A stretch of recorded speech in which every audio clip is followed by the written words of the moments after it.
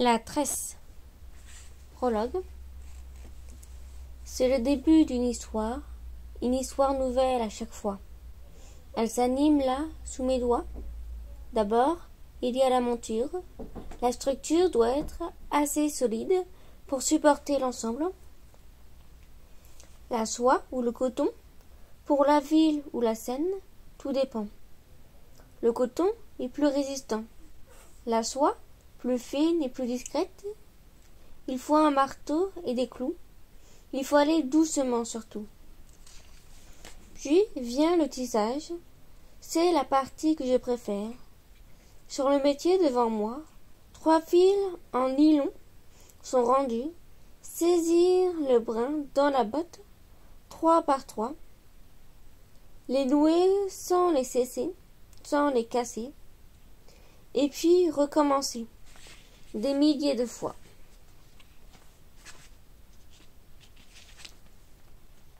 J'aime ces heures solitaires, ces heures où mes mains dansent. C'est un étrange ballet que celui de mes doigts. Ils écrivent une histoire de tresse et d'entrelacs. Cette histoire est la mienne, pourtant elle ne m'appartient pas. Smita, village de Badlapur, Uttar Pradesh, Inde. Smita s'éveille avec un sentiment étrange, une urgence douce, un papillon inédit dans le ventre. Aujourd'hui est une, une journée dont elle se souviendra toute sa vie. Aujourd'hui, sa fille va entrer à l'école. À l'école. Smita n'y a jamais mis les pieds. Ici, à Badlapur, les gens comme elle n'y vont pas. Smita est une Dali, intouchable. Tous ceux que Gandhi appelait les enfants de Dieu, hors caste, hors système, hors tout. Une espèce à part, jugée trop impure pour se mêler aux autres, aux rebuts indignes qu'on prend soin d'écarter comme on sépare le bon grain de l'ivraie. Comme Smita, ils sont des mignons à vivre en dehors des villages de la société, à la périphérie de l'humanité. Tous les matins, c'est le même rituel, à la manière d'un disque rayé rejouant à l'infini une symphonie infernale. Smita s'éveille dans le cahute qui lui sert de maison près des champs cultivés par les jattes. Elle lave son visage et ses pieds à l'eau rapportée la veille du puits. Celui qui leur est réservé, pas question de toucher à l'autre, celui des castes supérieures, pourtant proche et plus, et plus accessible. Certains sont morts pour moins que ça. Elle se prépare, coiffe Lalita, embrasse Nagarajan, puis elle prend son panier de joncs tressés, ce panier que sa mère portait avant elle et qui lui donne des hauts le cœur, rien qu'à le regarder. Ce panier a l'odeur tenace, acre et indélébile, qu'elle porte toute la journée comme on porte une croix, un fardeau honteux. Ce panier, c'est son calvaire une malédiction, une punition. Quelque chose qu'elle a dû faire dans une vie antérieure. Il faut payer, expier.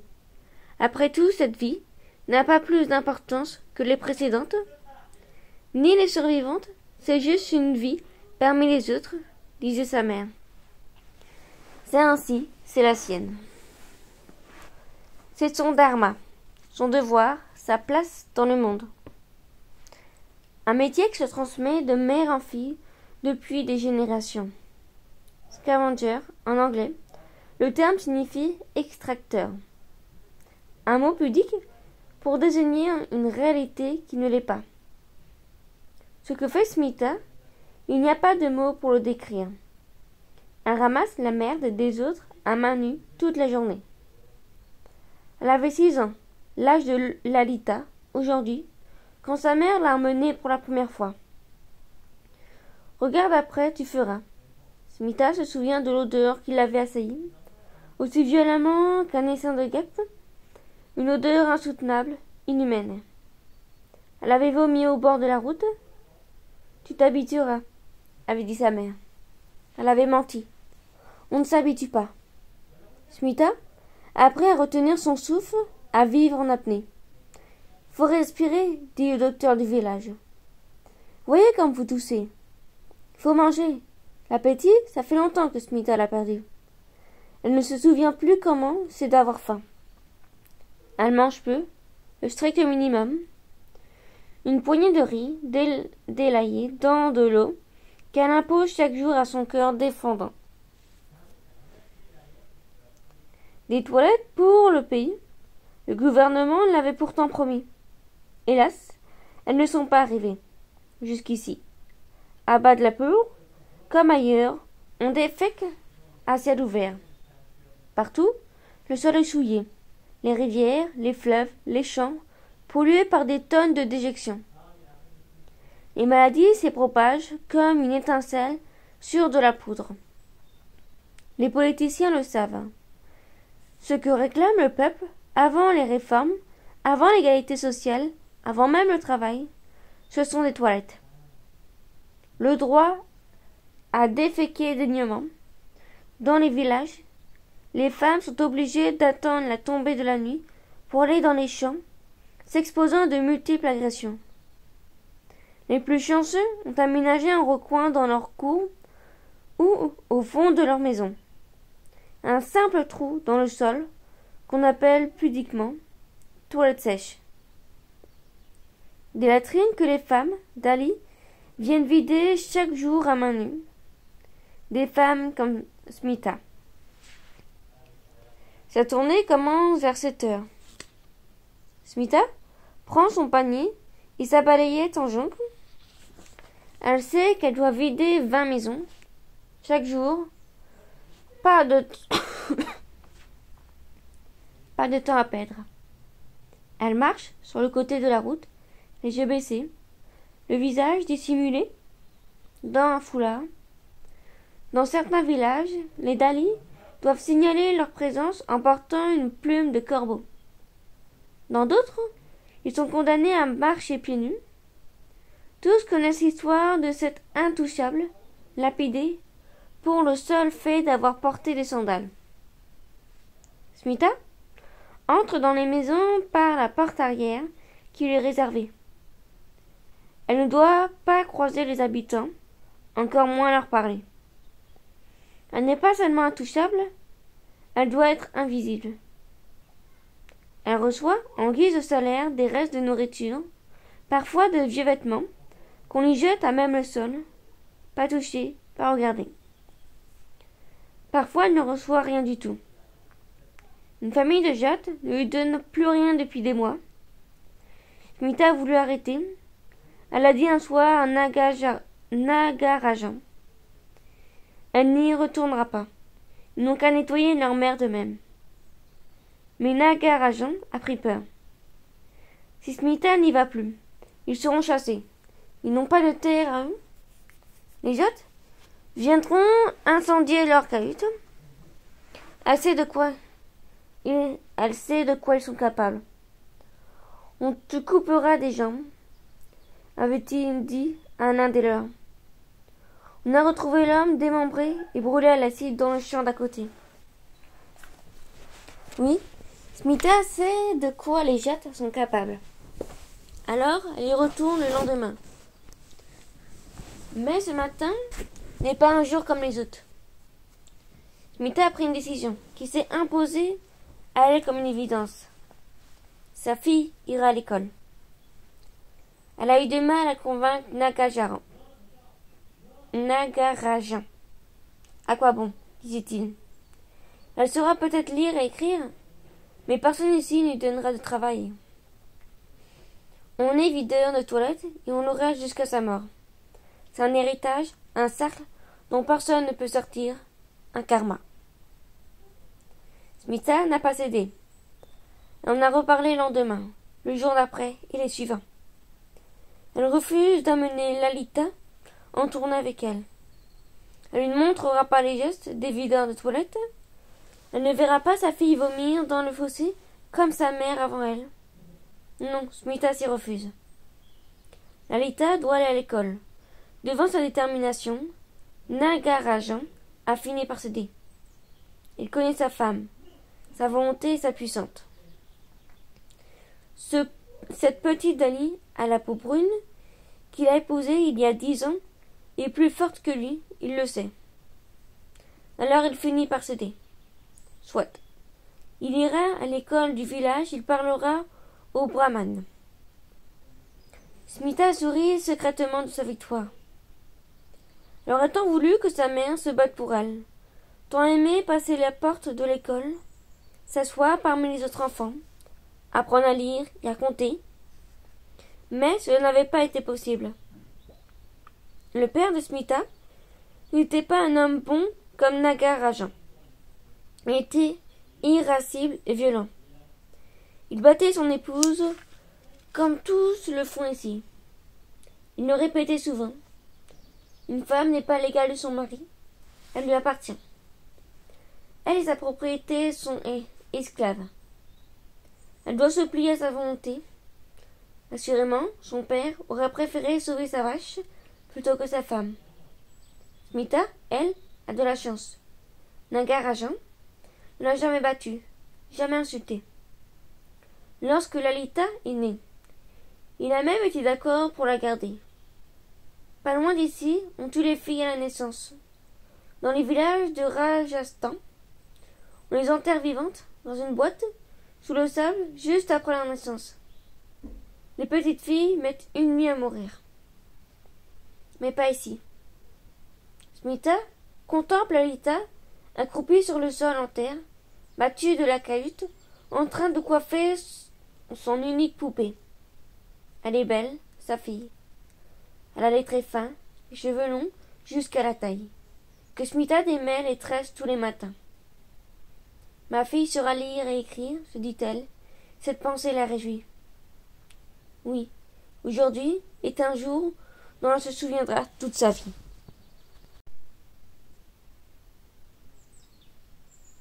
Julia, Palerme, Sicile. Julia. Julia ouvre les yeux péniblement. La voix de sa mère retentit d'en bas. Julia. Sandy. Subito. Julia est tentée d'enfuir sa tête sous l'oreiller. Elle n'a pas assez dormi. Elle a encore passé la nuit à lire. Elle sait pourtant qu'elle doit se lever. Lorsque la mère appelle, il faut obéir. C'est une mère sicilienne. Julia. La jeune femme quitte son lit à regret. Elle se lève et s'habille à la hâte avant de descendre à la cuisine. À cette heure, tout est calme dans l'atelier. Bientôt, l'endroit bruissera de mille conversations, de chansons, d'éclats de voix. Mais pour l'instant, il n'y a que le silence, l'écho des pas de Julia. Elle marche jusqu'au vestiaire réservé aux ouvrières et dépose ses affaires dans le casier à son prénom. Elle traite sa blouse, se glisse comme chaque jour dans cette seconde peau. Elle rassemble ses cheveux, les roule en un chignon serré et pique des épingles avec agilité. Puis elle recouvre sa tête d'un fichu. Une précaution indispensable ici. Ne faut pas mêler les cheveux à ceux qui traitaient à l'atelier. Ainsi, vêtue et coiffée, elle n'est plus la fille du patron. Elle est une ouvrière comme une autre, une employée de la maison Lefandry. Elle y tient. Elle a toujours refusé d'être privilégiée. La porte de l'entrée s'ouvre dans un grincement une joyeuse nuit emplie d'espace. En un instant, l'atelier s'anime, devient cet endroit bruyant que Julia aime tant. Dans un bois indistinct où les conversations s'entremêlent, les ouvrières se hâtent jusqu'au vestiaire où elles enfilent blouse et tablier, avant de rejoindre leur place en bavardant. Julia se joint à elle. Agnès allait être attirée. Son dernier fait ses dents. Elle n'a pas dormi de la nuit. Federica retient ses larmes. Son fiancé l'a quitté. Encore? s'exclame Alda. Il reviendra demain? la rassure Paola. Ici, les femmes partagent plus qu'un métier. Tandis que leurs mains s'activent sur les cheveux à traiter, elles parlent des hommes, de la vie, de l'amour, à longueur de journée. Ici, savent que le mari de Gina boit, que le fils d'Alda fraye avec les poivras, qu'Alexia a eu une brève liaison avec l'ex-mari de Rina et qui ne lui a jamais pardonné. Julia aime la compagnie de ces femmes dont certaines la connaissent depuis qu'elle est enfant. Elle est presque née ici. Sa mère se plaît à raconter comment les contractions l'ont surprise lorsqu'elle était occupée à trier des mèches dans la salle principale.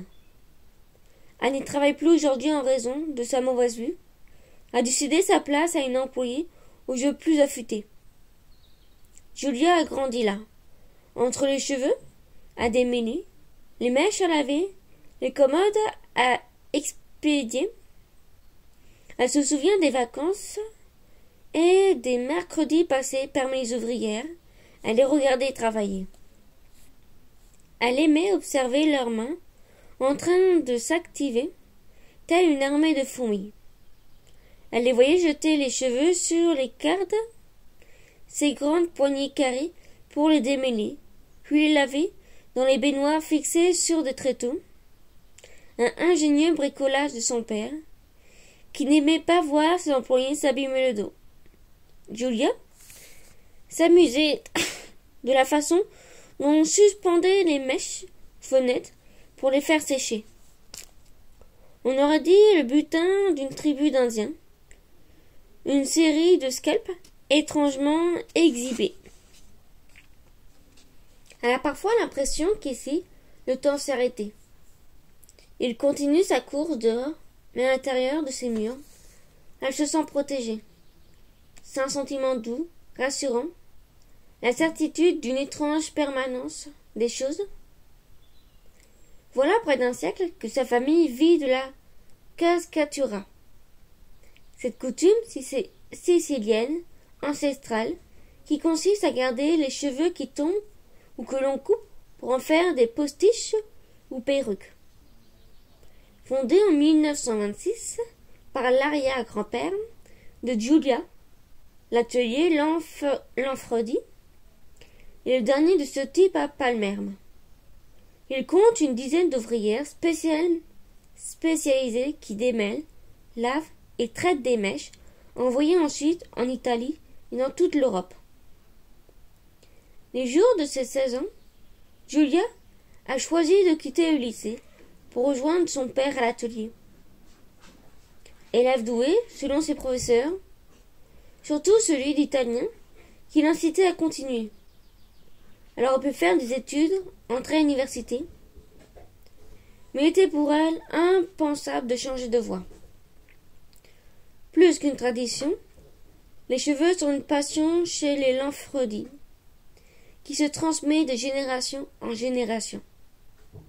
Étrangement, les sœurs de Julia n'ont pas manifesté d'intérêt pour le métier. Elle est la seule des filles Lanfredi à s'y consacrer. Francesca s'est mariée jeune, ne travaille pas. Elle a quatre enfants aujourd'hui. Adela, la cadette, est encore lycée, se destine au métier de la mode ou au mannequinat. Tout plutôt que la voix de ses parents. Pour les commandes spécialisées, les couleurs difficiles à trouver, le papa a un secret. Une formule héritée de son père, de son grand-père avant lui. À base de produits naturels dont il ne dit jamais le nom. Cette formule, il a transmise à Julia. Il l'emmène souvent sur le toit, dans son laboratoire, comme il l'appelle. De là-haut, on peut voir la mer, de l'autre côté, le mont Pellegrino. Vêtu d'une blouse blanche, qui le fait ressembler à un professeur de chimie, Pietro fait bouillir de grands seaux pour pratiquer les retouches. Il sait comment décolorer les cheveux et les reteindre ensuite sans que la couleur passe au lavage. Julia le regarde faire, des heures durant, attentive au moindre de ses mouvements. Son père surveille ses cheveux comme la mama ses pastas. Il les remue à l'aide d'une cuillère en bois, les laisse reposer avant d'y revenir. Inlassablement, il y a de la patience, de la rigueur, de l'amour aussi. Dans ce soin, il prend d'eux. Il se plaît à dire qu'un jour ses cheveux seront portés et méritent le plus grand des respects. Julia se prend parfois à rêver aux femmes à qui les perruques seront destinées. Les hommes ici ne sont pas enclins à porter des postiches, sont trop fiers, trop attachés à une certaine idée de leur virilité. Pour une raison inconnue, certains cheveux résistent à la formule secrète de l'offrandé. Des seaux dans lesquels ils sont plongés, la plupart ressortent d'un blanc laiteux, ce qui permet de les reteindre ensuite, mais un petit nombre d'individus conservent sa couleur d'origine. Ces quelques rebelles constituent un réel problème. Et en effet, inconcevable qu'un client trouve, au milieu d'une mèche soigneusement colorée, des récalcitrants noirs ou bruns. En raison de son acuité visuelle, Julia changé de cette tâche délicate. Elle doit trier les cheveux un par un, afin d'en soustraire les irréductibles. C'est une véritable chasse aux sorcières qu'elle mène chaque jour une traque minutieuse sans répit. La voix de Paola l'attire de sa rêverie. Mia cara, tu la fatiguée. Tu as encore lu toute la nuit. Julia ne dément pas. À Paola, on ne peut rien cacher. La vieille femme, la doyenne des ouvrières de l'atelier. Ici, toute l'appelle la nonna. Elle a connu le père de Julia enfant, qui aime à raconter qu'elle lançait ses souliers. Du haut de ses soixante-quinze ans, elle voit tout. Ses mains sont usées, sa peau ridée comme un parchemin, mais son regard toujours perçant. Veuve à vingt-cinq ans, elle a élevé seule ses quatre enfants, refusant toute sa vie de se remarier. Lorsqu'on lui demande pourquoi, elle répond qu'elle tient trop à sa liberté. Une femme mariée doit des comptes, dit-elle. Fais ce que tu veux, Miakara, mais surtout ne te marie pas, répète-t-elle à Julia. Elle raconte volontiers ses fiançailles avec cet homme que son père lui avait dessiné. La famille de son futur mari tenait une exploitation de citrons. La nonna avait dû travailler pour les ramasser le jour même de ses noces. Dans les campagnes, il n'y avait pas de temps de s'arrêter. Elle se souvient de l'odeur du citron qui flottait perpétuellement sur les vêtements et les mains de son mari. Lorsqu'il est mort d'une pneumonie quelques années plus tard, laissant seule avec leurs quatre enfants, elle a dû partir à la ville pour chercher un emploi. Elle a rencontré le grand-père de Julia, qui l'a engagé à l'atelier. Voilà cinq décennies qu'elle y est employée. C'est pas dans un livre que tu trouveras un mari, s'exclama Alda. Est-ce tranquille avec ça gronde la nonna. De mari, Julia n'en cherche pas. Elle ne fréquente ni les cafés ni les boîtes de nuit. Pourtant, prisée des gens de son âge. Ma fille est un peu sauvage, a l'habitude de dire la maman. Dans la clameur de discothèque, Julia préfère le silence feutré de la bibliothèque communale. L'attirant chaque jour à l'heure du déjeuner. Insatiable lectrice, elle aime l'ambiance des grandes salles tapissées de livres que seuls les bruissements des pages viennent troubler. Il lui semble qu'il y a là quelque chose de religieux, un recueillement quasi mystique qui lui plaît. Lorsqu'elle lit, Julia ne voit pas le temps passer. Enfin, Elle dévorait les romans d'Emilio Salgari, assise au pied des ouvrières. Plus tard, elle découvert la poésie.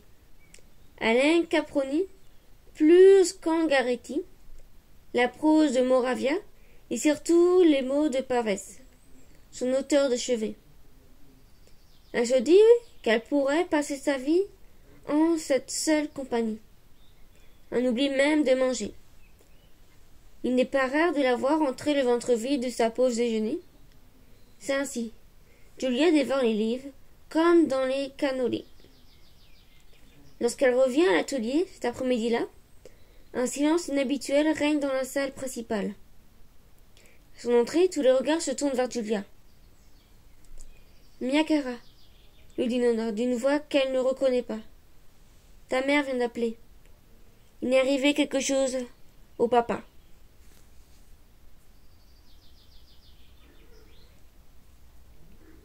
Sarah, Montréal, Canada. La lame sonne et le compte à rebours commence. Sarah est en lutte contre le temps à l'instant où elle se lève, à celui où elle se couche. À la seconde où elle ouvre les yeux, son cerveau s'allume comme le processeur d'un ordinateur. Chaque matin, elle se réveille à cinq heures. Pas le temps de dormir, plus, chaque seconde est comptée. Sa journée est chronométrée, millimétrée, comme ces feuilles de papier qu'elle achète à la rentrée pour les cours de maths des enfants. Il est loin le temps de l'insouciance, celui d'avant, le cabinet, la maternité, les responsabilités. Il suffisait alors d'un coup de fil pour changer le cours d'une journée. Et ce soir on faisait, et si on partait, si on allait? Aujourd'hui tout est planifié, organisé, anticipé. Plus d'improvisation. Le rôle est appris, joué, répété, chaque jour, chaque semaine, chaque mois, toute l'année. Mère de famille, cadre supérieur, working girl, it girl, Wonder Woman, autant d'étiquettes que les magazines féminines collent sur le dos des femmes qui lui ressemblent, comme autant de sacs pesant sur leur épaule. Sarah se lève, se douche, s'habille. Ses gestes sont précis, efficaces, orchestrés, comme une symphonie militaire. Elle descend à la cuisine, dresse sa table, du petit déjeuner, toujours dans le même ordre. Lait, bol, jus d'orange, chocolat, pancake pour Anna. Et Simon, céréales pour Ethan, double café pour elle. Elle va ensuite réveiller les enfants. Anna d'abord, puis les jumeaux. Leurs vêtements ont été préparés la veille par Ron. Ils n'ont qu'à se débrouiller. Ils enfilaient pendant qu'Anna remplit les lunchbox. C'est une affaire qui roule aussi vite que la berline de Sarah dans les rues de la ville pour les déposer à l'école. Simon et Anne en primaire, Anna au collège. Après les bises, les tu n'as rien oublié, les couvre-toi mieux, les bons courage pour ton examen de maths, ils arrêtaient de chahuter derrière les non, tu vas à l'usine, et enfin un traditionnel. Le week-end prochain, vous êtes chez votre père. Sarah prend la direction du cabinet. À 8h20 précisément, elle gare sa voiture dans le parking devant le panneau portant son nom. Sarah Gawain Johnson et Lo Lowood. Cette plaque qu'elle contente tous les matins avec fierté. Désigne plus que l'emplacement de sa voiture. Elle est un titre, un grade, sa place dans le monde. Un accomplissement, le travail d'une vie, sa réussite, son territoire. Dans le hall, le portier la salue, puis la standardiste, toujours selon le même rituel. Ici, tous l'apprécient. Sarah pénètre dans l'ascenseur, appuie sur le bouton du huitième étage, traverse les couloirs d'un pas rapide en direction de son bureau. Il n'y a pas grand monde. Elle est souvent la première arrivée la dernière partie. À ce prix qu'on construit une carrière, à ce prix qu'on devient Sarah Cowan, associée avec Katie, du prestigieux cabinet Johnson Lowood. l'un des plus des plus côtes de la ville.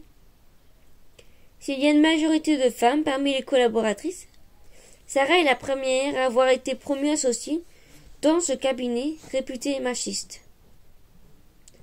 La plupart de ses amis de l'école de bureau se sont heurtés au plafond du verre. Certaines d'entre elles ont même abandonné, changé de carrière, malgré les études longues et exigeantes qu'elles ont menées. Mais pas elle, pas Sarah Cohen. Le plafond, elle l'a pulvérisé, fait exploser à grands coups d'heures supplémentaires, de week-end passés au bureau, de nuit, à préparer ses plaidoiries elle se souvient de la première fois où elle est rentrée dans le grand hall en marbre, il y a dix ans. Venue passer son entretien d'embauche, elle s'était retrouvée devant huit hommes, dont Jackson en personne, l'associé fondateur, le managing partner, Dieu lui-même. Sorti de son bureau, pour l'occasion, il descendit en salle de réunion. Elle n'avait pas prononcé un mot l'avait fixé d'un œil sévère, détaillant chaque ligne de son CV, sans faire le moindre commentaire. Sarah s'était sentie déstabilisée, mais n'avait rien montré. Elle était experte dans l'art de porter un masque, une discipline qu'elle pratiquait depuis longtemps. En sortant, s'était sentie vaguement découragée. Johnson n'avait manifesté aucun intérêt à son égard ne lui avait posé aucune question. Tel un joueur aguerri lors d'une partie de poker.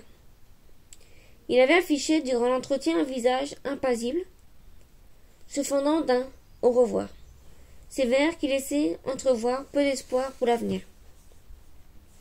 Sarah savait qu'il était nombreux les candidats au poste de collaborateur. Elle venait d'un autre cabinet, plus petit et moins prestigieux, rien n'était gagné. D'autres auraient plus d'expérience, plus d'agressivité, plus de chance peut-être aussi. Par la suite, elle avait appris que ce Johnson l'avait choisi en personne, l'avait désigné parmi tous les candidats, contre l'avis de Gary. Il allait falloir s'habituer. Gary Gers ne l'aimait pas, ou alors il l'aimait trop. Il était peut-être jaloux, ou bien la désirait, qu'importe. Il se montrerait hostile en toutes circonstances, gratuitement, irrémédiablement. Sarah les connaissait, ces hommes ambitieux, qui détestent les femmes, se sentait menacée par elles. Elle les côtoyait, mais n'en faisait que peu de côtes. Elle traçait son chemin, et laissait sur le bas côté, Johnson et Lowood, elle avait gravé les échelons à la vitesse d'un cheval lancé au galop, se forgeant une solide réputation au cours de justice. Le tribunal était sans arène, son territoire, son colisée. Lorsqu'elle y pénétrait, elle devenait une guerrière, une combattante intraitable, impitoyable. Pour plaider, elle prenait une voix légèrement différente de la sienne, plus grave, plus solennelle.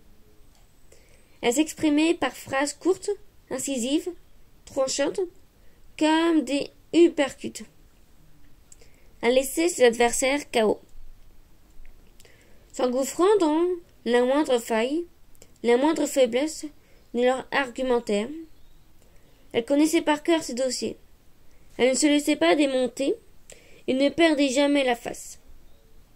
Depuis qu'elle avait commencé à exercer, dans ce petit cabinet de la rue Winston, qu'il avait embauché après son diplôme de bureau, elle avait gagné la très grande majorité de ses affaires.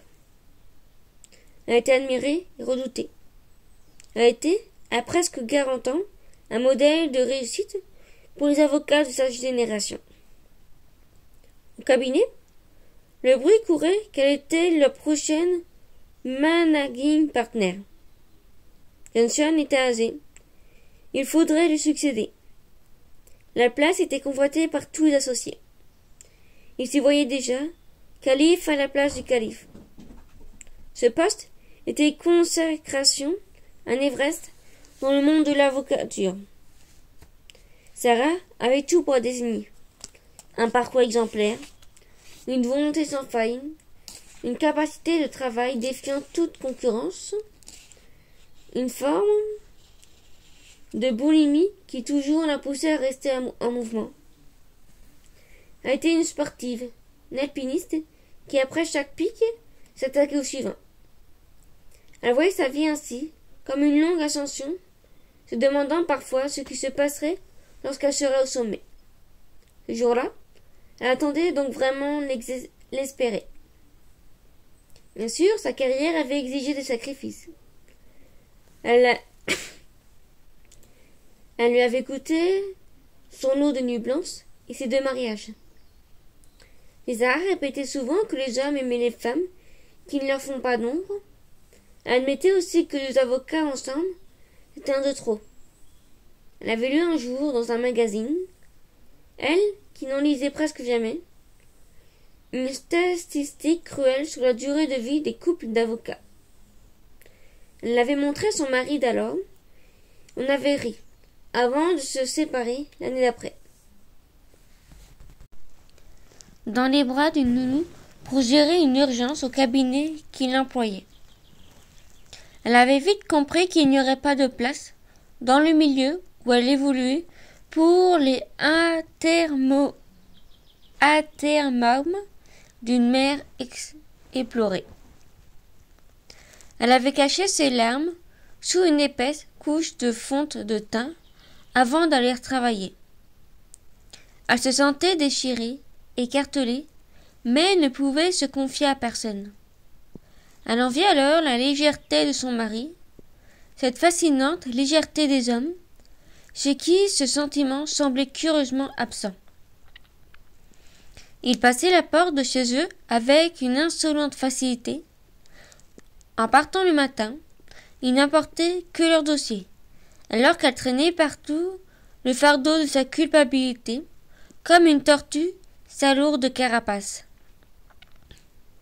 Au début, elle avait tenté de lutter contre ce sentiment, de le rejeter, de le nier, mais elle n'y est pas parvenue. Elle avait fini par lui faire une place dans sa vie. La culpabilité était sa vieille campagne, qui s'imposait partout sans être invitée, a été cette pancarte de publicité dans un champ, cette verrure au milieu d'un visage disgracieuse, inutile. Mais c'était ainsi. Elle était là. Il fallait faire avec. Auprès de ses collaborateurs et associés, Sarah ne laissait rien paraître. Elle avait pour règle de ne jamais parler de ses enfants. Elle ne les mentionnait pas, n'avait pas de photos d'eux dans son bureau, Lorsqu'elle devait quitter le cabinet pour une visite chez le pédiatre ou une convocation à l'école, à laquelle elle ne pouvait déroger, elle préférait dire qu'elle avait un rendez-vous extérieur.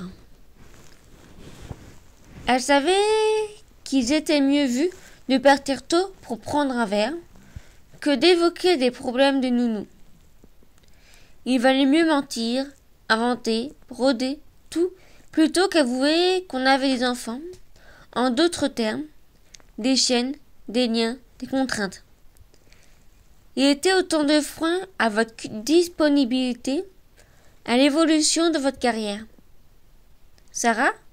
Se souvient de cette femme dans l'ancien cabinet où elle exerçait, qui venait d'être promue, associée, et qui, à l'annonce de sa grossesse, s'était vue destituée, renvoyée au statut de collaboratrice.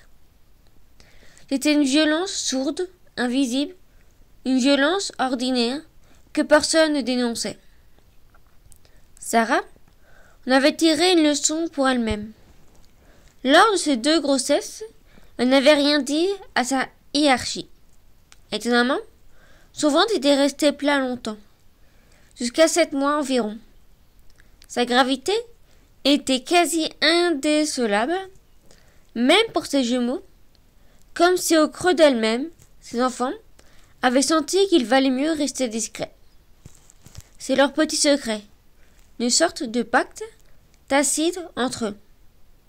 Sarah avait pris le congé maternité le plus bref possible. Elle était revenue au bureau deux semaines après sa césarienne. La ligne impeccable, le teint fatigué mais soigneusement maquillé, le sourire parfait. Le matin, avant de garer sa voiture en bas du cabinet, elle faisait une halte sur le parking du supermarché voisin afin de retirer les deux sièges bébés de la banquette arrière et de les placer dans le coffre pour les rendre invisibles.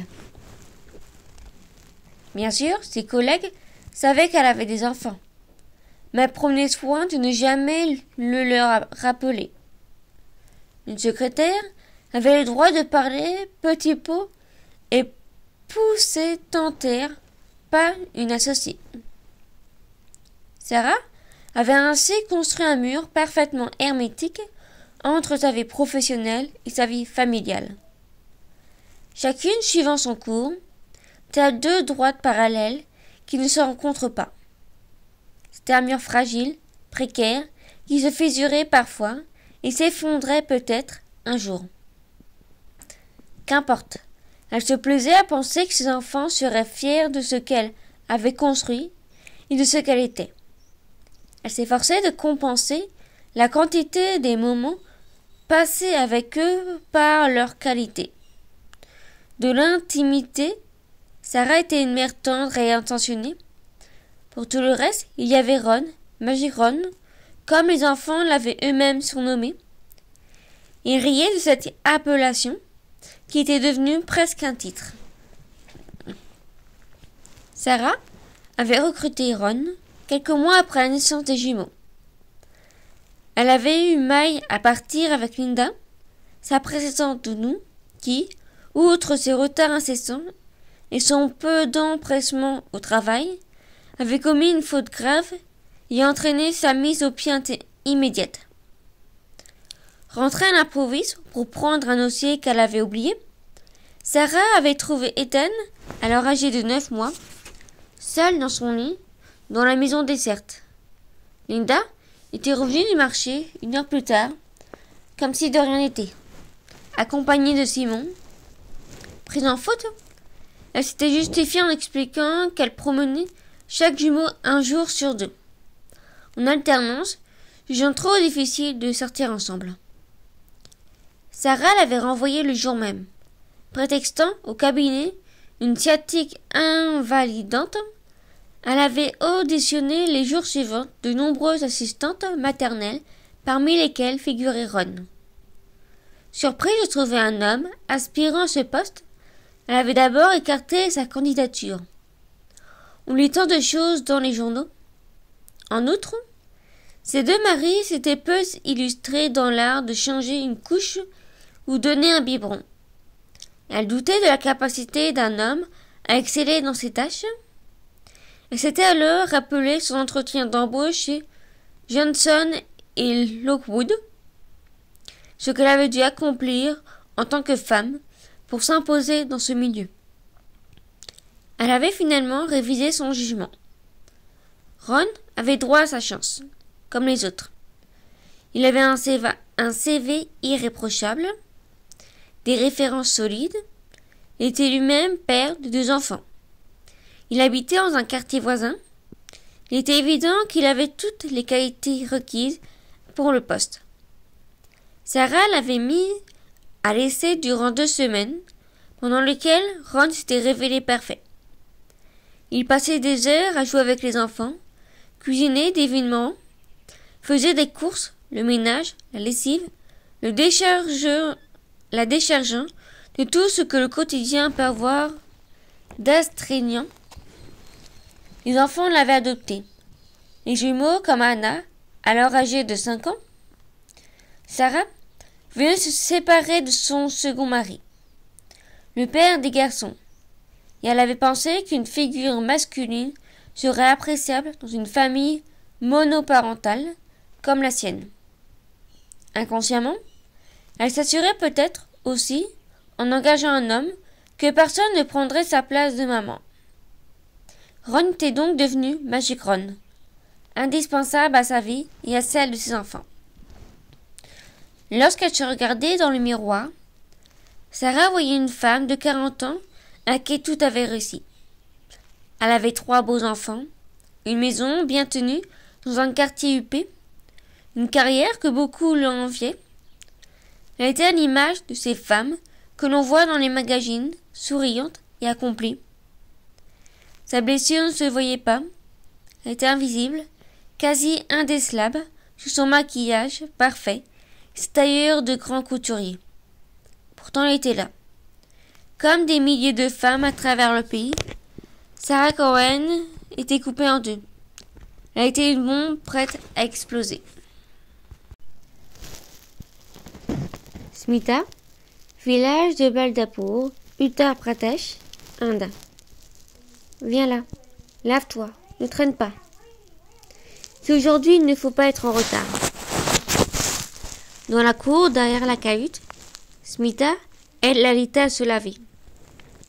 La petite fille se laisse faire, docile, elle ne proteste même pas lorsque l'eau lui coule dans les yeux. Smita démêle ses cheveux. Ils lui descendent jusqu'à la taille. Elle ne les a jamais coupés. C'est la tradition ici. Les femmes gardent longtemps leurs cheveux de naissance, parfois toute leur vie. Elle dévise la chevelure en trois mèches, qu'elle entrelâche d'une main experte pour en faire une tresse. Elle lui tend ensuite le sarré qu'elle a cousu pour elle des nuits durant. Une voisine lui a offert le tissu. Elle n'a pas les moyens d'acheter l'uniforme que portent ici les écoliers, mais qu'importe. Sa fille sera belle pour son entrée à l'école, se dit-elle. Elle s'est levée à l'aube pour lui préparer son repas. Il n'y a pas de cantine. Chaque enfant doit apporter son déjeuner. Elle a cuisiné du riz auquel elle a ajouté un peu de curry, celui qu'elle réserve pour les grandes occasions. Elle espère que Lalita mangera avec appétit pour son premier jour d'école. Il faut de l'énergie pour apprendre à lire et à écrire. Elle a placé le repas dans une luxe box improvisée, une boîte en fer soigneusement nettoyée qu'elle a elle-même décorée. Elle ne veut pas que Lalita ait honte devant les autres. Elle saura lire, tout comme eux, comme les enfants des jattes. Mets-toi de la poudre, occupe-toi de l'hôtel, vite. Dans l'unique pièce de la cahute, qui sert tout à la fois de cuisine, de chambre et de temple, Lalita est changée de nettoyer le petit hôtel consacré aux dieux. Elle allume une bougie à la place près des images pieuses. C'est elle qu'elle agite le gros lot à la fin des louanges. Ensemble, Smita et sa fille récitent une prière à l'intention de Vishnu, le dieu de la vie et de la création, le protecteur de tous les humains. Lorsque l'ordre du monde est perpétué, est perturbé, il s'incarne pour descendre sur terre, il remédie Prenant tour à tour la forme d'un poisson, d'une tortue, d'un sanglier, d'un homme lion ou même d'un homme. Alita aime s'asseoir près du petit hôtel le soir, après le repas, et écouter sa mère lui raconter l'histoire des dix avatars de Vishnu lors de sa première incarnation humaine. Il a défendu les castes des brasmes contre les Kinstrias. Il a rempli cinq sacs de leur sang. Alita frissonne toujours à l'évocation de ces récits. Elle prend garde, dans ses jeux, de ne pas écraser la moindre fourmi, la moindre araignée, on ne sait jamais. Vishnu est peut-être là, tout près, incarné dans l'une de ces misérables créatures. Un dieu au bout de son doigt. L'idée lui plaît et l'effraie en même temps. Nagarajan aussi aimait écouter Smita. Le soir, près de l'hôtel, sa femme est une formidable conteuse, elle qui ne sait pourtant pas lire. Ce matin, pas le temps pour les histoires. Nagarajan est parti tôt, comme à son habitude, dès le lever du jour. Il est chasseur de rats, comme son père avant lui. Il travaille dans les champs des jattes. C'est une tradition ancestrale, un savoir-faire transmise en guise d'héritage. L'art d'attraper les rats à main nue. Les rongeurs mangent les récoltes et fragilisent les sols en y creusant des galeries. Nagarajan a appris à reconnaître ces trous minuscules dans la terre. Ces caractéristiques, il faut être attentif, disait son père, et patient. N'aie pas peur. Au début, tu seras mordu. Tu vas apprendre. Il se souvient de sa première prise, à l'âge de huit ans. Quand il avait introduit sa main dans le trou, une douleur fulgurante lui avait traversé la chair. Le avait mordu cet espace tendre entre le pouce et l'index, où la peau est si fine. Nagarajan avait crié et retiré sa main sanglotée. Son père avait ri. Tu t'y prends mal. Il faut être plus rapide. Tu dois le surprendre. Recommence. Nagarajan avait peur. Il, il avait retenu ses larmes. Recommence. Il s'était repris à six fois, six morsures, avant de sortir le rat énorme sa cachette. Le père a fait saisir l'animal par la queue, lui avait fracassé la tête contre une pierre, avant de le tendre de nouveau à son fils. Voilà, avait-il dit simplement. Nagarajan avait saisi le rat mort, comme on prend un trophée, il l'avait rapporté à la maison. Sa mère avait d'abord pensé sa main, puis elle avait fait griller le rat. Ils l'avaient mangé ensemble au dîner. Les Dali, comme Nagarajan, ne touchent pas de salaire. Ils ont juste le droit de garder ce qu'ils prennent. C'est une forme de privilège. Les rats appartiennent aux jettes, comme les champs, et tout ce qui se trouve au-dessus et en dessous. Griller, ce n'est pas mauvais. Ça ressemble au poulet, disent certains. C'est le poulet du pauvre, celui des Dali. La seule viande dont il dispose, Nagarajan raconte que son père mangeait les rats entiers avec la peau et les poils, ne laissant que la queue indigeste. Il plantait la bête sur un bâton, la faisait griller au-dessus du feu, avant de la croquer tout entière. Alita rit lorsqu'il raconte cette histoire. Smita, elle, préfère enlever la peau. Le soir, il mange les rats de la journée avec du riz, dont Smita garde l'eau du cuisson qu'elle sert en guise de sauce. Parfois, il y a aussi les restes donnés par les familles dont elle vide les toilettes, qu'elle apporte et partage avec les voisins. Ton Binti, n'oublie pas. Alita fouille dans ses affaires et en sort un petit flacon de vernis trouvé un jour en jouant sur le bord d'un chemin. Elle n'a pas osé dire à sa mère qu'elle l'avait dérobé alors qu'il venait de tomber du sac d'une passante. Le flacon avait roulé dans le fossé où l'enfant l'avait ramassé, le serrant comme un trésor pour le dissimuler. Elle avait rapporté son butin le soir même en prétextant l'avoir trouvé, gonflé d'un sentiment de joie, en même temps que de honte. Si nous savait. Smita prend le flacon des mains de sa fille et dessine sur son front un rouge vermillon. Il faut que le cercle soit parfait. C'est une technique délicate qui demande un peu d'entraînement. Elle tapote doucement le vernis du bout de son doigt avant de se fixer, de le fixer avec de la poudre. Le binti, le troisième œil, comme on l'appelle ici, retient l'énergie et augmente la concentration. Alita en aura besoin aujourd'hui, se dit sa mère. Elle contemple le petit cercle régulier sur le front de l'enfant et sourit. Alita est jolie. Elle a les traits fins, les yeux noirs, sa bouche est roulée comme le contour d'une fleur. Elle est belle dans son sourire vert. Smita se sent pleine de fierté devant sa fille en écolière. Elle mange peut-être du rat, mais elle saura lire, se dit-elle, tandis qu'elle lui prend la main et l'entraîne vers la grande route. Elle va l'aider à traverser, ici. Les camions affluent dès le matin et roulent vite. Il n'y a pas de signalisation, ni de passage réservé aux piétons. Tandis qu'elle s'avance, Elita lève les yeux vers sa mère, inquiète. Ce ne sont pas les camions qui l'effrayent, mais ce monde nouveau, inconnu de ses parents, dans lequel elle va devoir pénétrer seule. Smita, son regard implorant de l'enfant. Il serait si facile de rebrousser chemin, de prendre le panier en jonque, de l'emmener avec elle. Mais non. Elle ne verra pas Lalita vomir dans le fossé. Sa fille ira à l'école.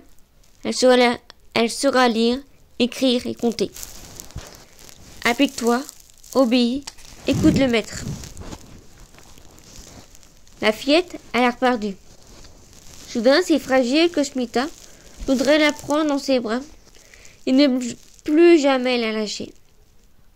Elle doit lutter contre cet élan, se faire violence. L'instituteur a dit d'accord lorsque Nara, Nagarajan est allé le voir. Il a contemplé la boîte dans laquelle Smita avait glissé toutes leurs économies. Les pièces soigneusement mises de côté, des mois durant, il s'est fait. Il s'en est emparé et a dit D'accord. Smita le sait. Tout fonctionne ainsi. L'argent est force de persuasion aussi. Nagarajan il revenait annoncer la bonne nouvelle à sa femme. Ils se sont réjouis. Elle traverse et tout à coup, c'est là, maintenant, le moment de lâcher la main de sa fille. De l'autre côté de la route, Smita voudrait t'en dire. Réjouis-toi, tu n'auras pas ma vie. Tu seras en bonne santé. Tu ne tousseras pas comme moi. Tu vivras mieux et plus longtemps tu seras respecté. Tu n'auras pas sur toi cette odeur infâme, ce parfum indélébile et maudit. Tu seras digne. Personne ne te jettera des restes comme un chien. Ne baisseras plus jamais la tête ni les yeux. Smita aimerait-on lui dire tout ça, mais ne sait comment s'exprimer, comment dire à sa fille ses espoirs, ses rêves, un peu fous, ce papillon qui bat dans son ventre. Et alors se penche vers elle et lui dit simplement Va. Goulia, Palerme, Sicile. Goulia s'éveille en sursaut. Elle a rêvé de son père cette nuit. Enfant, elle aimait tant l'accompagner faire sa tournée, tout le matin. Ils montaient ensemble sur sa Vespa. Elle ne grimpait pas à l'arrière, mais à l'avant, sur les genoux de son père. Elle aimait plus que tout le vent dans ses cheveux, cette impression grisante d'infini et de liberté que la vitesse produit. Elle n'avait pas peur, Les bras de son père l'entouraient, rien ne pouvait lui arriver. Elle criait dans les descentes de plaisir et d'excitation. Elle regardait le soleil se lever sur les côtes de Sicile, l'agitation descente dans les faubourgs la vie qui s'éveille et s'étire. Plus que tout, elle aimait sonner aux portes. Bonjour, c'est pour la cascatura, annonçait-elle fièrement. Les femmes, parfois, lui donnaient une friandise ou une image, en lui confiant leur sachet de cheveux. Oulia récupérait fièrement le butin qu'elle tendait au papa. Il sortait de son sac la petite balance en fonte qu'il emportait partout, héritée de son père et de son grand-père avant lui. Il pesait les mèches pour en estimer la valeur donner à la femme quelques pièces. Jadis, les cheveux étaient échangés contre les allumettes, mais à l'arrivée des briquets, leur commerce s'est éteint. Maintenant, on payait argent comptant. Son père évoquait souvent en riant ces personnes âgées, trop fatiguées pour quitter leur chambre, qui descendaient au bout d'une corde un panier contenant leurs cheveux. Il les saluait d'un geste, prenait les mèches avant de placer l'argent dans le panier, qui remontait par le même procédé. Goulia se souvient de cela, le rire de son père lorsqu'il lui racontait. Puis ils repartaient tous deux vers d'autres maisons. À la chez les coiffeurs, le butin était plus conséquent. Goulia aimait l'expression de son père lorsqu'il recevait une tresse de cheveux longs, les plus rares et les plus chers. Il les pesait, les mesurait et touchait la texture et la densité. Il payait, remerciait, repartait. Il fallait faire vite. Rien qu'à Palerme, l'atelier, l'enfredi, comptait cent fournisseurs. S'il se dépêchait, il serait de retour pour le déjeuner. Un instant encore, l'image est là. Goulia neuf ans, sur la Vespa. Les quelques secondes qui suivent sont floues, confuses, comme si la réalité peinait à faire le point, se mêler au rêve qui vient de s'achever. C'est donc vrai. Le papa a eu un accident la veille, pendant sa journée, sa tournée. Pour une raison inexpliquée, sa Vespa a quitté la route. Il le connaît pourtant, ce chemin. Il l'a emprunté des centaines de fois. Un animal a dû traverser. On dit les pompiers, à moins qu'il n'ait fait un malaise. Nul ne sait. Il est entre la vie et la mort à présent, à l'hôpital Francesco Saverio. Les médecins refusent de se prononcer. Il faut se préparer au pire, ont-ils dit à la maman. Le pire, Goulia ne peut l'envisager. Un père, ça ne meurt pas. Un père, c'est éternel c'est un roc, un pilier, surtout le sien. Piedro l'Amphrodi est une force de la nature. Il nous faudra un centenaire ou l'habitude de dire son ami le docteur Signor en buvant avec lui un verre de grappa. Lui, Piedro, le bon vivant, le jouisseur, le papa, l'amateur du bon vin, le patriarche, le patron, le colérique, le passionné, lui, son père, son père adoré, ne peut pas s'en aller. Pas, pas maintenant, pas comme ça. Aujourd'hui, on célèbre Santa Rosalia. Quelle sombre ironie, se dit Goulien. Toute la journée, les palermétains, en liesse, vont défiler en hommage à leur saint patronne. La Vestinue, va battre son plein. Comme chaque année, selon la coutume, son père a donné congé aux ouvrières afin qu'elles participent aux célébrations. La procession, le long du Corso Vettirio Emanuela, puis le feu d'artifice sur le Foro Italico à la nuit tombée. Goulian n'a pas le cœur à la fête. En tentant d'ignorer les manifestations de joie dans les rues, elle se rend au chevet de son père, avec sa mère et ses sœurs. Sur son lit d'hôpital, le papa n'a pas l'air de souffrir. Cette pensée le console un peu. Son corps, jadis puissant, paraît si fragile aujourd'hui. On dirait un enfant. Il semble plus petit qu'avant, songe-t-elle, comme s'il avait rétréci. C'est peut-être cela qui se produit quand l'âme s'en va. Elle chasse aussitôt de son esprit cette funeste pensée. Son père est là, il vit encore, il faut se raccrocher à ça. Une commotion cérébrale, selon les médecins. Un mot qui signifie on ne sait pas. Personne ne peut dire s'il va vivre ou mourir. Lui-même semble n'avoir pas choisi. Il faut prier, dit la maman. Ce matin, elle demande à Goulia et ses sœurs de l'accompagner à la procession de Santa Rosalia. La Vierge fleurie, fait des miracles, dit-elle. Elle l'a prouvé par la pensée. En sauvant la ville de la peste, il faut aller l'invoquer. Goulia n'aime guère ces manifestations des ferveurs religieuses, ni la foule dont elle redoute les mouvements inopinés. En outre, elle ne croit pas en tout cela. Bien sûr, elle a été baptisée, a fait sa communion. Elle se rappelle ce jour où, vêtue de la traditionnelle robe blanche, elle a reçu pour la première fois le sacrement de l'ange charistie, sous le regard pieux et intense de sa famille réunie. Ce souvenir est, d'entre tous, l'un des plus beaux de sa vie. Mais aujourd'hui, elle n'a pas envie de prier. Elle voudrait rester près de papa. Sa mère insiste. Si les médecins sont impuissants, Dieu seul peut le sauver. Elle semble aussi convaincue que Goulia, soudain, envie sa foi.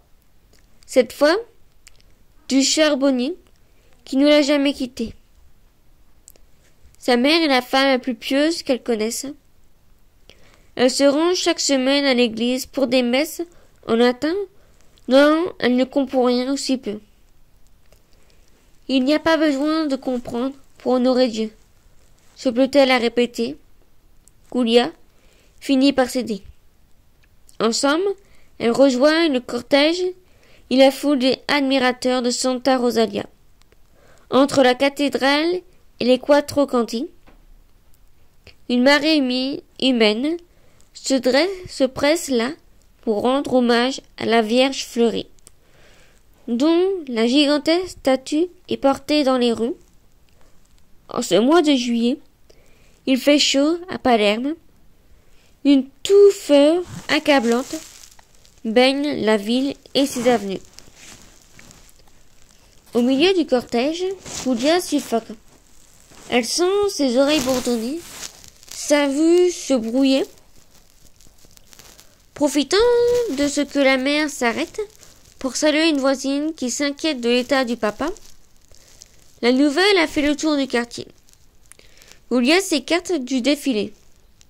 Elle se réfugie dans une ruelle à l'ombre pour se rafraîchir à l'eau d'une fontaine.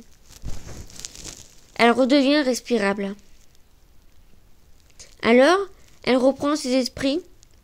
Les éclats de voix retentissent dans la rue, un peu plus loin. Deux carabineries, en uniforme, apostrophe, un homme, à la peau sombre, de forte stature. Il porte un ruban noir, que les gardiens de l'ordre le somment de retirer. L'homme proteste.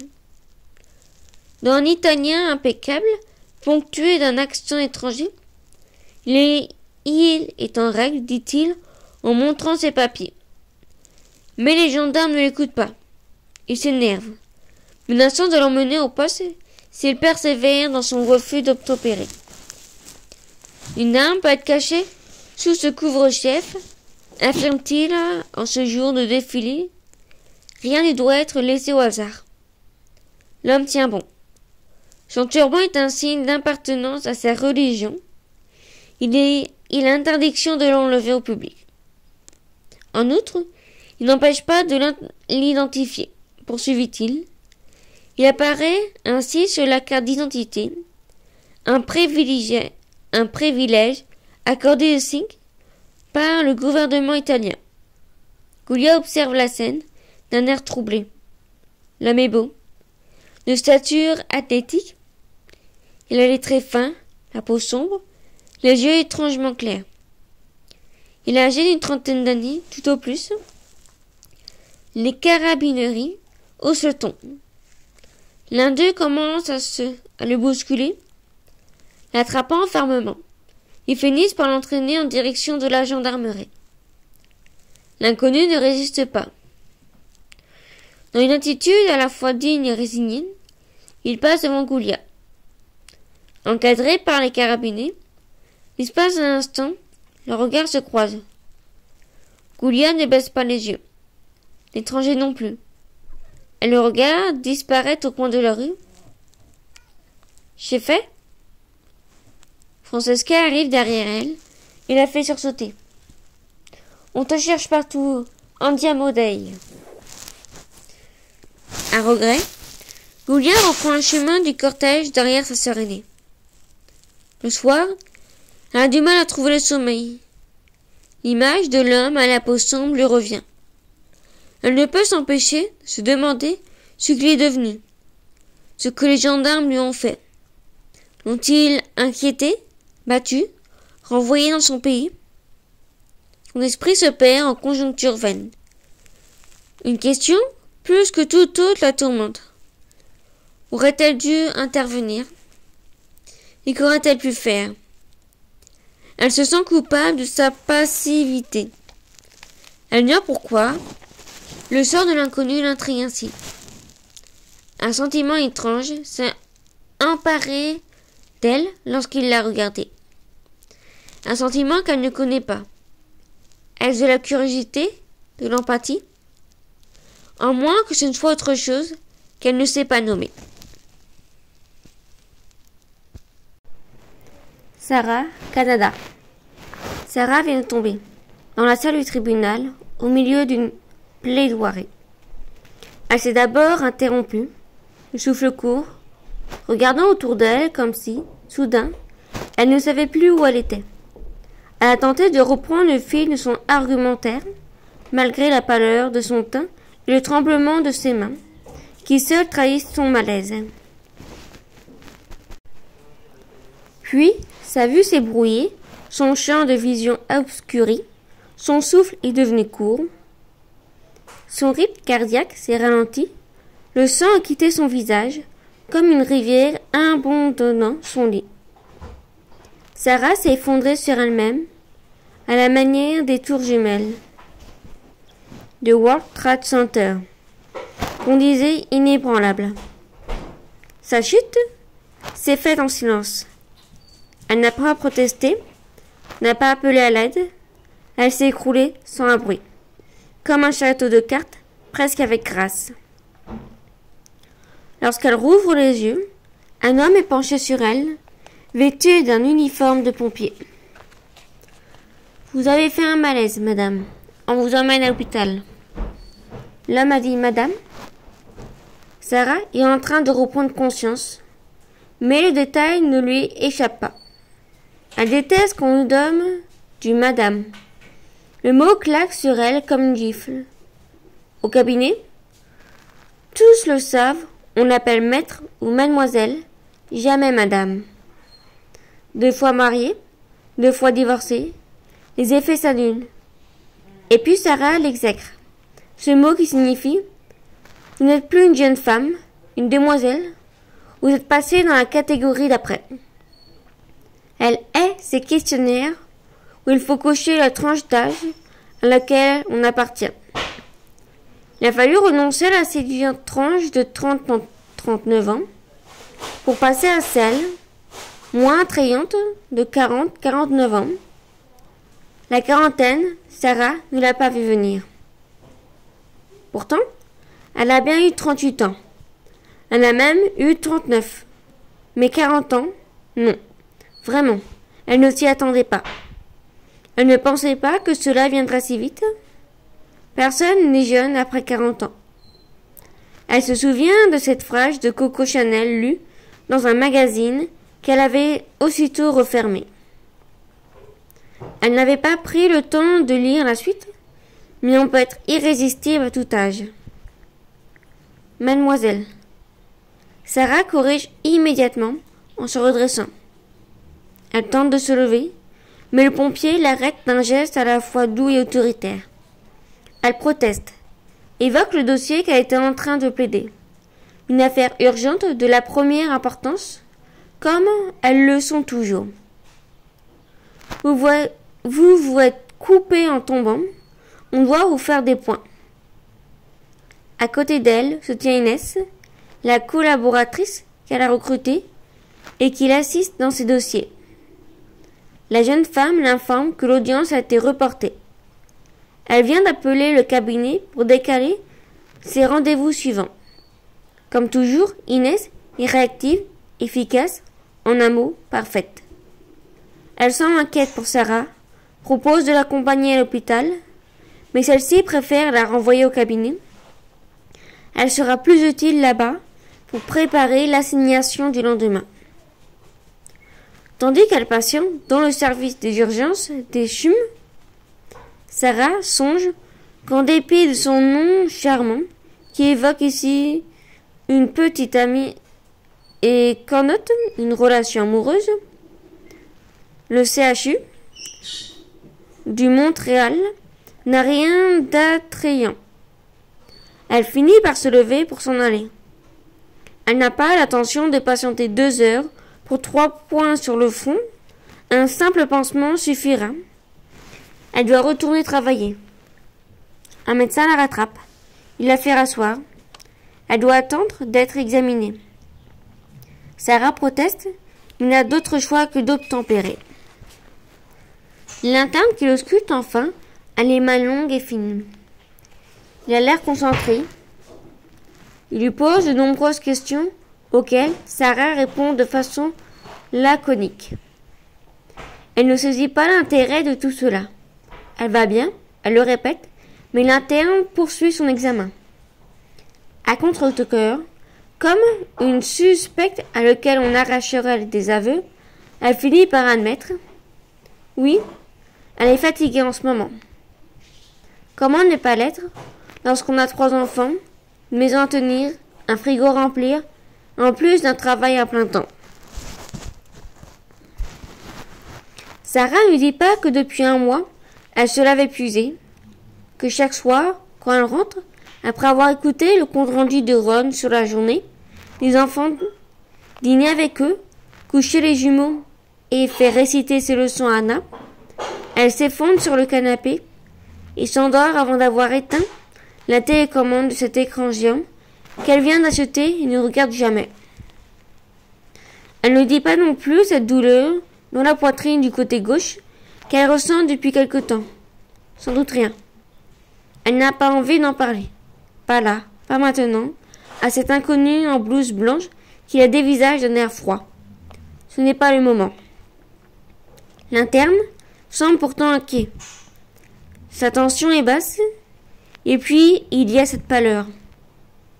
Sarah minimise, elle fait semblant, donne le change, elle est douée après pour ça. Après tout, c'est un métier. Tous connaissent cette boutade au cabinet. Que sait-on qu'un avocat ment lorsque ses lèvres bougent? Elle est venue à bout des magistrats les plus retors de la ville. Ce n'est pas un jeune interne qui la fera tomber. Un simple coup de pompe, voilà tout. Un burn-out Le terme l'a fait sourire.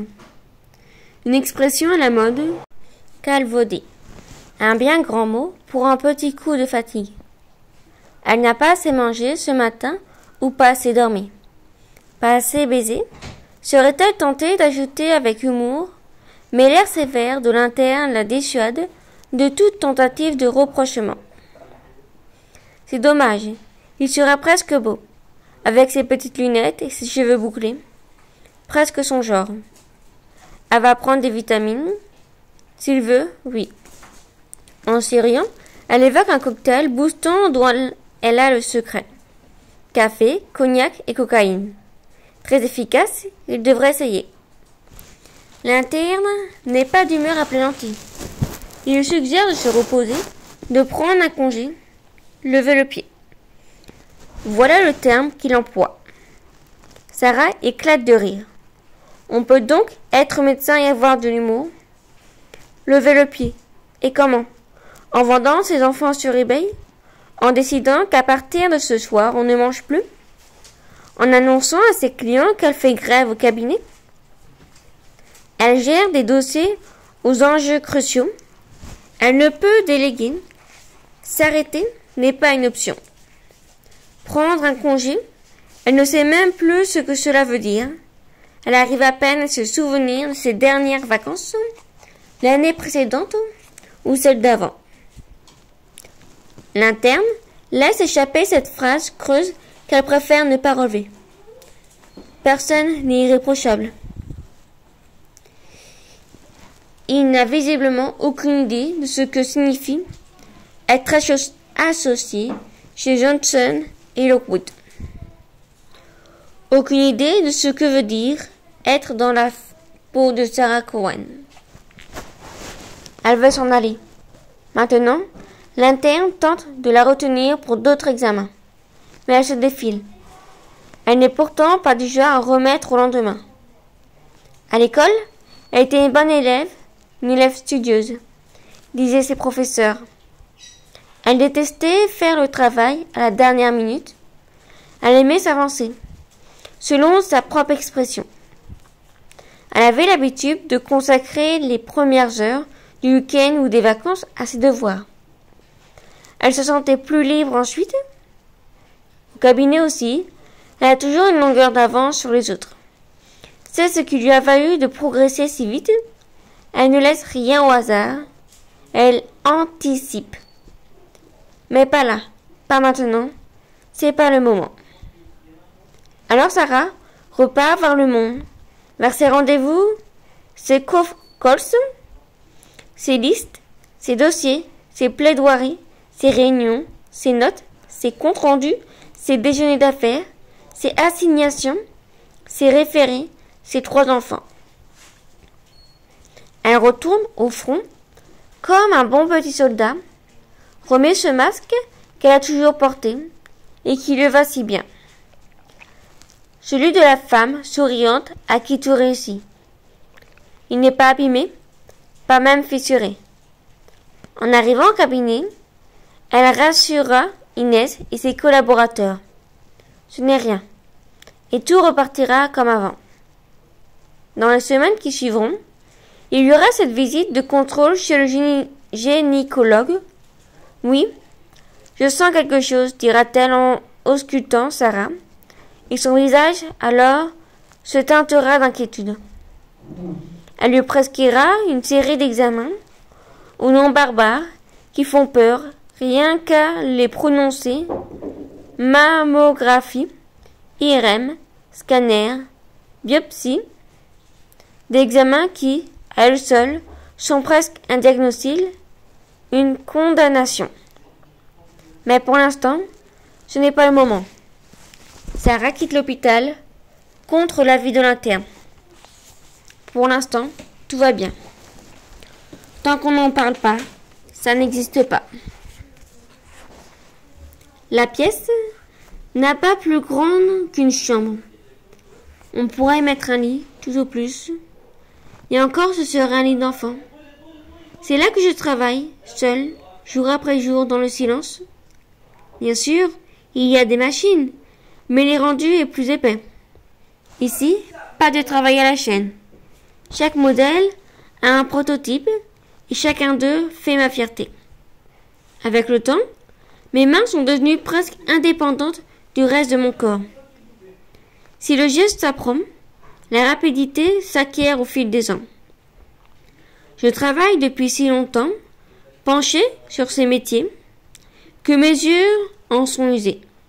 Mon corps est fatigué, perclus de rhumatisme, et pourtant, mes doigts n'ont rien perdu de leur agilité.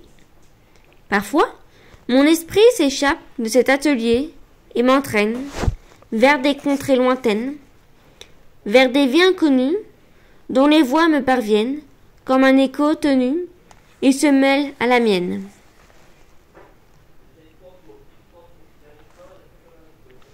Smita, village de Badlapur, Uttar Pradesh, Inde.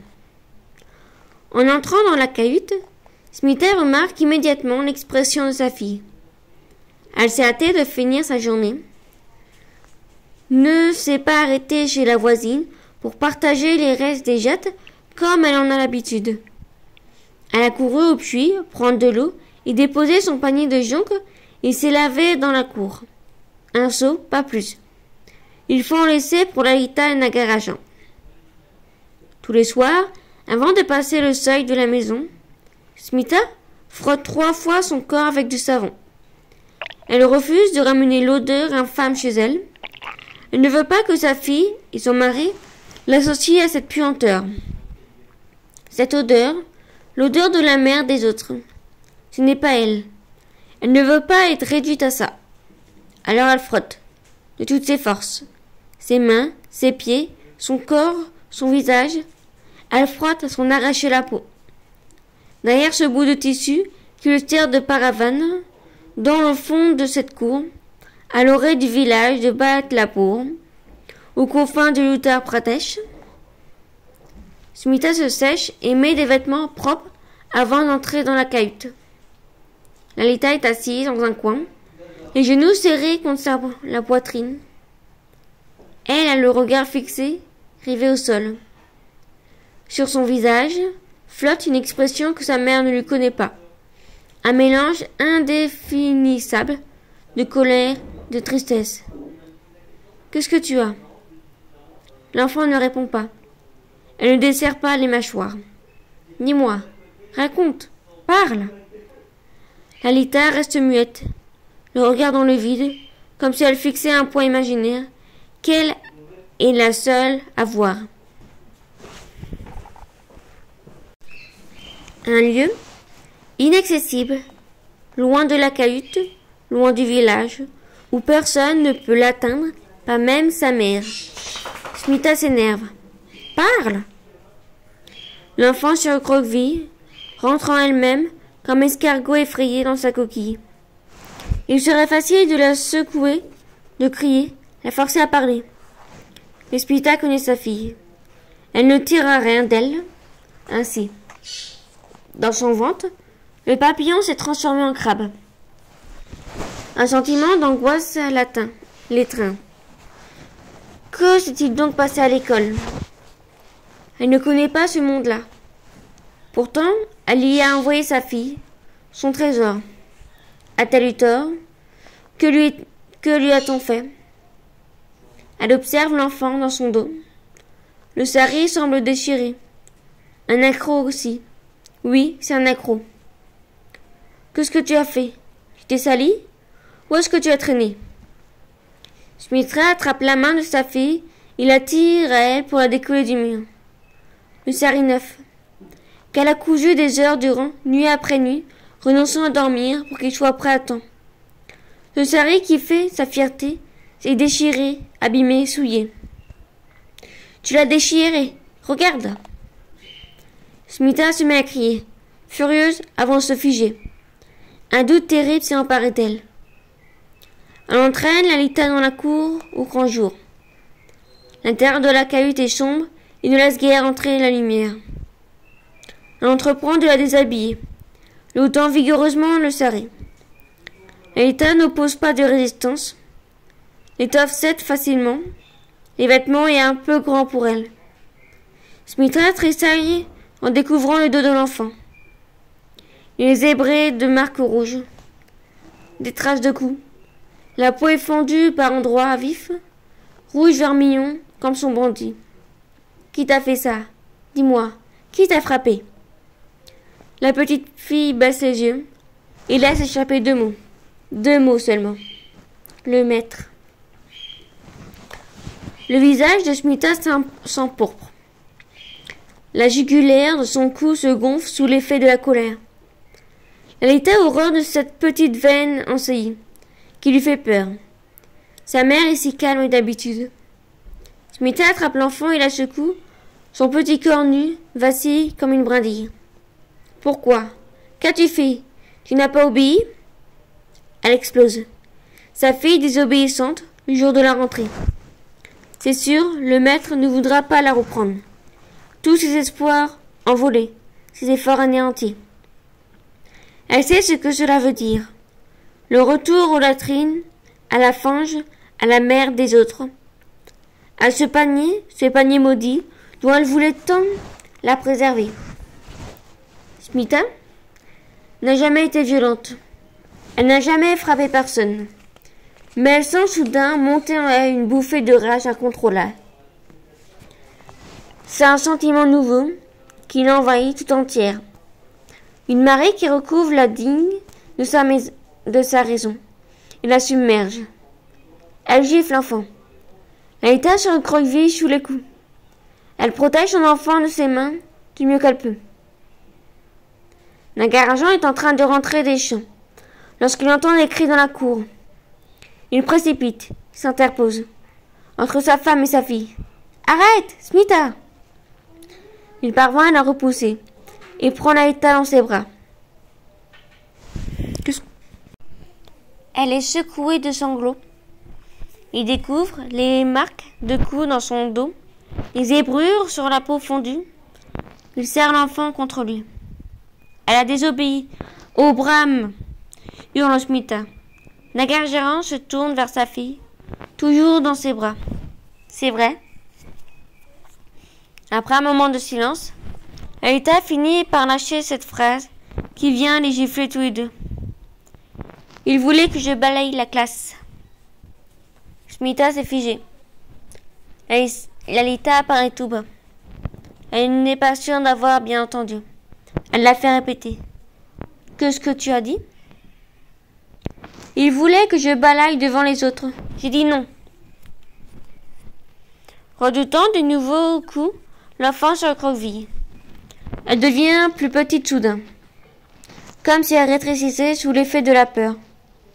Smita le souffle coupé. Elle attire à elle la fillette, la serre aussi fort que ses frêles membres lui permettent et se met à pleurer. Lalita enfuit sa tête dans le cou de sa mère, en signe d'abandon et de paix. Elle reste longtemps ainsi, sous le regard désemparé de Nagarajan. C'est la première fois qu'il voit sa femme pleurer. Devant les épreuves que la vie leur a imposées, elle n'a jamais flanché, jamais cédé. Jamais cédé. C'est une femme forte et volontaire. Mais pas aujourd'hui. Serrée contre le corps de sa fille, meurtrie et humiliée, elle redevient une enfant comme elle. Et pleure ses espoirs déçus, cette vie dont elle a tant rêvé qu'elle ne pourra pas lui offrir.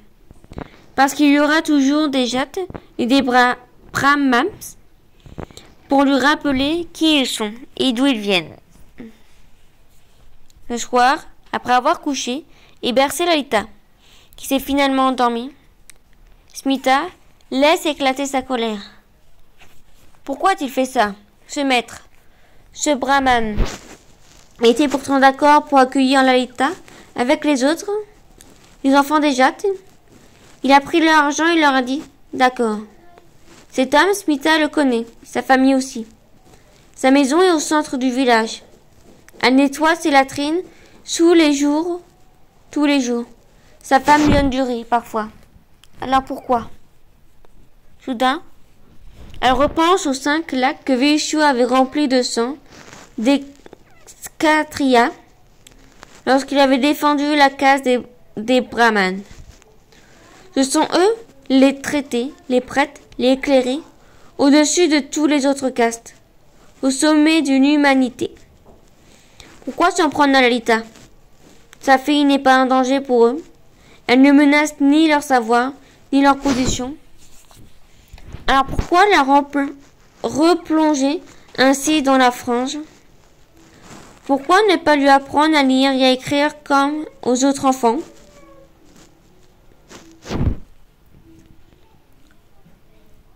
Balayer la classe, cela veut dire tu n'as pas le droit d'être ici.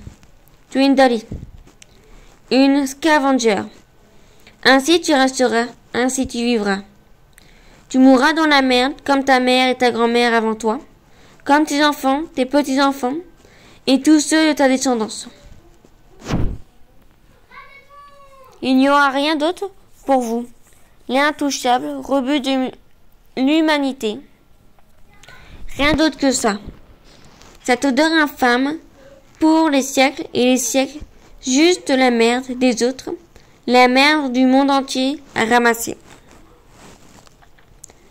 Laïta ne s'est pas laissé faire. Elle a dit non. À cette pensée, Smita se sent fier de sa fille. Cet enfant de six ans, à peine plus haute qu'un tabouret, a regardé le brahman dont les yeux lui a dit non. Il l'a attrapé, l'a frappé avec sa baguette en jonque, au milieu de la glace, devant tous les autres. Lalita n'a pas pleuré, n'a pas crié, elle n'a pas émis un seul son. Lorsque l'heure du déjeuner a sonné, le brahman l'a privé de repas. Il a confisqué la boîte en fer que Smita avait préparée avec, pour elle. La petite fille n'a pas même eu le droit de s'asseoir, juste celui de regarder les autres manger. Elle n'a pas réclamé, n'a pas menti. Elle est restée debout, seule, digne. Oui, Smita se sent fière de sa fille. Elle mange peut-être du rat, mais elle n'a pas plus de force que tous ces brahmanes et ces jattes réunis. Ils ne l'ont pas domptée, pas écrasée. Ils l'ont rouée de coups, zébrée de cicatrices, mais elle, est là, au-dedans d'elle-même intacte. Nagarajan n'est pas d'accord avec sa femme. Lalita aurait dû céder. Passe le balai après tout. Ce n'est pas si terrible, un coup de balai. Ça fait moins mal qu'un coup de baguette en jonc. Smita explose. Comment peut-il parler ainsi? L'école est faite pour instruire et non pour asservir. Elle va aller lui parler au brahman. Elle sait où il habite. Elle connaît la porte dérobée à l'arrière de sa maison. Elle y entre tous les jours avec son panier pour nettoyer sa fange. Nagarajan la retient. Elle ne gagnera rien à affronter le brahman. Il est plus puissant qu'elle. Tous sont plus puissants qu'elle. Laïta doit accepter le, les brimades si elle veut retourner à l'école. À ce prix qu'elle apprendra à lire et à écrire. C'est ainsi que leur monde, on ne sort pas impunément de sa caste, tout se paye ici. Smita dévisage son mari en tremblant de colère. Elle ne laissera pas son enfant devenir le bouc émissaire du brahman. Comment ose-t-il l'imaginer? Comment peut-il même penser? Il devrait prendre sa défense, s'insurger, lutter contre le monde entier pour sa fille. N'est-ce pas ce que doit faire un père? Smita préférerait mourir que de l'envoyer à nouveau à l'école. Leïta n'y mettra plus les pieds. Elle maudit cette société qui écrase ses faibles, ses femmes, ses enfants, tous ceux qu'elle devait, qu'elle devra protéger. Soit, répond Nagarajan. Laïta n'y retournera pas. Demain, Smita l'emmènera avec elle pour sa tournée. Elle lui apprendra le métier de sa mère sa grand-mère. Elle lui transmettra son panier. Après tout, ce qu'on c'est ce que font les femmes de sa famille depuis des siècles. C'est son dharma. Smita tort d'espérer autre chose pour elle. Elle a voulu sortir de sa route, le chemin qui a tracé le brahman, l'y a reconduit au grand coup de baguette en jonc. La discussion est terminée. Ce soir-là, Smita prit devant le petit hôtel consacré à Vishnu. Elle sait qu'elle ne pourra pas trouver le sommeil. Elle repense aux cinq lacs de sang et se demande combien de lacs de leur sang, à eux, les intouchables, faudra remplir pour les libérer de ce jonc millénaire. Ils sont des millions comme elle, des masses résignées, attendant la mort. Tout ira mieux dans une vie prochaine, disait sa mère. À moins que le cycle infernal des réincarnations ne cesse, le nirvana, l'ultime destination, voilà ce qu'elle espérait. Mourir près des gants, le fleuve sacré, était son rêve. On dit qu'après le cycle infernal de la vie s'arrête. Ne plus renaître se fond dans l'absolu, le cosmos. Voilà le doute suprême. Cette chance n'est pas donnée à tout le monde, disait-elle. D'autres sont condamnés à vivre. L'ordre des choses doit être accepté comme une sanction divine. C'est ainsi, l'éternité se mérite. En attendant l'éternité, Lindali courbe les chines. Mais pas Smita. Pas aujourd'hui. Pour elle-même, elle a accepté ce sort comme une cruelle fatalité. Mais ils n'auront pas sa fille. Elle s'en fait la promesse. Là, devant l'hôtel, de Vishnu, au milieu de la cahute sombre, son mari dort déjà. Non, ils n'auront pas Lalita. Sa révolte est silencieuse, inaudible, presque invisible, mais elle est là.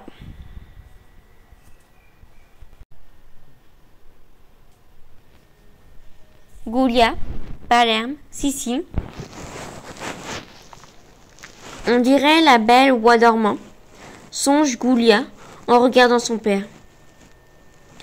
Voilà huit jours qu'il repose dans ce lit d'hôpital au drap blanc. Son état est stationnaire. Il a l'air paisible, endormi, ainsi, comme une fiancée qui attendrait qu'on vienne la réveiller. Goulia songe à l'histoire de la belle Adamantada, qui lui lisait le soir lorsqu'elle était enfant. Il prenait une voix grave pour évoquer la mauvaise fée, celle qui jette un sort funeste. Ce conte, elle l'avait entendu mille fois, mais se sentait toujours soulagée quand la princesse enfin se réveillait. Elle aimait cela, la voix de son père résonnant dans la maison familiale à la nuit tombée. La voix s'est tue. Il n'y a que le silence à présent autour du papa. Il a fallu reprendre le travail à l'atelier. Les ouvriers ont toutes manifesté leur soutien à Goulia. Gina lui a conseillé sa casette qu'elle aime tant. Inès a acheté des chocolats pour la maman. La nonna a proposé de la relayer au chevet du papa. Alessia, dont le frère est chanoine, a fait dire des prières à Santa Caterina. C'est toute une petite communauté qui se tient là, autour de Goudia, et refuse de céder au chagrin. Devant elle, la jeune femme veut rester positive. Devant son père, l'a toujours été. Il va sortir du coma. Elle en est convaincue. Il va reprendre sa place ici. Ce n'est qu'une parenthèse, se dit-elle, un instant suspendu. Chaque soir, elle se rend son chevet après la fermeture de l'atelier. Elle a pris l'habitude de lui faire la lecture. D'après les médecins, les patients dans, le coma entendent ce qu'on dit autour d'eux. L'Argoulia lit haute voix, des heures durant, de la poésie, de la prose des romans, c'est-à-dire de lui, lire des histoires à présent, se dit-elle. Il l'a tant fait pour moi. De là où il est, son papa l'attend, elle le sait. Ce jour-là, elle se rend à la bibliothèque à la pause déjeuner pour y emprunter des livres à son intention. Alors qu'elle pénètre dans la salle de lecture, baignée de silence, un étrange événement se produit. Elle ne le voit pas tout de suite, caché entre le rayonnage. Soudain l'aperçoit. Il est là, le turban. Le turban de la dernière fois. Celui de la rue, le jour de Santa Rosalia. Goliath stupéfaite. L'inconnu de dos. Elle ne peut pas voir son visage. Elle change d'aller. Elle lui emboîte le pas, intriguée. L'heure qu'il saisit un ouvrage, elle voit enfin ses traits. C'est bien lui, l'homme arrêté par les carabiniers. Il semble chercher quelque chose qu'il ne parvient pas à trouver. Trouvé par la coïncidence, Goulia reste un moment à l'observer. Il ne l'a pas remarqué. Elle finit par approcher. Elle ne sait comment l'aborder. Elle n'a pas l'habitude d'accoster les hommes. D'ordinaire, ce sont eux qui viennent lui, parler. Godia est belle, on le lui a souvent dit. Malgré ses allures de garçon, elle dégage un mélange d'innocence et de sensualité qui ne laisse pas les représentants de la jante masculine indifférents. Les jeux qui brillent sur le passage des filles, elle connaît. Les Italiens sont doués pour ça. Les belles paroles, la ritournelle. Elle sait bien où ça mène. Pourtant, une audace inattendue s'empare d'elle. Bio. Buongiorno. L'inconnu se retourne surpris. Il ne semble pas la reconnaître. Julia marque un temps intimidé. Je vous ai vu l'autre jour dans la rue pendant le défilé, quand les gendarmes. Elle ne finit pas sa phrase soudain gêné. Ici, l'évocation de l'incident le mettait mal à l'aise? Déjà, elle regrette son audace. Elle voudrait disparaître, ne jamais l'avoir abordée. Mais l'homme hoche la tête. Il la reconnaît maintenant. Goulia reprend. J'avais peur. Ils vous ont mis en prison? Il sourit, dans une expression où se mêlent candeur et amusement. Et donc cette étrange fille qui semble s'inquiéter de lui. Ils m'ont gardé l'après-midi et ils m'ont laissé repartir. Goulia observe ses traits.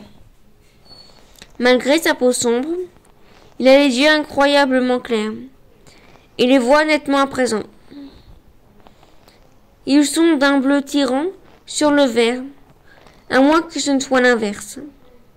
Le mélange est intrigant. Un sang hardi. Je peux peut-être vous aider? Je connais bien les rayons. Vous cherchez un ouvrage en particulier? L'homme explique qu'il voudrait un livre en italien. Quelque chose de pas trop compliqué, précise-t-il. S'il parle couramment, il a encore du mal avec la langue écrite. Il aimerait progresser.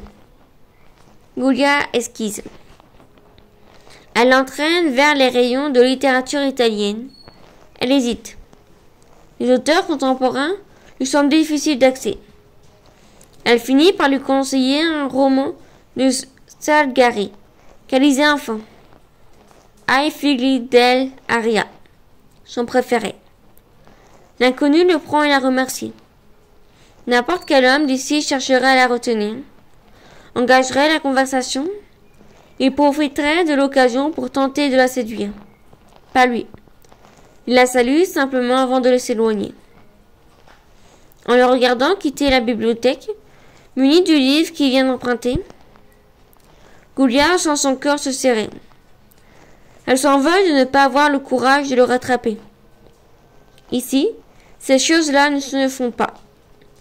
On ne court pas après un homme qu'on vient de rencontrer.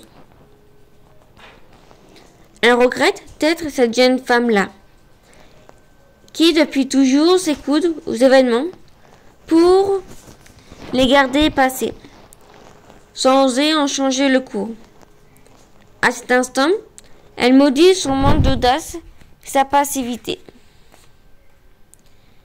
Bien sûr, elle a eu des amis des flirts, quelques histoires. Il y a eu des baisers, des caresses à la dérobée.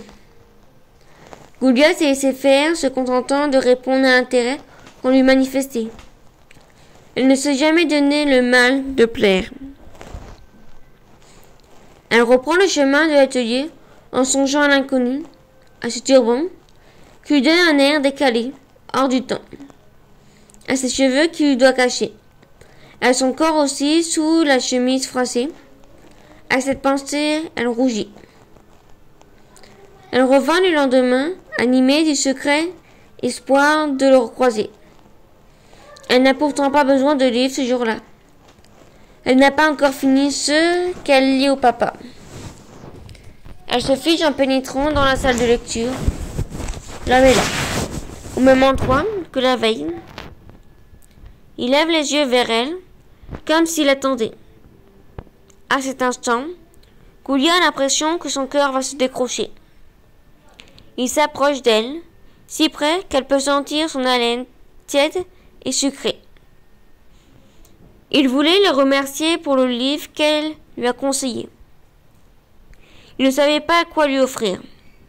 Alors il lui a apporté une petite bouteille d'huile d'olive de la coopérative où il est employé. Gouliel le dévisage, touché. Il y a en lui un mélange de douceur et de dignité qui la bouleverse. C'est la première fois qu'un homme la trouble ainsi. Elle prend la fiole, étonnée. Il précise qu'il a pressé lui-même les fruits après les avoir ramassés. Alors qu'il s'apprête à son aller, Goulia s'enhardit. Les joues de feu elle propose d'aller faire quelques pas sur la jetée. La mer est proche, elle est dégagée. L'inconnu marque un temps avant d'accepter. Galma Sig, tel est son nom, n'est pas bavard. C'est un détail qui surprend Goulia. Ici, les hommes sont volubiles, se plaisent à parler d'eux. Le rôle des femmes est de les écouter, comme de lui, comme le lui expliquait sa femme. Il faut laisser l'homme briller. Kama est différent. Il ne se livre pas facilement. À Goulia, il accepte pourtant de raconter son histoire. Religion silk, il a quitté le Cachemire à l'âge de 20 ans, fuyant les violences faites aux siens là-bas. Depuis les événements de 1984, lorsque l'armée indienne a réprimé dans le rang une revendication des indépendantistes massacrant les fidèles dans le temple d'or, leur sort est menacé. Kamal est arrivé en Sicile une nuit glacée sans ses parents. Beaucoup font le choix d'envoyer leurs enfants en Occident à leur majorité. Il a été accueilli par l'importante communauté sikh de l'île. L'Italie est le deuxième pays d'Europe à les accueillir après l'Angleterre, précise-t-il. Il s'est mis à travailler par le bain du Cabaralota, une pratique qui fournit aux employés une main-d'œuvre à bon marché. Il raconte comment le cas Parole recrute et achemine les clandestins vers leur lieu de travail. Pour couvrir les frais de déplacement, la bouteille d'eau et le maigre paninum qu'il leur donne, il prend un pourcentage de leur salaire, parfois jusqu'à la moitié. Kamal se souvient avoir travaillé pour un ou deux euros l'heure. Il a ramassé tout ce que la terre d'ici produit des citrons, des olives, des tomates cerises, des oranges, des artichauts, des courgettes, des amandes. Les conditions de travail ne sont pas négociables. Ce que le caporal offre y à prendre ou à laisser. Sa patience a finalement été récompensée. Après trois ans passés dans l'illégalité, Kamal a obtenu le statut de réfugié et une carte de résident permanent. Il a trouvé un travail de nuit dans une coopérative fabriquant de d'olive. C'est un emploi qui lui plaît. Il raconte comment il peine les branches d'olivier avec une sorte de râteau pour en ramasser les fruits sans les abîmer. Il aime la compagnie de ces arbres parfois millénaires. Il se dit fasciné par leur longévité L'olive est un aliment noble, conclut-il en souriant, un symbole de paix. Si l'admiration l'a régularisé, le pays ne l'a pas pour autant adopté. La société sicilienne regarde de loin ses émigrés. Les deux mondes se côtoient sans se parler. Kamal avoue regretter son pays. Lorsqu'il évoque, un voile de tristesse l'enveloppe comme un grand manteau flottant autour de lui. Ce jour-là, Goulia revient à l'atelier avec deux heures de retard. Pour rassurer la qui s'est inquiétée, elle prétend qu'un pneu son vélo a crevé. Elle ne dit pas la vérité. Si le deux roues est intact, son âme vient de chavirer. Sarah, Montréal, Canada. La bombe est lâchée. Elle vient d'exploser, là, dans le cabinet de ce médecin, un peu gauche, qui ne sait pas comment annoncer la nouvelle. Il a pourtant de l'expérience, des années de pratique à son actif, mais voilà, il ne s'y fait pas. Trop de compassion pour ses patientes, sans doute toutes ces femmes jeunes et moins jeunes qui voient leur vie basculer en quelques minutes à l'annonce d'un mot redouté. BRCA2. Sarah l'apprendra par la suite le nom du jeune mutant. La malédiction des femmes askénazes. Comme si ce n'était pas assez, pensera-t-elle. Il y a eu les pougrons, les soas. Pourquoi elle et les siens encore Elle le tira écrit noir sur blanc dans un article médical. Les femmes suivent Askenaz ont une chance sur 40 de développer un cancer du sein contre une sur 5, 500 dans la population globale. C'est un fait scientifiquement établi. Il y a des facteurs aggravants. Un cas de cancer chez l'ascendant direct, une grossesse gémellaire. Tous les signaux étaient là, pensera Sarah, visibles, évidents. Elle ne les a pas vus. Ou n'a pas voulu le voir. En face d'elle, le médecin a des sourcils noirs et broussailleux. Sarah ne peut en détacher les yeux. C'est étrange, cet homme, qu'elle ne connaît pas, est en train de lui parler de la tumeur sur ses radios. La taille d'une mandarine, précise-t-il. Pourtant, elle n'arrive pas à se concentrer sur ce qu'il dit. Elle a l'impression de ne distinguer que cela. Ses sourcils bruns et hirsutes semblables à un territoire peuplé de bêtes sauvages. Il y a aussi des poils qui sortent de ses oreilles. Des mois plus tard, lorsque Sarah repensera ce jour, c'est ce souvenir qui lui reviendra en premier. Les sourcils du médecin qui lui a annoncé qu'elle avait un cancer. Bien sûr, il ne dit pas le mot. C'est un mot que personne ne prononce, un mot qu'il faut deviner derrière les périphrases, les jargons médicaux dans lesquels on la noie. On dirait qu'il est une insulte, qu'il est un tabou maudit. C'est pourtant de cela qu'il s'agit. La taille d'une mandarine, a-t-il dit. C'est là. C'est bien là. Sarah a pourtant tout fait pour reculer cette échéance, ne pas s'avouer la douleur lancinante, la fatigue extrême. elle en a chassé l'idée à chaque fois qu'elle se présentait, à chaque fois qu'elle aurait pu dû, pu, dû le formuler. Mais aujourd'hui, il faut faire face. C'est là, ça existe. Une mandarine. C'est énorme et dérisoire à la fois, pense Sarah. Elle ne peut s'empêcher de se dire que la maladie l'a prise en traite au moment où elle s'y attendait le moins. La tumeur est maligne, sournoise. Elle a œuvré silencieusement dans l'ombre à préparer son coup. Sarah écoute le médecin. Elle observe ses lèvres bouger, mais ses mots ne semblent pas la toucher. Comme si elle les apercevait à travers une épaisseur aoûtée. Comme si, au fond, il ne la concernait pas. Pour un proche, elle se serait inquiétée, affolée, effondrée. Étrangement, pour elle-même, il n'en est rien. Elle écoute le médecin sans y croire, comme s'il lui parlait d'un autre, de quelqu'un qui lui serait tout à fait étranger.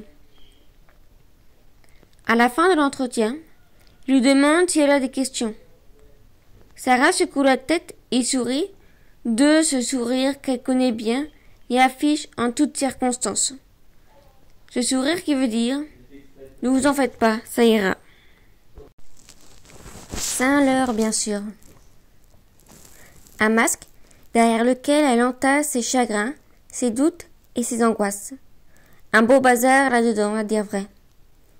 De l'extérieur, rien ne paraît. Le sourire de Sarah est lisse, gracieux, parfait. Au médecin, elle ne demande pas ses chances. Elle refuse de réduire son avenir à une statistique. Certains veulent savoir, elle pas. Elle ne laissera pas les chiffres s'immiscer en elle, dans sa conscience, dans son imaginaire. Il serait capable de proliférer comme la tumeur elle-même, de saper son moral, sa confiance, sa guérison. Dans le taxi qui la ramène au cabinet, elle dresse un état des lieux de la situation. Elle est une guerrière. Elle va se battre. Sarah Cohen va traiter cette affaire comme elle a traité toutes les autres. Elle qui ne perd jamais un dossier, ou si peu, ne va pas se laisser impressionner par une mandarine si maligne doit-elle. Sous l'affaire Sarah Cohen versus M, puisque tel sera désormais son nom de code. Il y aura des attaques, des contre-attaques, des coups bas aussi, sans doute. La partie adverse ne s'avouera pas vaincue si facilement. Sarah le sait. La mandarine est vicieuse. Sûrement l'adversaire le plus retorse qu'elle ait eu à affronter. Il s'agit d'une procédure au long cours, ce sera une guerre des nerfs, une succession de moments d'espoir, de doute et d'autres où peut-être elle se croira vaincue. Il faudra tenir coûte que coûte. Ce genre de combat se gagne à l'endurance, Sarah le sait. Comme elle étudierait un dossier, elle brosse à grands traits sa stratégie d'attaque de la maladie. Elle ne va rien dire à personne. Au cabinet, nul ne doit savoir. La nouvelle ferait l'effet d'une bombe dans l'équipe et, pire encore, chez le client. Cela risquerait de les inquiéter inutilement. Sarah est l'une des fondations du cabinet, l'un de ses piliers. Elle doit rester solide pour ne pas faire pencher l'édifice entier. Et puis, elle ne veut pas de la pitié des autres, de leur compassion.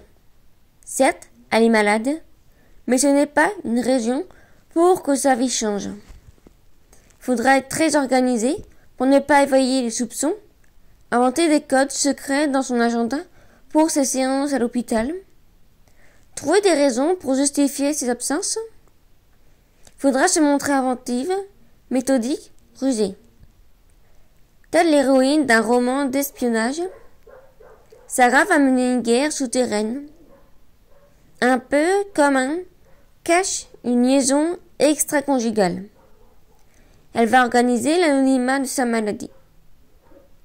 Elle sait faire ça, compartimenter sa vie. Elle a des années de pratique. Elle va continuer la construction de son mur encore plus haut, toujours plus haut. Après tout, elle a réussi à dissimuler ses grossesses. Elle parviendra bien à cacher son cancer. Il sera son enfant secret, son fils illégitime, dont nul ne pourra soupçonner l'existence, inavouable et invisible. Lorsqu'elle revient au cabinet, Sarah reprend le cours de ses activités. Imperceptiblement, elle guette la réaction de ses collègues, leur regard, l'inflexion de leur voix. Elle constate, avec soulagement, que personne n'a rien remarqué. Non, elle n'a pas le mot cancer gravé sur le front. Personne ne voit qu'elle est malade. À l'intérieur, elle est, en miettes, mais cela, personne ne le sait.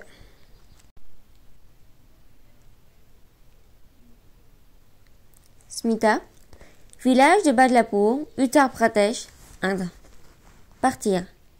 Cette pensée s'est imposée à Smita comme une injonction du ciel. Il faut quitter le village. Laïta ne retournera pas à l'école. Le maître l'a battue après qu'elle ait refusé de balayer la classe devant ses camarades. Plus tard, ses enfants deviendront des fermiers, dont elle devra vider les latrines. De cela, il n'est pas question. Smita ne le permettra pas. Elle a entendu une fois cette phrase de Gandhi, citée par un médecin qu'elle avait rencontré dans un dispensaire du village voisin. Nul ne doit toucher de ses mains les extrêmement humains. À ce qu'il paraît, le Mahatma avait déclaré le statut intouchable illégal, contraire à la Constitution et aux droits de l'homme. Mais depuis, rien n'a changé. La plupart des Dalis acceptent leur sort sans protester. D'autres se convertissent en bouddhisme pour échapper au système des castes à la manière de Baba Sahib, le maître spirituel des Dalis. Smita a entendu parler de ces grandes cérémonies collectives où ils sont des milliers à changer de religion. Des lois anti-conversion ont même été promulguées. Pour tenter de contenir ces mouvements qui affaiblissent le pouvoir des autorités, les candidats à la conversion doivent désormais obtenir une autorisation sous peine de poursuites judiciaires, un détail qui ne manque pas d'ironie. Autant demander à son geôlier la permission de s'évader. Smita ne peut se résoudre à ce choix. Elle est trop attachée à ses divinités, à ses parents vénérés avant elle. Plus que tout, elle croit en la prédiction de Vishnu. Et c'est à lui qu'elle adresse ses prières matin et soir depuis qu'elle est née. À lui qu'elle confie ses rêves, ses doutes et ses espoirs. L'abandonner la ferait trop souffrir. L'absence de Vishnu laisserait un vide en elle, impossible à combler. Elle se sentirait plus orpheline, encore qu'à la mort de ses parents. Elle n'est en revanche guère attachée à ce village qu'elle l'a vu grandir.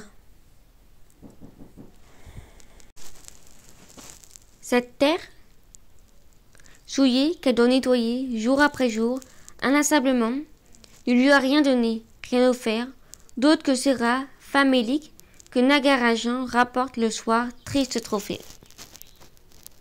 Partir, fuir cet endroit, c'est la seule issue. Ce matin, elle réveille Nagarajan. Il a dormir profondément, alors qu'elle n'a pas trouvé le repos. Elle envie la tranquillité du sommeil de son mari. La nuit, il y a un lac dont nul remous ne vient troubler la surface, alors qu'elle-même s'agite des heures durant. L'obscurité ne la délivre pas de ses tourments, mais au contraire, les réverbères leur donnent un terrible écho. En le noir, tout, tout, lui, paraît dramatique et définitif. Elle prie souvent pour qu'il s'arrête ce tourbillon de pensées qui ne la laisse pas en paix. Elle reste parfois des nuits entières, les yeux grands ouverts. Les hommes ne sont pas égaux devant le sommeil, pense-t-elle. Les hommes ne sont égaux devant rien. Nagarajan s'éveille dans un grognement. Smita le tire de sa couche. Elle a réfléchi. Il faut quitter le village. Ils n'ont rien à attendre de cette villa. C'est dit qu'il leur a tout pris. Il n'est pas trop tard pour Lalita. La sienne ne fait que commencer. Elle a tout sauf ce que les autres vont lui enlever. Smita ne laissera pas faire. Ma femme divague, pense Nagarajan. Elle a encore passé une agitée. Smita se fait présente. Ils doivent partir à la ville. On raconte que là-bas il y a des places réservées pour les Dali dans les écoles et les universités. Des places pour les gens comme eux. Là-bas, Aïta aura sa chance. Nagarajan secoue la tête. La ville est une illusion. Un rêve de pacotille. Les Galis s'y retrouvent son abri, agglutinés sur les trottoirs et dans ces bidonvilles qui polluent à la lisière des agglomérations, comme des verrues sur un pied. Au moins, ici, ils ont un toit et de quoi manger. Smita s'enflamme. Ils mangent du rat et ramassent de la merde. Là-bas, ils trouveront un travail. Ils seront dignes. Elle se sent prête à relever le défi. Elle est courageuse, dure au mal. Elle prendra tout ce qu'on lui proposera, tout, plutôt que cette vie-là. Elle le supplie. Pour elle, pour eux, pour Lalita. Nagarajan est tout à fait éveillée à présent. A-t-elle perdu la tête? Pense-t-elle qu'elle peut ainsi disposer de sa vie? Il nous rappelle alors cette histoire terrible qui agitait le village il y a quelque temps. La fille d'un de leurs voisins, une Dali, comme elle, avait décidé de partir pour étudier en ville. Les Jacques l'ont attrapée alors qu'elle fuyait à travers la campagne. Ils l'ont amenée dans un champ, reculé, où l'on gelé à huit jours, à huit, deux jours durant. Lorsqu'elle est rentrée chez ses parents, elle pouvait à peine marcher. Ces derniers sont allés porter plainte auprès du Bachaya, le conseil du village qui fait autorité ici. Bien sûr, on m'a déjà il n'y siège ni femme ni Dali, comme ce devrait pourtant être le cas. Chaque décision du Conseil à force de loi, comme si elle va à l'encontre de la Constitution indienne.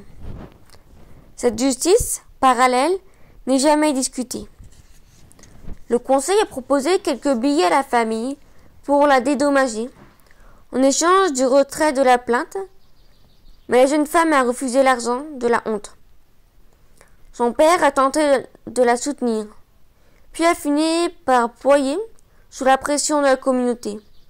Il s'est donné la mort. Abandonnant sa famille sans ressources, condamnant sa femme au terrible statut de veuve, elle et ses enfants ont été bannis du village, contraints d'abandonner leur maison.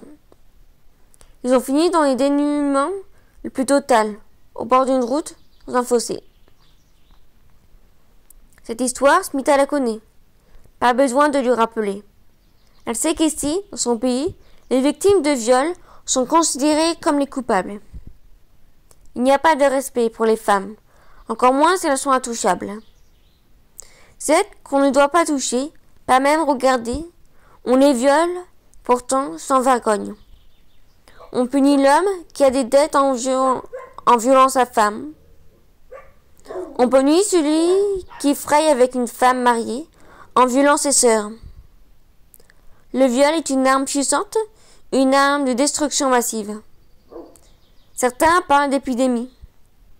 Une récente décision d'un conseil de village a défrayé la chronique près d'ici.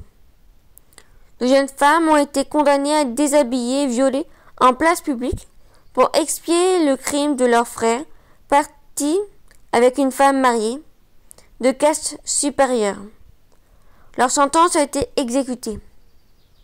Nagarajan tente de raisonner Smita. Fuir, c'est la promesse de représailles terribles. Ils s'en prendront aussi à Lalita. La vie d'une enfant ne vaut plus, ne vaut pas plus que la sienne. Ils la violeront tous les deux et la pendront à un arbre, comme ces deux jeunes Dali d'un village voisin le mois dernier. Smita a déjà entendu ce chiffre qui l'a fait frissonner. Deux millions de femmes assassinées dans le pays chaque année.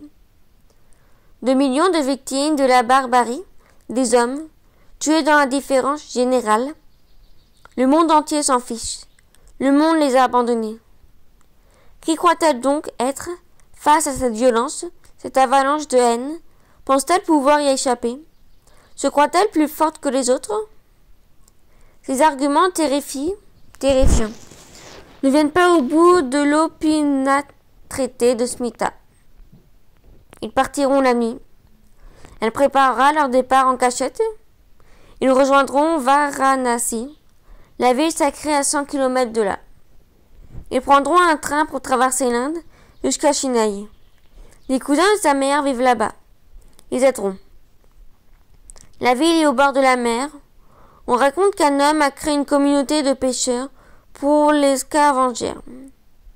Les gens comme elle, il existe aussi des écoles pour les enfants d'Ali. Lalita sera liée et réécrire. Ils trouveront du travail. Ils n'auront plus à manger du rat. Nagarajan Dévisage Mita, incrédule. Avec quel argent payeront-ils le voyage? Les billets de train coûtent plus cher que tous leurs biens réunis. Ils ont donné leur maigre économie aux brahmanes pour envoyer Lalita à l'école. Il ne leur reste rien. Smita baisse la voix.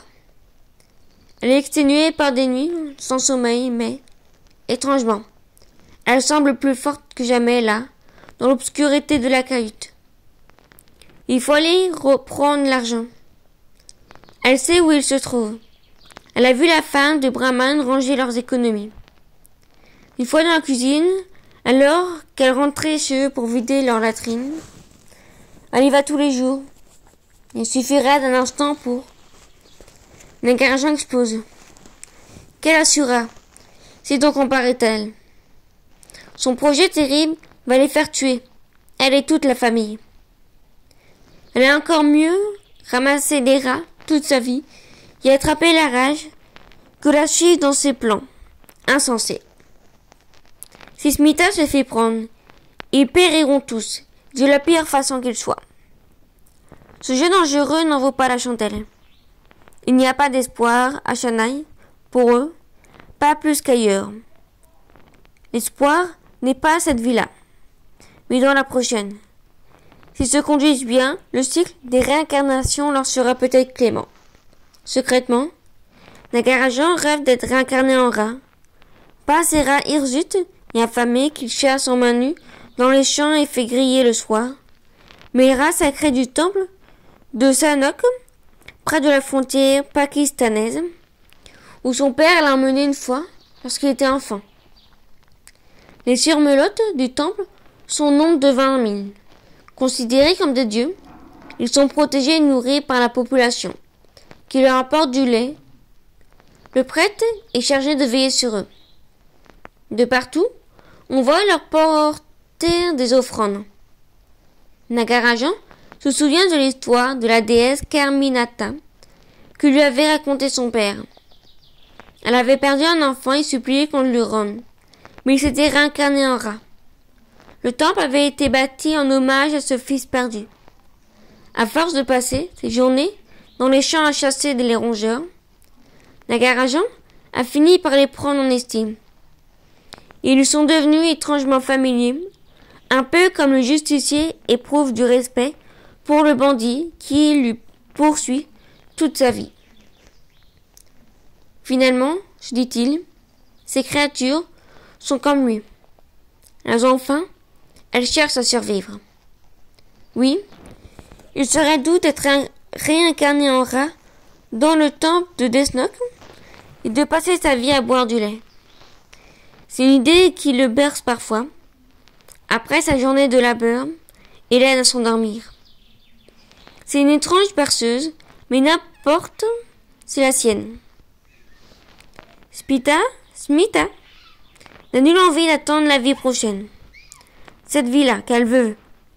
Maintenant, pour elle, est l'État. Elle évoque cette femme, Dali, parvenue au sommet de l'État, Kumari Mayayati. Aujourd'hui la plus riche femme du pays. Nantoucha, devenue gouverneur, on dit qu'elle se déplace en hélicoptère. Elle n'a pas courbé les chines. Elle n'a pas entendu que la mort la délivre de cette vie. Elle s'est battue pour elle-même, pour eux tous. Nagarajan s'énerve de plus belle. Smita sait bien que rien n'a changé. Cette femme qui s'est élevée en prêchant la cause de Daline n'a plus rien à faire d'eux. Elle les a abandonnés. Elle vole dans les airs et en trempant dans la merde, voilà la vérité. Il n'y aura personne pour les tirer d'ici, cette vie, de ce karma, ni Mayayati, ni les autres. Seule la mort les en délivrera. En attendant, ils resteront ici, dans ce village où ils sont nés, et ont toujours vécu. À ces mots assénés, comme un coup de machette, un garageant sort de la cahute. Soit, se dit alors Smita. Si tu veux pas venir, je partirai sans toi. Goulia, Palem, Sicile. Maintenant, ce qui vit et une voix est un sang. Maintenant, terre et ciel sont un frisson puissant. L'espérance les tord, le matin les bouleverse. Ton pas et ton haleine d'aurore les submergent. Kamal et Goulia se voient tous les jours à présent. Ils ont pris l'habitude de se retrouver à la bibliothèque à l'heure du déjeuner. Ils, ils vont souvent marcher près de la mer. Goulia est intriguée par cet homme qui ne ressemble en rien à ceux qu'elle connaît. Mais Cécilien, il n'a ni l'allure, ni les manières. C'est peut-être cela qui lui plaît. Les hommes de sa famille sont autoritaires, bavards, colérique et buté. Kamal est l'opposé. Elle n'est jamais sûre qu'elle va le retrouver. Chaque mini, en, en entrant dans la salle de lecture, elle le cherche des yeux. Il s'y tient parfois, d'autres jours il n'y vient pas. Et cette incertitude délicieuse ne fait que renforcer la curiosité de Goulia. Dans son ventre, il y a ce fourmillon qui la réveille la nuit. Un sentiment nouveau et esquis Elle lit et relit le poème de Pavers, dont les mots sont les seuls remèdes à ce manque qu'elle a déjà de lui. La chose se produit à midi, alors qu'ils sont en train de se promener. Julia l'entraîne plus loin qu'à l'accoutumée, vers une plage où les touristes ne vont pas. Elle veut lui montrer cet endroit où elle va lire parfois. C'est une grotte que personne ne connaît, dit-elle. Elle se plaît à le croire en tout cas. La crique est déserte à cette heure-là. La grotte est calme, humide et sombre, à l'abri du monde. Sans un mot, Goulia se dévête. Sa robe de thé glisse à ses pieds, Camar reste immobile, figé comme devant une fleur qu'on hésite à cueillir, de peur de l'abîmer. Goulia lui tend la main dans un geste qui est plus qu'encourageant. Une invitation. Lentement, il défait son turban, retire le peigne qui maintient les cheveux prisonniers. Il se déroule comme un cheveu écheveau de laine jusqu'à sa taille. Goulia se met à trembler. Elle n'a jamais vu d'homme aux cheveux si longs. Ici, ce sont les femmes qui les portent ainsi. Kamal n'a rien de féminin pourtant. Elle le trouve incroyablement viril, avec des cheveux noirs de jet. Il l'embrasse très doucement, comme on baserait les pieds d'une idole, en osant à peine toucher. Goulia n'a jamais rien connu de semblable. Kamal fait l'amour comme on prie, les yeux fermés, comme si sa vie en dépendait. Ses mains sont élimées par des nuits de travail, mais son corps est très doux, comme le grand pinceau dans le sol contact l'a fait frissonner. Après l'amour, il reste longtemps enlacé. À l'atelier, les ouvriers rient de ces hommes qui s'endorment juste après l'étreinte. Mais Kamal n'est pas cela. Il garde Julia serrée contre lui comme un trésor d'où il ne veut pas se séparer. Elle pourrait rester des heures ainsi, son corps brûlant contre le sien, sa peau claire contre la peau douce et foncée. Ils prennent l'habitude de se retrouver là, dans la grotte, près de la mer. Kamal travaillant de nuit, à la coopérative et Goulia de jour atelier. Ils se voient à l'heure du déjeuner, font l'amour à midi, leurs étreintes ont le goût des moments volés. La Sicile entière est au travail, affairée dans le bureau, les banques ou les marchés, mais pas eux. Ces heures-là leur appartiennent. Ils en usent et en abusent contre leurs grains de beauté, répertoriant leurs cicatrices, goûtant chaque parcelle de leur peau. On ne fait pas l'amour de jour comme on le fait de nuit. Il y a quelque chose d'audacieux, d'étrangement plus brutal à découvrir un corps en pleine lumière. À se croiser ainsi, Julia trouve qu'il ressemble à ces danseurs de temps tarentelle qu'elle regardait enfant dans les balles en été. Se rejoindre, se toucher, s'éloigner, tel le pas de danse de leur relation rythmée par ces allées et venues au travail, de jour, de nuit. Un décalage frustrant autant que romantique. Kamal est un homme mystérieux. Julia ne sait rien de lui, ou si peu. Il n'évoque jamais sa vie d'avant, celle qu'il a dû abandonner pour venir ici. Devant le spectacle de la mer, parfois, son regard se perd.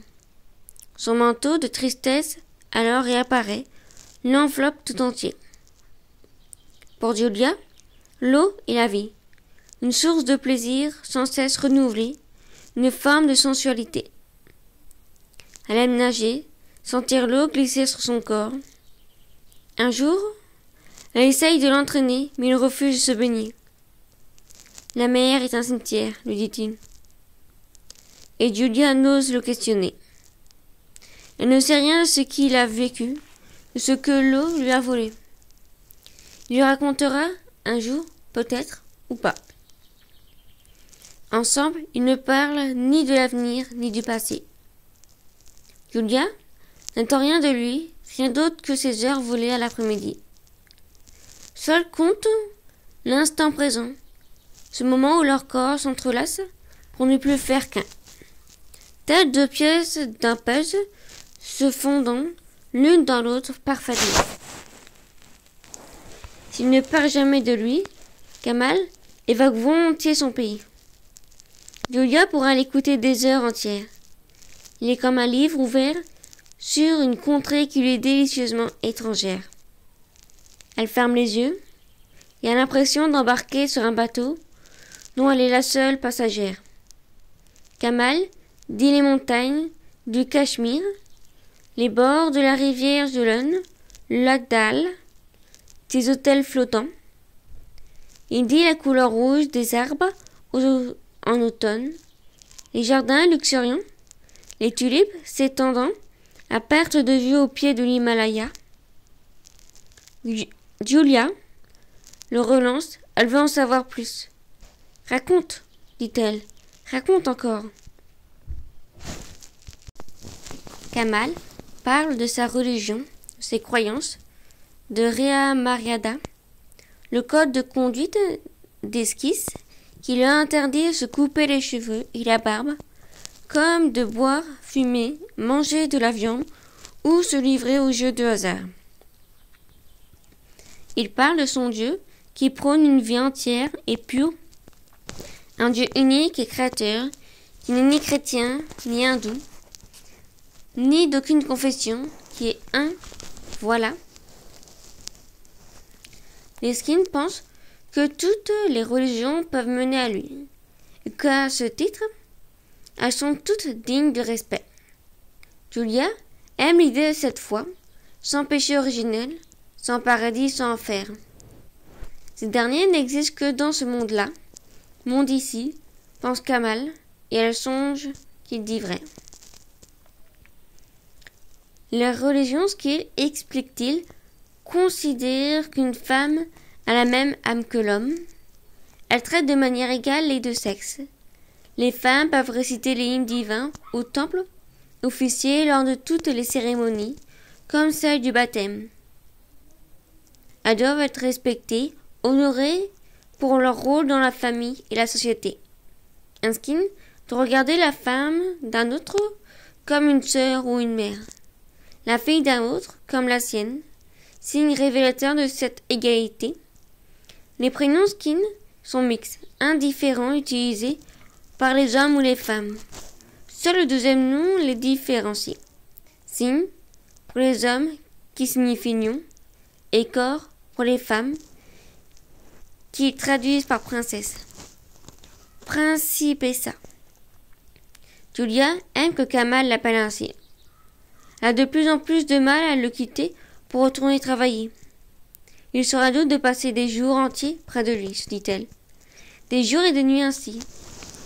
Il lui semble qu'elle pourrait rester là toute la vie, à faire l'amour et à l'écouter. Elle sait pourtant qu'elle n'a pas le droit d'être ici. Kamal n'a pas la même peau, pas le même Dieu que les Lanfredis. Elle imagine ce que sa mère dirait. Un homme à la peau sombre, qui n'est même pas chrétien. Elle serait mortifiée. La nouvelle ferait le tour du quartier. Alors Julia aime Kamal en secret. Leur amour sont clandestines. Ce sont des amours sans papier. Elle rentre deux ans plus tard à l'atelier, après sa pause déjeuner. La nonna commence à se douter de quelque chose. Elle a remarqué ce sourire sur son visage, cet éclat nouveau sur ses yeux, Julia prétend se rendre chaque jour à la bibliothèque, mais revient essoufflée, les yeux en feu. Un après-midi, la nonna croit même voir du sable dans son fichu, dans ses cheveux. Les ouvrières commencent à jaser. Est-ce un amoureux Qui est-il? Est-ce un gars du quartier? Est-il plus jeune Plus âgé? Julia dément avec cette insistance qui est presque un aveu. Pauvre Gino, soupira Alda. Il va avoir le cœur brisé. Ici, toutes savent que Gino Patagliva, le patron du salon de coiffure du quartier, est fou d'elle. Voilà des années qu'il la courtise. Il vient toutes les semaines à l'atelier vendre ses cheveux coupés. Il passe parfois même sans raison, juste pour la saluer. Tout ici s'en amuse. Elle rit de ses cadeaux qu'il lui apporte en vain. Julia reste de marbre. Mais Gino garde espoir et revient inlassablement, les bras chargés de bulles latini en figure, et les ouvriers mangent avec, avec appétit. Chaque soir, après la fermeture, Julia se rend au chevet de son père pour lui faire la lecture. Elle s'en veut, parfois, de se sentir si vivante au milieu de cette tragédie. Son corps exulte, frissonne, jouit comme jamais il n'a joui, alors que son père se, se bat pour sa vie. Pourtant, elle a besoin de se raccrocher à ça, pour se dire qu'elle va continuer pour ne pas céder à la peine et à l'accablement. La peau de Kamal est au paume aux ongles un remède au chagrin du monde. Elle voudrait n'être que cela, un corps livré au plaisir, car le plaisir la tient debout, la tient en vie. Elle se sent tiraillée entre des sentiments extrêmes, toiture abattue exaltée, Tel un acrobate sur un fil, elle a l'impression d'osciller au gré du vent. C'est ainsi, se dit-elle, la vie rapproche parfois les moments les plus sombres et les plus lumineux. Elle prend et donne en même temps. Aujourd'hui, la mama lui a confié une mission, celle d'aller chercher un panier dans le bureau de son père à l'atelier. L'hôpital lui réclame un document qu'elle ne parvient pas à trouver. Dieu mio, que tout cela est compliqué. C'est mental. Julia n'a pas le cœur de refuser. Elle n'a pourtant pas envie d'entrer dans cette pièce. Il n'y a pas, elle n'y a pas remis les pieds depuis l'accident. Elle ne veut pas qu'on touche aux affaires de son père. Elle tient ce qu'il retrouve l'endroit tel qu'il l'a laissé. Lorsqu'il sortira du coma, ainsi, il saura que tout le monde l'attendait. Elle pousse la porte de la cabine de projection transformée en bureau. Elle met un temps à y entrer.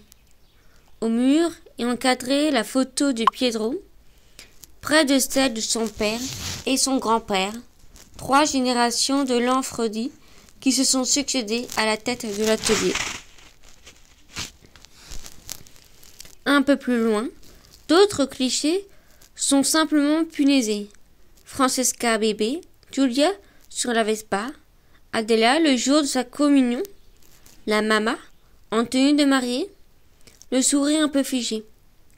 Le pape aussi, pas François, mais Jean-Paul II, le plus admiré. La pièce est telle que son père l'a laissée au matin de son accident.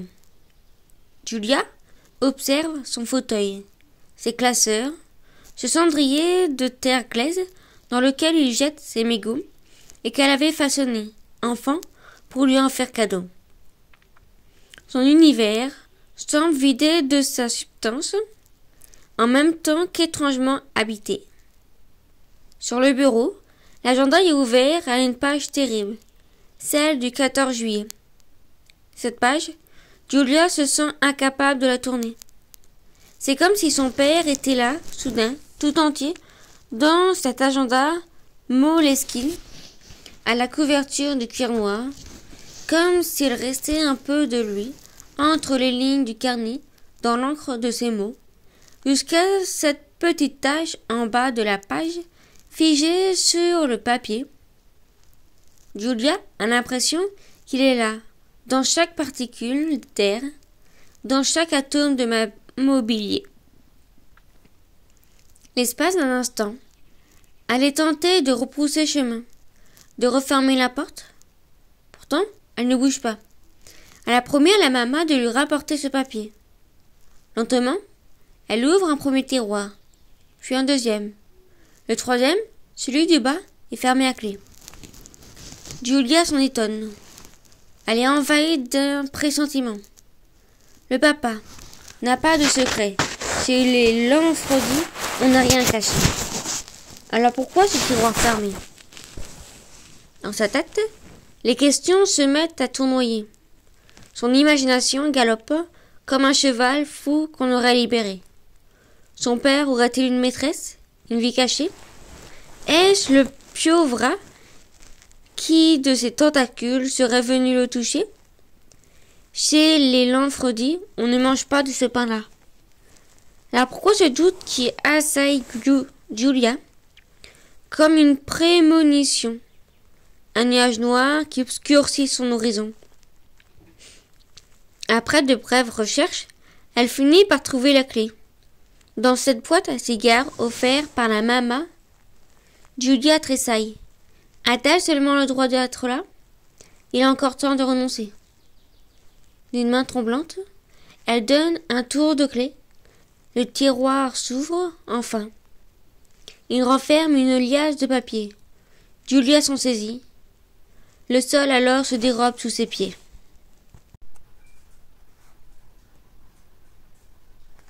Sarah, Montréal, Canada. Au début, le plan de Sarah a bien fonctionné. Elle a pris deux semaines de congé pour l'opération. Il en fallait trois. Le médecin a pourtant insisté. Une semaine d'hospitalisation, suivie de deux de repos complet, qu'elle a ramené à une, à une. Elle ne peut décemment prendre plus sans éveiller les soupçons au cabinet. Cela fait deux ans qu'elle n'est pas partie en vacances. Les enfants ne sont même pas en congé à cette période qui prendrait trois semaines au beau milieu du mois de novembre. Alors que l'audience tombe comme la neige sur la ville, elle n'a rien dit à personne, ni au bureau, ni à la maison.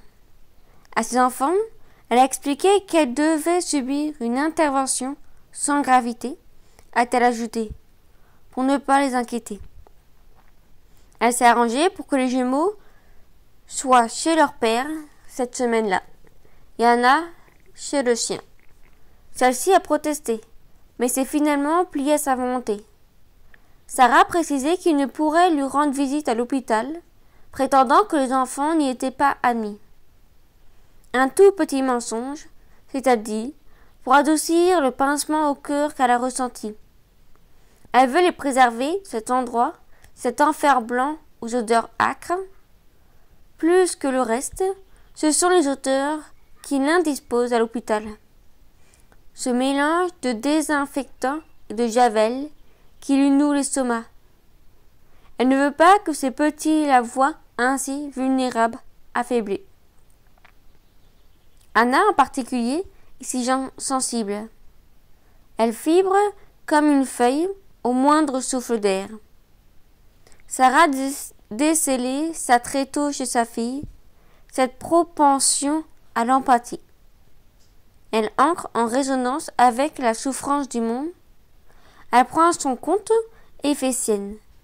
C'est comme un don, un sixième sens. Enfant, elle se mettait à pleurer lorsqu'elle voyait un autre se blesser, être grondé. Elle pleurait devant les reportages de la télévision, devant les dessins animés. Sarah s'inquiète parfois. Que fera-t-elle de cela, cette sensibilité exacerbée qui l'expose aux plus grandes joies? Comme aux plus grands tourments Elle voudrait tant lui dire Protège-toi, blinde-toi, le monde est dur, la vie est cruelle. Ne te laisse pas toucher, pas abîmer, sois comme eux égoïstes, insensibles, imperturbables. Sois comme moi. Elle sait néanmoins que sa fille est une âme vibrante, qu'il faudrait composer avec ça. Alors non, elle ne peut pas lui dire. À douze ans, Anna comprendrait trop ce que le mot cancer implique. Elle devinerait surtout que la bataille n'est pas gagnée d'avance. Sarah ne veut pas lui faire porter ce poids, cette angoisse, qui veut de pair avec la maladie. Bien sûr, elle ne pourra pas mentir éternellement. Ses enfants finiront par poser des questions. Il faudra alors parler, leur expliquer. Le plus tard sera le mieux, pense Sarah. C'est peut-être reculer pour mieux sauter ta porte. C'est sa façon à elle de gérer. À son père et à son frère non plus. Elle ne dit rien. Il y a vingt ans, sa mère est décédée de la même maladie. Elle ne veut pas leur imposer à nouveau ce parcours du combattant, ces montagnes russes émotionnelles, espoir, désespoir, rémission, récidive. Elle sait trop bien ce que ces mots signifient. Elle va se battre seule et en silence. Elle se croit assez forte pour ça. Au cabinet, personne n'a rien remarqué. Inès l'a juste trouvée fatiguée. Vous êtes pâle, a-t-elle dit lorsque Sarah est rentrée de congé. Par chance, on est en hiver. Les corps sont cachés, recouverts de chemises, de pulls, de manteaux. Sarah prend soin de ne pas porter de colleté.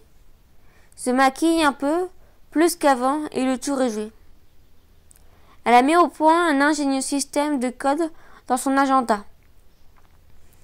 Il y a un cycle pour les séances à l'hôpital, rendez-vous H, un autre pour les examens, prélèvements et radio, qu'elle place toujours entre midi et deux, déjeuner R, et ainsi de suite. Ses collaborateurs vont finir par croire qu'elle a un amant. À dire vrai, cette pensée lui plaît. Elle se prend parfois à imaginer qu'elle veut retrouver un homme à l'heure du déjeuner. Un homme solitaire dans une ville au bord de la mer. Ce serait si doux. Ses rêveries s'arrêtent là, la ramènent inexorablement à l'hôpital, aux soins, aux examens. Dans l'équipe des juniors, les discussions vont bon train. Elle est encore sortie aujourd'hui? Hier, une partie de l'après-midi. Elle coupe son portable, oui. Sarah Cowen aurait donc une vie en dehors de ce cabinet. Qui est celui qu'elle retrouve à midi, le matin, parfois l'après-midi? Est-ce un collègue Un associé? Inès penche pour un homme marié. Un autre aimait l'idée que c'est une femme. Pourquoi tant de précautions sinon? Imperturbable, Sarah continue ses allées et venues. Son plan semble fonctionner. En tout cas, pour l'instant. C'est un détail qui va la perdre, comme souvent dans les histoires de crimes un détail confond le meurtrier. La mère d'Inès est malade. Sarah a dû le savoir. À bien réfléchir, l'information lui a été communiquée il y a longtemps, l'année passée. Sarah s'était dite navrée, et puis elle n'y avait plus pensé. La donnée s'était perdue dans les limbes de son cerveau débordé. Qui pourrait l'en blâmer? Elle a tant de pensées. Si elle avait pris le temps de s'arrêter à la machine à café, de rôder dans le couloir, de s'asseoir pour déjeuner, ce qu'elle ne fait jamais, l'information lui serait revenue. Mais voilà, ses échanges avec les autres se limitent à l'essentiel, au strictement professionnel. Ce n'est ni du mépris, ni de l'hostilité, plutôt un manque de temps et de disponibilité. Sarah ne livre rien de sa sphère privée et ne s'émise pas dans celle des autres. À chacun son jardin secret. Dans un autre contexte, une autre vie, elle aurait pu tisser des liens avec ses collègues, peut-être même sans faire des amis. Mais dans celle-ci, il n'y a pas d'espace autre que celui du travail. Avec ses collaborateurs, Sarah nous montre toujours courtoise, familière, elle ne l'est jamais. Inès y a son image. Elle ne se livre pas, ne s'épanche pas sur sa vie. C'est une qualité que Sarah apprécie. En elle, elle semble retrouver la jeune avocate qu'elle était jadis. C'est elle qui l'a choisie lors des entretiens d'embauche des collaborateurs juniors. Inès s'est révélée précise, travailleuse, d'une grande efficacité. Elle est la plus brillante de son groupe. Elle ira loin. Sarah le lui a dit un jour, si elle sait s'en donner les moyens. Dans ces conditions, comment aurait-elle pu savoir qu'Inès emmènerait sa mère précisément ce jour-là passer un examen à l'hôpital? Sur la page son agenda, Sarah a, noté rendez-vous H. H n'est ni un homme, ni Henri de service comptabilité, ni même Hubert. le jeune et beau collaborateur de l'équipe d'à côté, qui ressemble tant à ce célèbre auteur américain. Non, H est simplement le docteur Attad, l'oncologue de Sarah, qui hélas n'a rien d'hollywoodien. Lorsqu'Inès a demandé, la semaine précédente, à prendre exceptionnellement sa journée, Sarah a. Elle a noté l'information mentalement et puis l'a oubliée. Depuis quelque temps, certaines choses lui échappent. Son état de fatigue avancé en est sûrement la cause. Dans un instant, elles vont se croiser dans la salle d'attente du service d'oncologie de l'hôpital universitaire. Une même expression de surprise se niera sur leur visage. Sarah restera sans voix. Pour se donner une contenance, Inès lui présentera sa mère. Voici Sarah Carwen, l'associée avec laquelle je travaille. Enchantée, madame. Sarah sera polie, ne laissera rien paraître de son trouble. Il ne faudra pas longtemps, Inès, pour comprendre ce que son boss fait là, en plein milieu de l'après-midi, par un jour de sommeil, de semaine, dans ce couloir du service d'oncologie des radios sous le bras. En un instant, tout s'écroulera. La liaison, l'homme marié, les déjeuners galants, les rendez-vous secrets, les cinq à sept coquins, Sarah sera démasquée. Dans une tentative un peu vaine pour sauver la face, elle prétend qu'elle s'est trompée de salle et venue voir une amie. Elle sait qu'Inès n'est pas dupe. Celle-ci va vite reconstituer le puzzle. Son absence de quinze jours le mois précédent, qui a surpris tout le monde, les rendez-vous extérieurs qu'elle enchaîne depuis peu, son teint, sa maigreur, son malaise au tribunal Autant d'indices qui prennent des allures de preuve, des pièces à conviction. Sarah voudra disparaître, se désintégrer, s'envoler comme ces super-héros au pouvoir prodigieux dont les jumeaux raffolent. Trop tard. Elle se sent idiote. Soudain, de trembler devant une collaboratrice junior, comme si elle était prise en faute. Elle a un cancer, ce n'est pas un crime. Elle peut, et puis, elle n'a pas à se justifier auprès d'Inès. Elle ne lui doit rien, ni à elle, ni à personne. Pressée de rompre le silence inconfortable qui s'est installé, Sarah salue la jeune femme et sa mère et s'éloigne d'un pas se volant assuré. Tandis qu'elle regagne son taxi, une question est taraude. Que fera Inès de cette information? Va-t-elle la divulguer? Sarah est tentée de repousser chemin de la rattraper dans les couloirs, la supplier de ne rien dire. Elle s'en défend pourtant. Ne saurait admettre qu'elle est vulnérable, donner à Inès du pouvoir, un ascendant sur elle. Elle adopte une toute autre stratégie. Demain, en arrivant au bureau, elle va convoquer Inès et lui proposer de la seconder dans l'affaire Bill Gouvard, le dossier chaud du moment, pour le client le plus important du cabinet. Une promotion assurément une offre inespérée que la jeune collaboratrice ne pourra refuser. Elle en sera flattée, redevable envers Sarah. Mieux que cela, elle en deviendra dépendante. Une habile façon d'acheter son silence, se dit-elle, de s'assurer sa loyauté. Inès est ambitieuse, elle comprendra qu'elle n'a pas intérêt à parler à s'attirer les foudres de son associé. Sarah quitte l'hôpital. Rassurée par le plan qu'elle vient d'élaborer, il est presque parfait. Elle n'oublie qu'une chose, pourtant apprise durant ses années de métier. Lorsqu'on nage parmi les requins, mieux vaut ne pas saigner. Mon ouvrage avance lentement, comme une forêt qui pousse en silence. C'est une tâche exigeante que la mienne, une tâche que rien ne doit venir troubler. Je ne me sens pas seule, pourtant, enfermée dans mon atelier. Je laisse parfois mes doigts leur étrange balai, et je songe à ce vie que je ne vivrai pas, à ces voyages que je n'ai jamais faits, à ces visages que je n'ai pas croisés.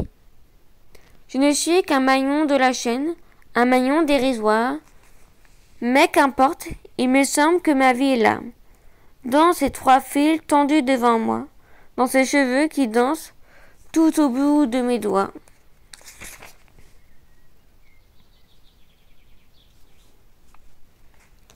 Smita, village du bas de la Pour, Uttar Pradesh, Inde. Nagarajan s'est endormi. Allongé près de lui, Smithia retient son souffle. La première heure de son sommeil est toujours agitée. Elle sait qu'elle doit attendre si elle ne veut pas l'éveiller. Et par cette nuit, elle l'a décidé. Ou plutôt, la vie l'a décidé pour elle. Elle ne pensait pas mettre son projet si vite en exécution, mais l'occasion s'est présentée comme un cadeau du ciel. Souffrant d'un abcès à une dent, la, la femme du brahman a dû s'absenter pour aller consulter le médecin du village, le matin même. Smita était en train de vider le trou pestilentiel qui leur sert de latrine lorsqu'elle l'a vu quitter la maison. Elle n'a eu que quelques secondes pour prendre sa décision, une telle opportunité ne se représenterait pas. Avec prudence, elle s'est glissée dans l'office près de la cuisine. Elle soulevait la jarre contenant les réserves de riz sous lequel le couple range ses économies. Ce n'est pas du vol, c'est-à-dire juste un retour de ce qui m'est dû. Un retour juste. Elle n'a prélevé que la somme exacte concédée au brahman, pas un roupie de plus. L'idée de dérober ne serait-ce qu'une pièce à quelqu'un, si riche soit-il, va à l'encontre de tous ses principes, car alors Vishnu se montrerait furieux. Smita n'est pas une voleuse. Elle préférait mourir de faim que dérober un œuf. Elle a glissé l'argent sous son sari et s'est hâtée de rentrer chez elle. Fébrilement, elle a réuni quelques affaires, le strict minimum, il ne faut pas trop emporter. L'état, elles sont frêles, sont frêles. Elles ne doivent pas se charger. Quelques vêtements et des vibres, du riz et des papadums pour le voyage préparé à la hâte pendant que Nagarajan était au champ. Smita sait qu'il ne les laissera pas partir. Ils n'ont pas reparlé de son projet mais elle connaît sa proposition. Elle n'a d'autre choix que d'attendre la nuit pour mettre son plan à exécution, en priant pour que la femme du brahman ne remarque rien d'ici là. À l'instant où elle s'apercevra de la disparition de l'argent, la vie de Smita sera menacée. Elle s'agenouille devant le petit hôtel consacré à Vishnu et prie pour implorer sa protection. Elle lui demande de veiller sur elle et sa fille pendant leur long voyage. C'est 2000 km qu'elles vont parcourir à pied, en bus, en train jusqu'à Chennai. Un voyage épuisant, dangereux, à l'issue incertaine. Smita sent un courant chaud, la traverser comme si soudain, elle n'était plus seule. Comme si des millions d'intouchables étaient agenouillés là, devant le petit hôtel, et priaient avec elle. Elle fait alors à Vishnu une promesse. Si, si elle réussit à s'échapper, si la femme du brahman ne remarque rien, si les jettes ne les rattrapent pas, si elles arrivent jusqu'à Varanasi, si elles montent dans un train, si enfin elles parviennent dans le sud, là-bas, en vie, alors elles iront lui rendre hommage au temple de Tirapati. Smita a entendu parler de ce lieu mythique sur la montagne de Tiramu, Tirumala. À moins de 200 mètres, 200 kilomètres de Chennai, comme du plus grand lieu de pèlerinage au monde. On dit qu'ils sont des millions chaque année à venir faire des offrandes à Sri Venkateswara, le seigneur de la montagne, une forme très vénérée de Vishnu. Son dieu ce Dieu protecteur ne les abandonnera pas. Elle le sait. Elle saisit le petit image corné devant lequel elle prie.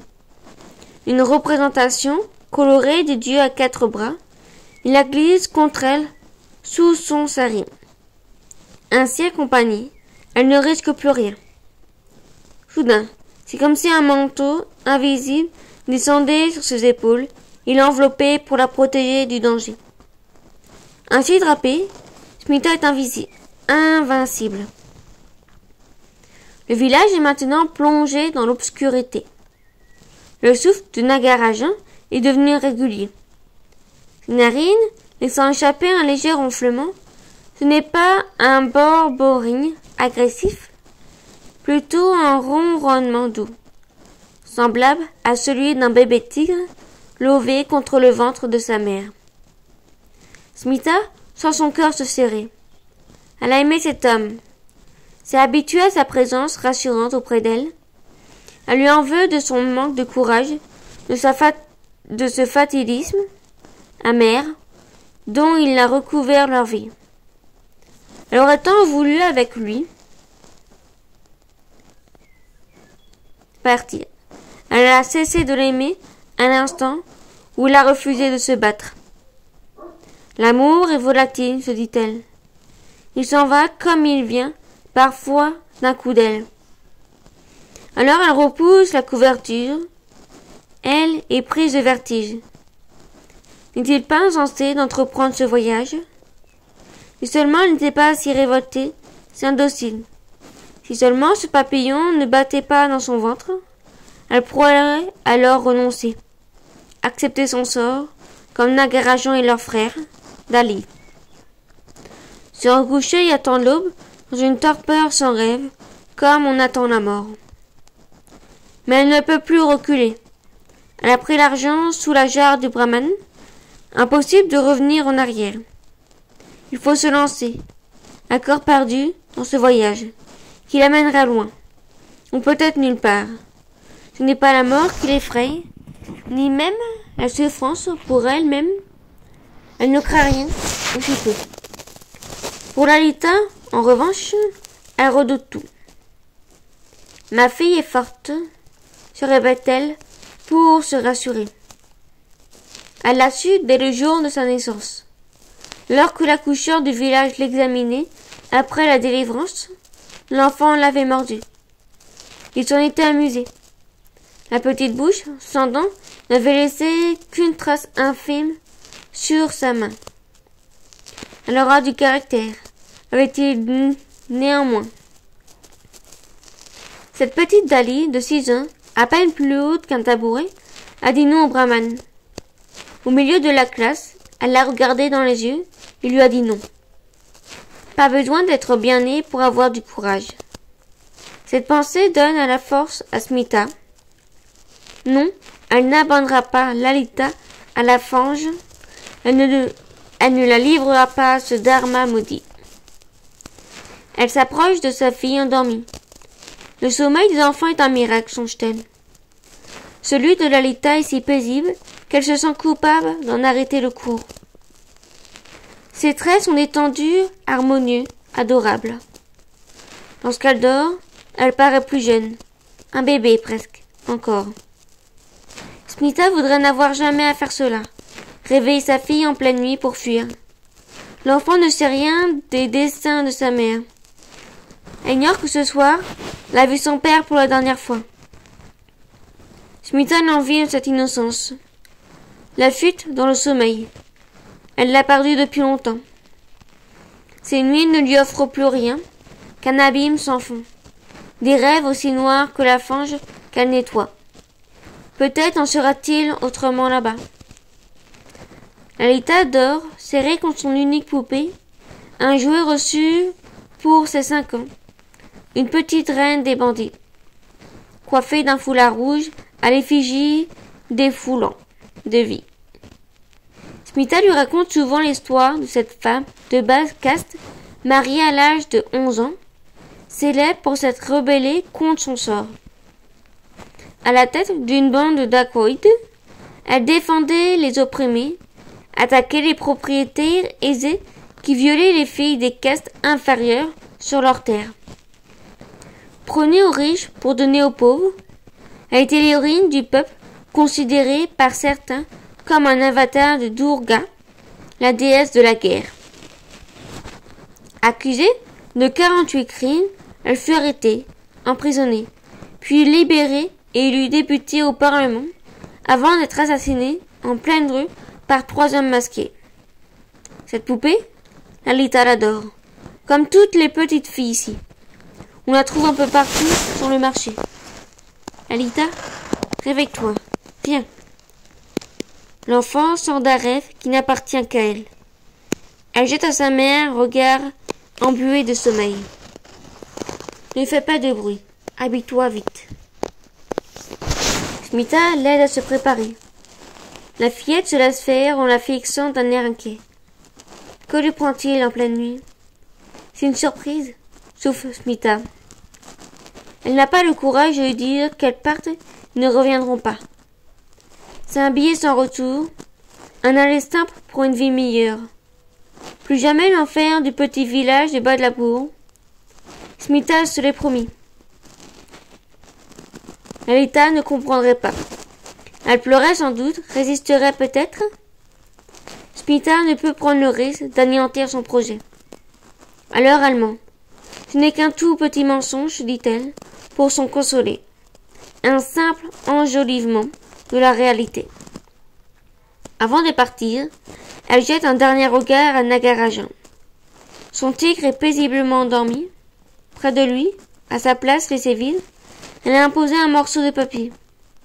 N'est pas une lettre, elle ne sait pas écrire.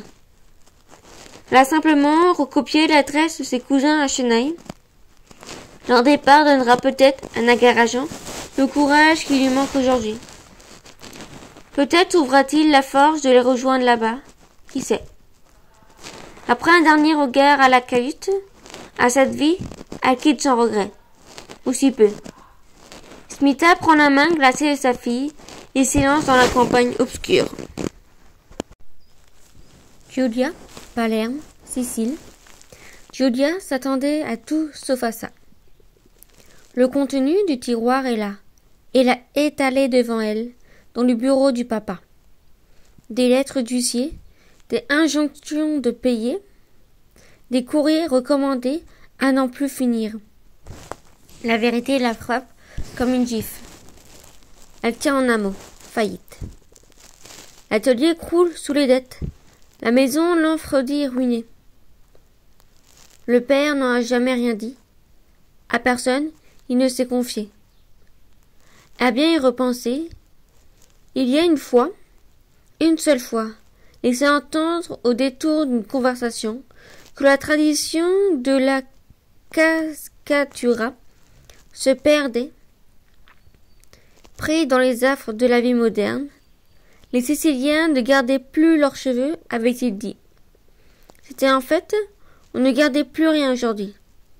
Ce qui, était usé, on le jetait et on rachetait du neuf. Julia je me souviens de cette discussion lors d'un repas de famille autour d'une grande tablée. Bientôt avait-il confié la matière première viendra à manquer. Dans les années 60, l'atelier Lanfredi comptait quinze concurrents à Palerme. Ils avaient tous fermé. Il s'enorgueillissait d'être le dernier. Julia savait que l'atelier connaissait des difficultés mais était loin d'imaginer sa faillite proche. Dans son esprit, n'était même pas une éventualité.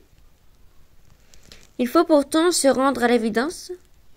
D'après les comptes, il reste un mois de travail, tout au plus. Sans cheveux, les ouvrières vont se retrouver au chômage technique. L'atelier ne pourra plus les payer. Il faudra déposer le bilan et fermer. Cette pensée anéantit Julia. Depuis des décennies, sa famille entière vit des revenus de l'atelier.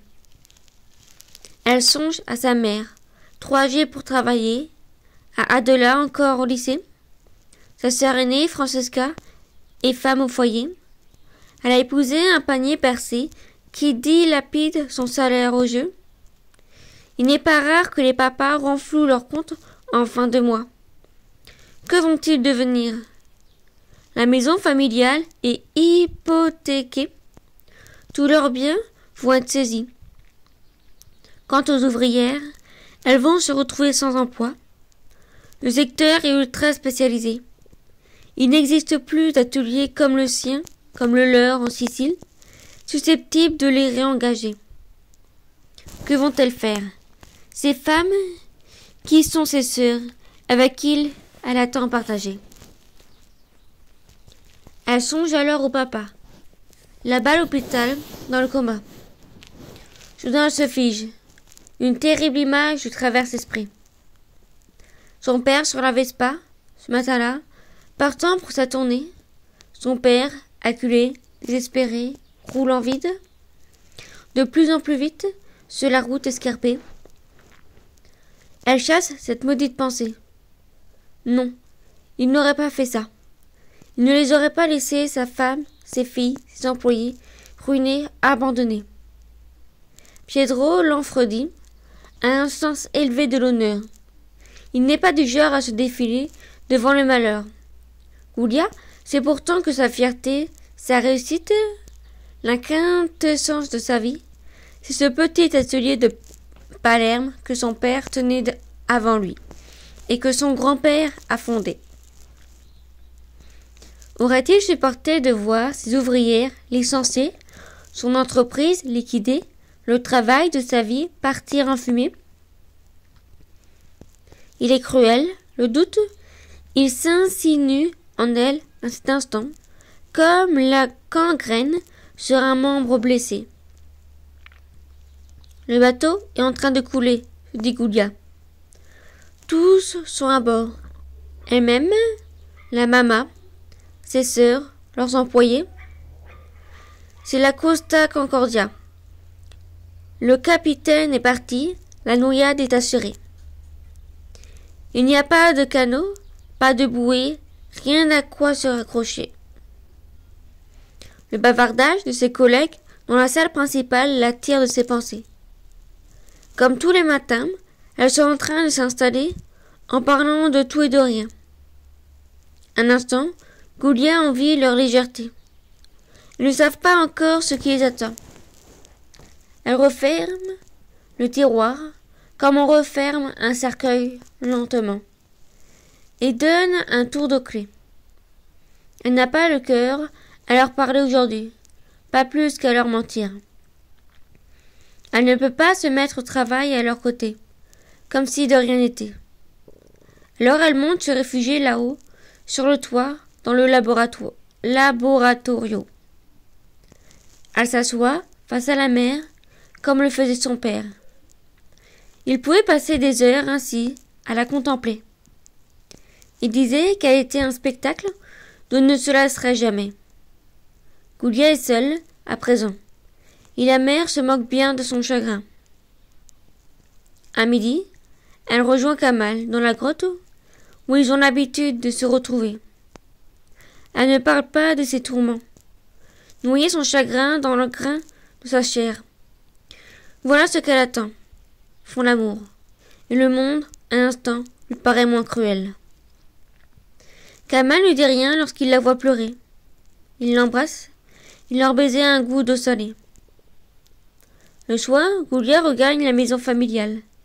Prétextant une migraine, elle monte s'enfermer dans sa chambre et s'enfuit sous les draps. Cette nuit-là, son sommeil est peuplé d'étranges visions. L'atelier de son père démembré, la maison vidée, vendue, sa mère à garde, les ouvrières à la rue, les mèches de la cascatura dispersées, jetées dans la mer, une mer entière de cheveux déchaînés. Goulia se tourne et se retourne. Elle ne veut plus penser, mais les images reviennent. Inlassablement, comme un rêve, obsédant dont elle ne parvint pas à se libérer. Un disque infernal, lui imposant sa musique macabre. L'aube la délivre, enfin de ses tournants. Elle se lève avec l'impression de n'avoir pas dormi, nauséeuse, la tête dans un étau, les pieds glacés, ses tympans bourdonnent. Elle titube jusqu'à la salle de bain.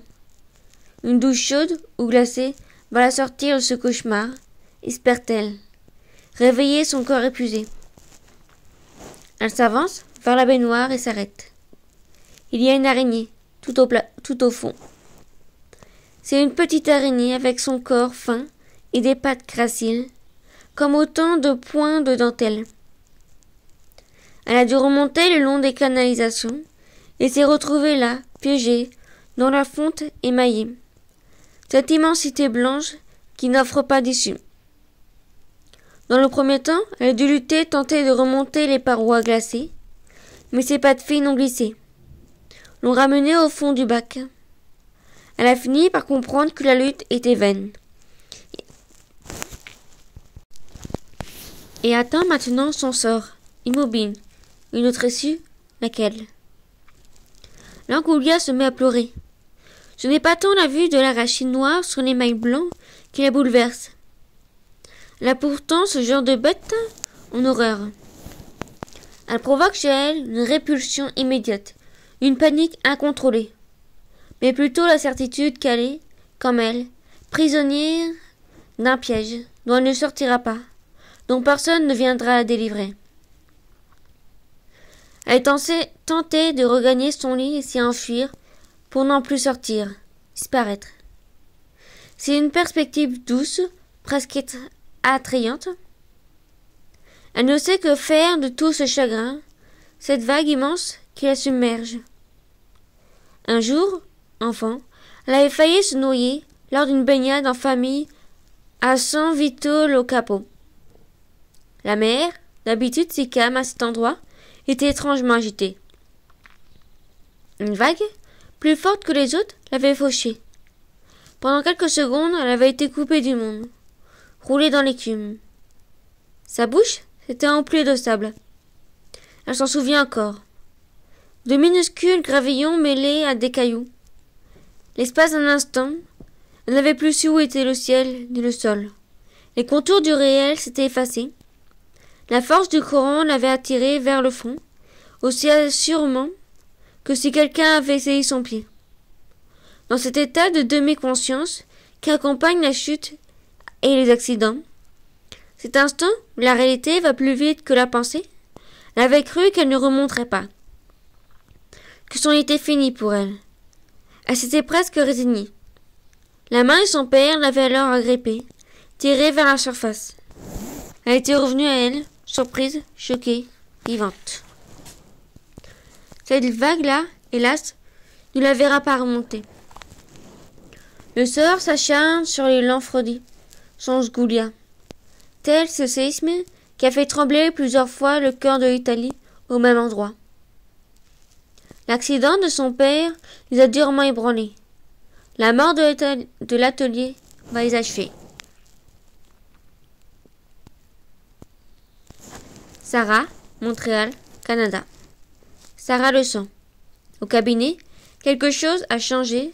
C'est indéfinissable, ténu, quasi imperceptible, mais c'est là.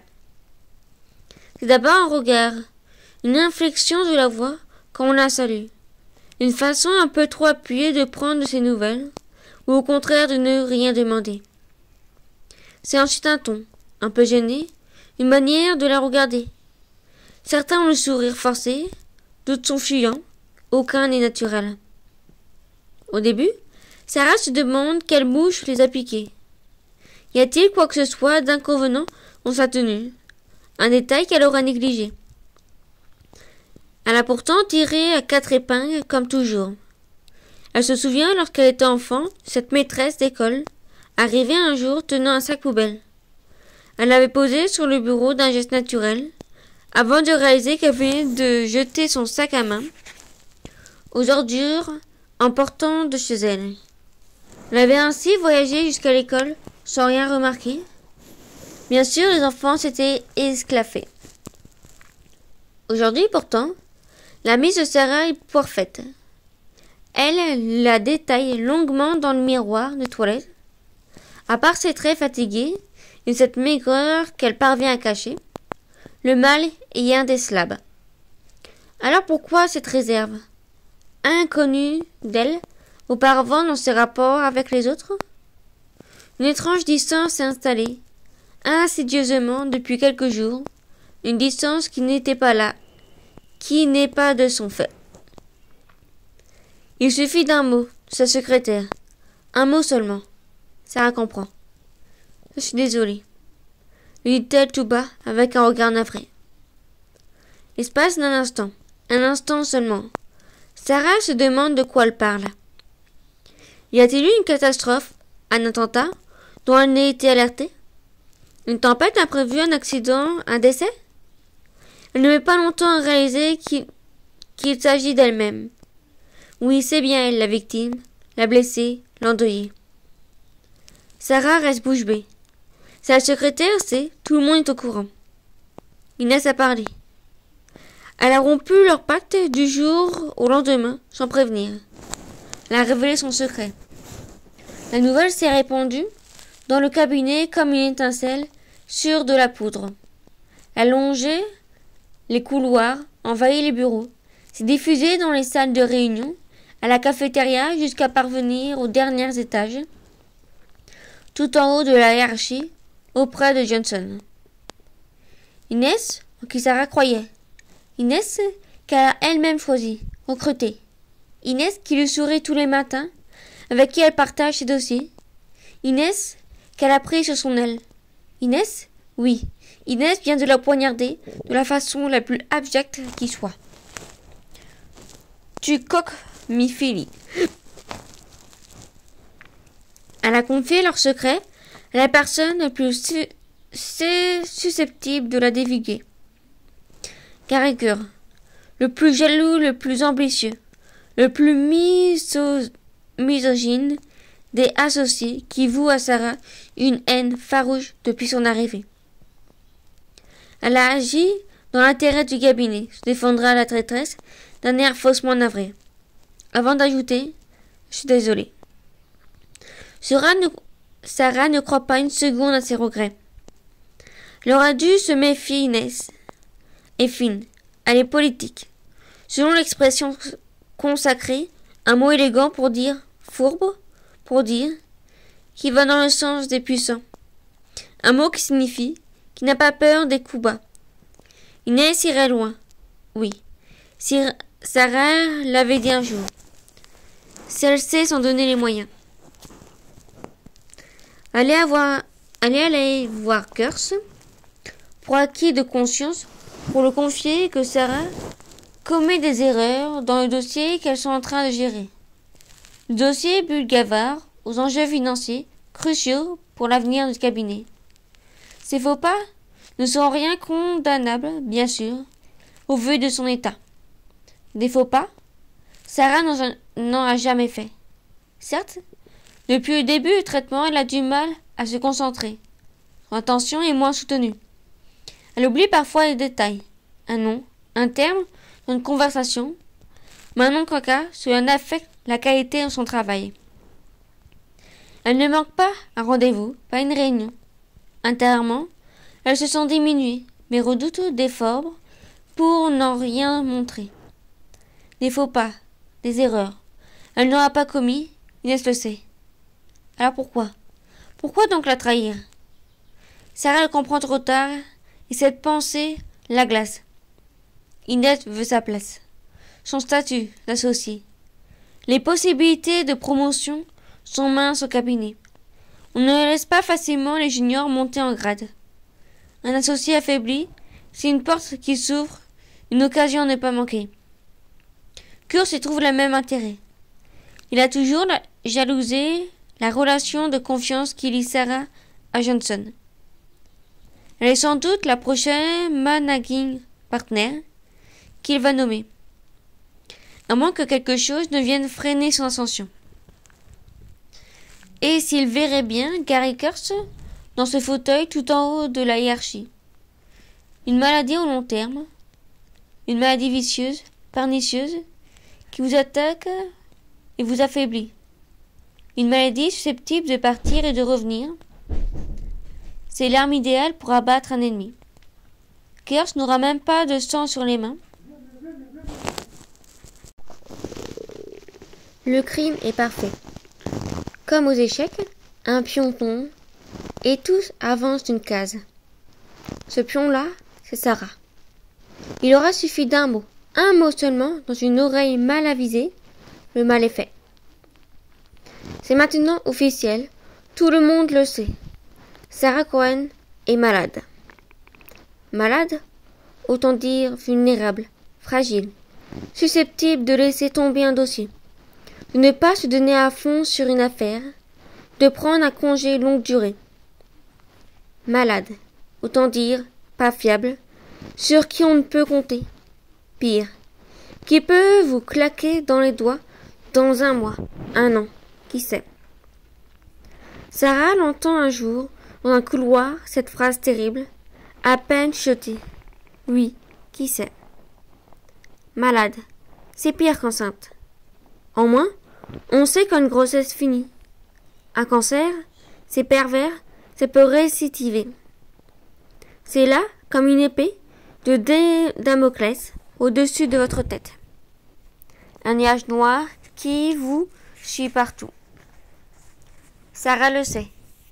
Un avocat doit être brillant, performant, offensif. Il doit rassurer, convaincre, séduire. Dans un grand cabinet d'affaires, comme Johnson et Lockwood, des millions sont en jeu. Elle imagine les questions que tous doivent se poser. Va-t-on pouvoir continuer à miser sur elle? À lui confier des dossiers importants Des affaires qui prendront des années? Sera-t-elle seulement là quand il faudra les plaider? Les nuits blanches Les week-ends de travail Sera-t-elle encore capable de les concéder? En aura-t-elle seulement la force? Dans ce bureau, là-haut, Johnson l'a convoqué. Il semble contrarié. Il aurait aimé qu'elle vienne lui parler apprend la nouvelle de sa bouche Ils ont toujours une relation de confiance. Pourquoi n'a-t-elle rien dit? Sarah remarque pour la première fois que le ton de sa voix lui déplaît. Cet air condescendant, faussement paternaliste, qu'il prend avec elle, a qu'à bien y réfléchir, il a toujours pris.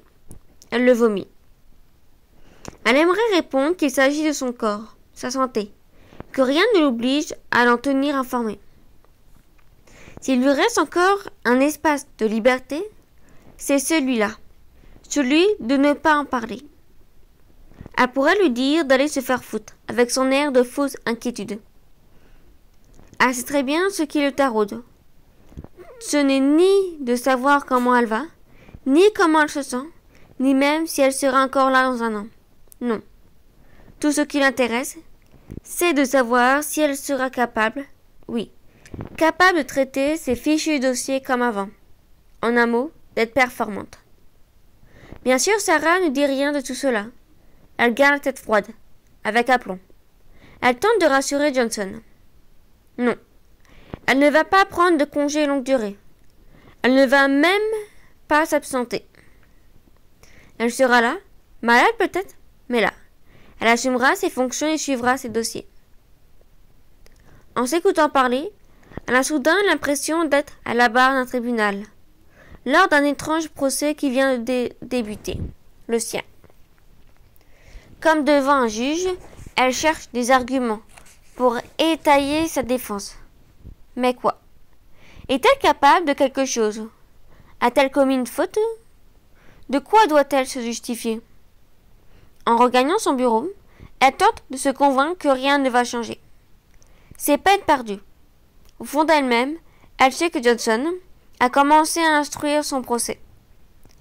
L'ennemi, songe-t-elle, alors n'est peut-être pas celui qu'elle croyait. Smita, Uttar Pradesh, Inde. Smita fuit la petite main de Lalita dans la sienne, à travers la campagne endormie. Elle n'a pas le temps de parler, d'expliquer que sa fille, que ce moment, elle s'en souviendra toute sa vie, comme de celui où elle a choisi, infléchi la ligne de leur destin. Elle court sans bruit pour ne pas être vue ni entendue des jattes. Lorsqu'ils se réveilleront, elles seront loin déjà, espère Smita. Il ne faut pas perdre une seconde. Dépêche-toi. Elles doivent rejoindre la grande route. Smita y a dissimulé son vélo dans un buisson près du fossé, ainsi qu'un maigre balatin contenant des vivres. Elle prit que personne ne les dérobait. Elles auront plusieurs kilomètres à parcourir avant de rejoindre la nationale Iwes 56, ou elles prendront un bus pour Varanasi, l'un de ces fameux cars gouvernementaux verts et blancs dans lequel on peut monter pour quelques roupies. Le confort y est sommaire, la sécurité précaire. La nuit, les chauffeurs y sont cotés aux banques, mais le prix des tickets défie toute concurrence. Moins d'une centaine de kilomètres les séparent de la ville sacrée. De là, il faudra trouver la gare et prendre un train pour Chanaï. L'aube pointe ses premiers rayons. Déjà sur la grande route, les camions se pressent dans un vacarme effrayant. Lalita tremble comme une feuille. Smita qu'elle a la peur. La petite fille ne s'est jamais aventurée si loin du village. Au-delà de cette route, c'est l'inconnu, le monde, le danger. Smita dégage les branches qui recouvrent son vélo. Il est toujours là. Mais le ballotin qu'elle avait préparé gîte, déchiqueté, un peu plus loin dans le fossé. Un chien ou des rats affamés s'en sont emparés. Il n'en reste rien aussi peu. Il va falloir continuer, le ventre vide. Il n'y a pas d'autre choix. Smita n'a pas le temps de trouver à manger maintenant. La femme du brahman, bientôt, soulèvera la jarre de riz avant de partir au marché. La soupçonnera-t-elle aussitôt? Alertera-t-elle son mari? Se lanceront-ils à sa recherche? La garagin a dû, déjà, constater leur absence. Non. Elles n'ont pas le temps de trouver à manger. Il faut avancer. La bouteille d'eau est intacte, elles auront au moins ça, en guise de petit déjeuner. Smita installe à sur le porte-bagages et enfourche son vélo. La fillette passe les bras autour de ses hanches et s'accroche à elle comme un gecko apeuré. C'est les airs verts qui abondent dans les habitations et qui qu'affectionnent les enfants. Spita ne veut pas lui montrer qu'elle tremble. Les tatastrucs, nombreux sur la route, porte étroite, les doubles dans un fracas assourdissant. Il n'existe aucune règle ici. Le plus gros a la priorité. Smita frémit, se cramponne au guidon pour ne pas tomber. Une chute serait assurément terrible. Encore quelques efforts, et elle rejoindra la NH56 qui relie Lukwun et Varanasi. Elles sont maintenant assises au bord de la route. Mita passe un linge sur son visage et celui de sa fille. Elles sont couvertes de poussière. Deux heures qu'elles attendent le car. Passera-t-il seulement aujourd'hui? Ici, les horaires sont fluctuantes, voire hypothétiques. Lorsque le véhicule paraît enfin, une foule nombreuse se presse vers ses portes. Le bus est déjà plein. Il est ardu d'y monter. Certains préfèrent grimper sur le toit et voyageront à ciel ouvert, cramponnés au bar latéral. Smita? Agrippe la main de Lalita, parvint tant bien que mal à la hisser dans l'habitacle. Elle trouve une demi-place pour à deux, tout au fond sur la banquette arrière. Cela suffira. Elle tente maintenant de se frayer un chemin en sens inverse pour récupérer son vélo qu'elle a abandonné dehors. L'entreprise est périlleuse. Des dizaines de passagers se pressent dans l'allée, certains n'ont pas la place s'asseoir, d'autres s'investivent méchamment. Une femme a apporté des poules, ce qui provoque la colère d'un de ses voisins. Aïta se met à crier en pointant le vélo à travers la vitre. Un homme est monté dessus et s'éloigne au grand pédalé. Smita pâlit. On sait après lui, c'est risqué de voir le car partir sans elle. Le conducteur vient de mettre le contact. Les moteurs vombissent déjà. Elle doit se résoudre à regagner sa place. La mort dans l'âme en regardant disparaître le morceau de ferraille usé qu'elle avait acheté jadis et comptait revendre pour manger. Le car se met en branle. Lalita colle son visage à la vitre arrière pour ne rien manquer du voyage. Elle s'anime soudain. Papa Smita sursaute et se retourne. D'un est apparu sur la route. Il s'est mis à courir en direction du car qui vient de démarrer. Smita sans ses forces l'abandonner. Son mari court vers elle, le visage empreint d'une expression indéfinissable, du regret, du désarroi, de la tendresse, de la colère. Il est vite distancé par le bus qui prend de la vitesse. Lalita se met à pleurer, tape contre la vitre, se tourne vers sa mère pour implorer son aide. Papa, maman, dis-leur d'arrêter. Stopper le car est impossible. Smita le sait. Elle ne pourrait pas se frayer un chemin jusqu'au conducteur. Et quand elle y parviendrait, celui-ci refuserait de ralentir et d'arrêter. On leur demanderait de descendre. De cela, elle ne peut prendre le risque. La silhouette de Nagarajan rapetisse. Bientôt, il ne sera plus qu'un point dérisoire derrière elle. Pourtant, il s'acharne et continue sa course vaine. Elle est sanglote. Son père finit par disparaître de leur, champ de vision. Pour toujours, peut-être, l'enfant enfouit son visage dans le cou de sa mère. Ne pleure pas. Il nous rejoindra là-bas. La voix de Smita se veut rassurante, comme si elle voulait elle-même se convaincre de cette hypothèse. Rien n'est moins sûr pourtant. Elle se demande alors ce à quoi il faudra encore renoncer avant d'arriver au bout du voyage. En consolant sa fille, en larmes, elle touche l'image de Vishnu sous son sari. Tout ira bien, dit-elle. Pour se rassurer, leur route est jalonnée d'épreuves, mais Vishnu est là tout près. Laïta s'est endormie.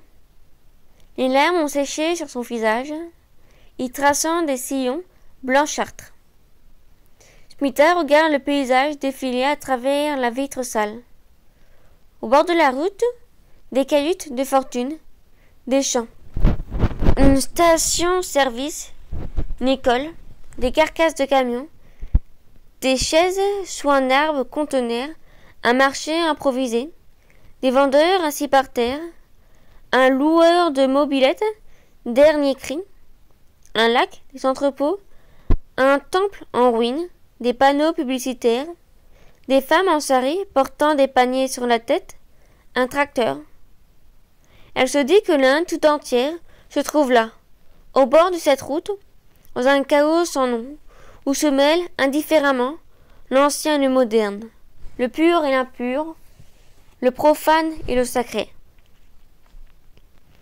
Après trois heures de retard, un camion bourbé a bloqué la circulation.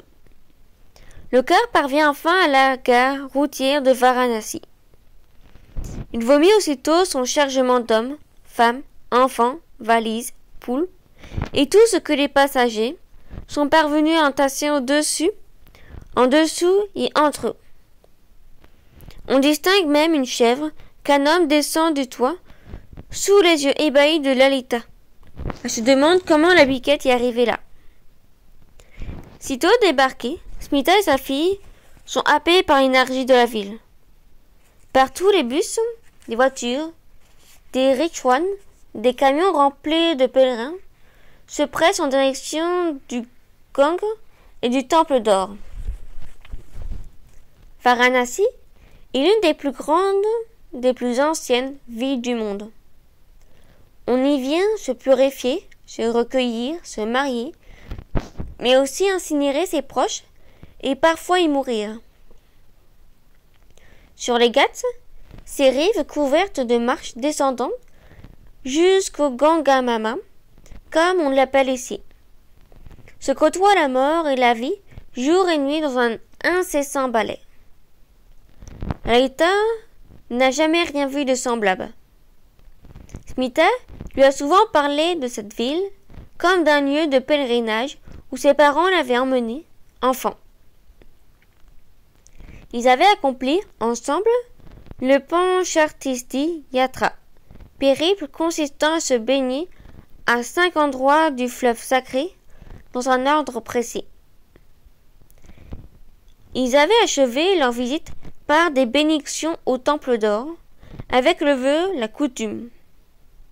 Smita suivait ses parents et ses frères. Elle se laissait guider. Elle avait retiré du voyage une impression forte, un souvenir tenace. Le gars de Manikarnika, l'un de ceux consacrés à la crémation des morts, l'avait particulièrement marqué. Elle se souvient encore de l'embrassement du bûcher sur lequel on distinguait le corps d'une vieille femme. Selon la tradition, elle avait été lavée dans le gang, puis séchée, avant d'être brûlée. Smith avait regardé avec effroi la première flamme lécher le corps, puis l'engloutir vorosement, dans un crépitement infernal. Étrangement, les proches de la défunte ne semblaient pas tristes. Ils paraissaient presque se réjouir du mosca de leur œil, sa libération. Certains parlaient, d'autres jouaient aux cartes, d'autres même riaient. Les dalis vêtus de blanc travaillaient là, en continu, jour et nuit. Les crémations, tâches impures s'il en est, leur étaient naturellement réservées. On devait aussi approvisionner les tonnes de bois nécessaires au bûcher, qu'ils acheminent en barque jusqu'aux gâtes. Smita se souvient des montagnes de bûches immenses qui attendaient leur tour sur les flancs des quais. À quelques mètres de là, des vaches buvaient l'eau du fleuve, indifférentes aux scènes qui se jouaient sur ses rives. Un peu plus loin, des hommes, des femmes et des enfants se livraient aux ablutions rituelles. La tradition étant de se plonger dans le gang de la tête aux pieds pour y purifier. D'autres célébraient des cérémonies de mariage, enjouées et colorées en étonnant des chants religieux ou profanes. Certains y faisaient leur vaisselle ou même la lessive. Par endroits, L'eau était noire. On trouvait aussi bien des fleurs flottantes à sa surface, des lampes à l'huile, offrandes de pèlerins, que des carcasses de bêtes en décomposition, voire des ossements humains. Après la crémation, les sangs étaient rituellement dispersés dans le fleuve, mais de nombreuses familles n'ayant pas les moyens de s'offrir une incinération complète, y jetaient les corps de leurs morts à demi calcinés voire entier. Aujourd'hui, personne ne conduit Smita. Il n'a nulle main rassurante à laquelle s'accrocher. Si ce n'est celle de sa fille, qui la suit. Elles sont seules au milieu de la foule anonyme des pèlerins à chercher leur chemin. La gare ferroviaire se trouve au centre de la ville, loin de l'endroit où la gare les a déposées. Dans les rues, Lalita contemple émerveillée les devantures des magasins proposant des objets, tous plus insolites les uns que les autres. Ici un aspirateur, là un presse-agrumes, là-bas encore une salle de bain, un lavabo, un modèle de toilette. Lalita n'en a jamais vu. Smita soupire. Elle voudrait avancer plus vite, mais la curiosité de l'enfant les ralentit. Elle croise une procession d'écoliers en uniforme brun, se tenant par la main. Smita surprend le regard de sa fille, envieuse. Elle s'attarde sur eux. Enfin, la gare de Varanasi gâte. Paraît. Sur son pavé se déploie une foule fervente. C'est l'une des gares les plus fréquentées du pays. À l'intérieur du hall, une marée humaine se presse en direction des guichets. Partout, des hommes, des femmes, des enfants debout, assis ou couché, patiente des heures, parfois des jours durant. Smita tente de se frayer un chemin en échappant aux rabatteurs. Profitant du désarroi ou de l'innocence des touristes, il leur extorque quelques roupies en échange de conseils mal avisés. Smita prend sa place dans l'une des quatre files d'attente. Elles comprennent chacune au moins cent personnes. Va falloir être patient. Aïta montre des signes de fatigue. Elles ont voyagé toute la journée, le ventre vide, pour faire à peine 100 kilomètres. Le plus dur les attend encore. Smita le sait. La nuit est tombée lorsqu'elle parvint enfin au guichet. L'employé des chemins de fer affiche un air surpris quand on demande deux billets pour Chennai, le jour même. Les billets se réservent plusieurs jours à l'avance, répond-il. À la dernière minute, les trains sont toujours complets. N'a-t-elle pas effectué des réservations? Smita, sans ses forces, l'abandonnait à l'idée de passer la nuit ici, dans la ville sacrée où elle ne connaît personne. Les pièces dérobées du Brahman suffiront à peine à payer leur billet de troisième classe, ainsi que de quoi manger. Impossible de s'offrir une pension ou même un dortoir. Smith insiste. Elles doivent partir maintenant, plus vite. Elle n'hésite pas à rajouter quelques pièces mises de côté pour leur repas. L'employé la dévisage d'un air hésitant. Maugré. Quelque chose entre ces deux jeunes. Il disparaît et revient avec deux tickets de Slapper Class. La classe la moins chère, dans le train du lendemain. Il ne peut pas faire mieux. Par la suite, Smita apprendra que ces tickets sont vendus à tous ceux qui les souhaitent. Il n'existe pas de restriction sur le nombre de voyageurs par wagon dans cette classe, qui est, de fait, constamment surpeuplée. L'employé a joué de sa crédulité pour lui soutirer quelques roupies. Elle le comprendra trop tard. Aïta, épuisée, s'endormit dans ses bras. Lourdement, Smita se fraye un chemin à la recherche d'un endroit où s'asseoir. Partout, sur les quais, dans la gare, des gens s'apprêtent à passer la nuit. Ils s'installent, s'allongent, s'endorment. Pour les plus chanceux, Schmita s'assoit dans un coin, à même le sol, non loin, d'une femme vêtue de blanc entourée de deux jeunes enfants. L'État vient de se réveiller, à la fin. Smita sort la bouteille d'eau dont il ne reste qu'un fond. Elle n'a rien d'autre pour ce soir. La fillette se met à pleurer. Non loin, la femme en blanc est en train de donner des biscuits secs à ses enfants. Elle contemple Smita la petite fille en larmes dans ses bras. Elle s'approche et leur propose de partager son repas. Smita lève les yeux vers elle surprise. Elle n'a pas l'habitude qu'on lui vienne en aide. Elle ne s'est jamais livrée en la mendicité.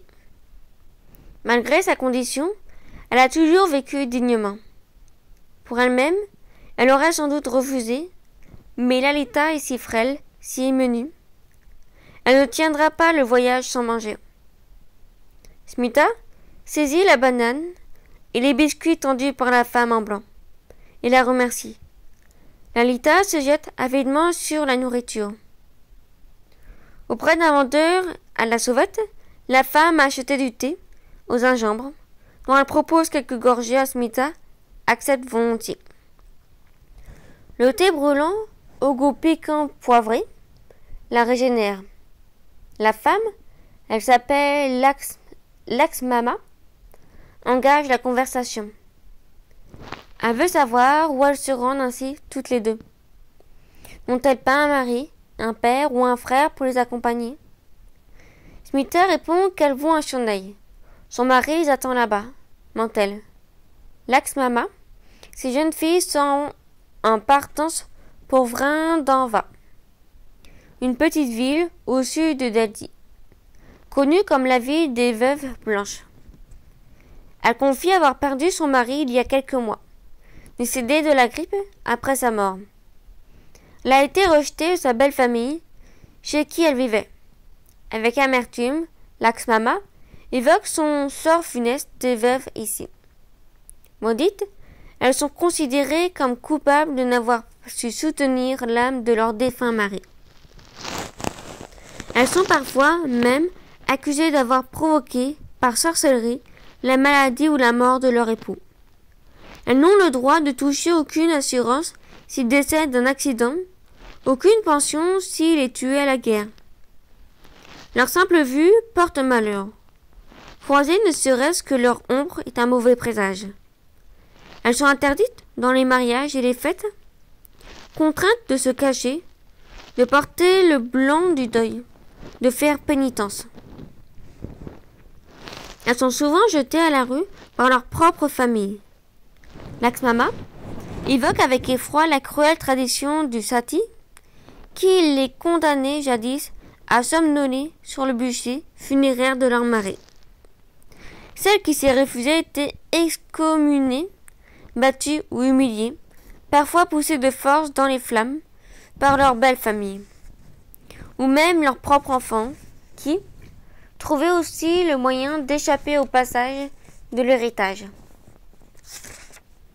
Avant d'être mises à la rue, les veuves sont condamnées à ôter leurs bijoux et à se raser le crâne afin de ne plus exercer une quelconque attraction envers les hommes. Il leur est interdit de se remarier, quel que soit leur âge. Dans les provinces où les filles sont mariées jeunes, certaines fillettes sont veuves à l'âge de 5 ans et, de fait, condamnées à une vie de mendicité. C'est ainsi qu'on n'a plus de mari, on n'a plus rien, soupire-t-elle. Smita le sait. Une femme n'a pas de bien propre. Tout appartient à son époux. En se mariant, elle lui donne tout. En le perdant, elle cesse d'exister. L'ax-mama ne possède plus rien, à part un bijou qu'elle a parvenu à dissimuler sous son sari offert par ses parents pour son mariage. Elle se souvient de ce jour faste où, ornée de riches parures, elle avait été conduite au temple par sa famille en liesse pour célébrer ses noces. Elle était entrée dans le mariage avant avec somptuosité. Elle en sortait dans un total dénuement.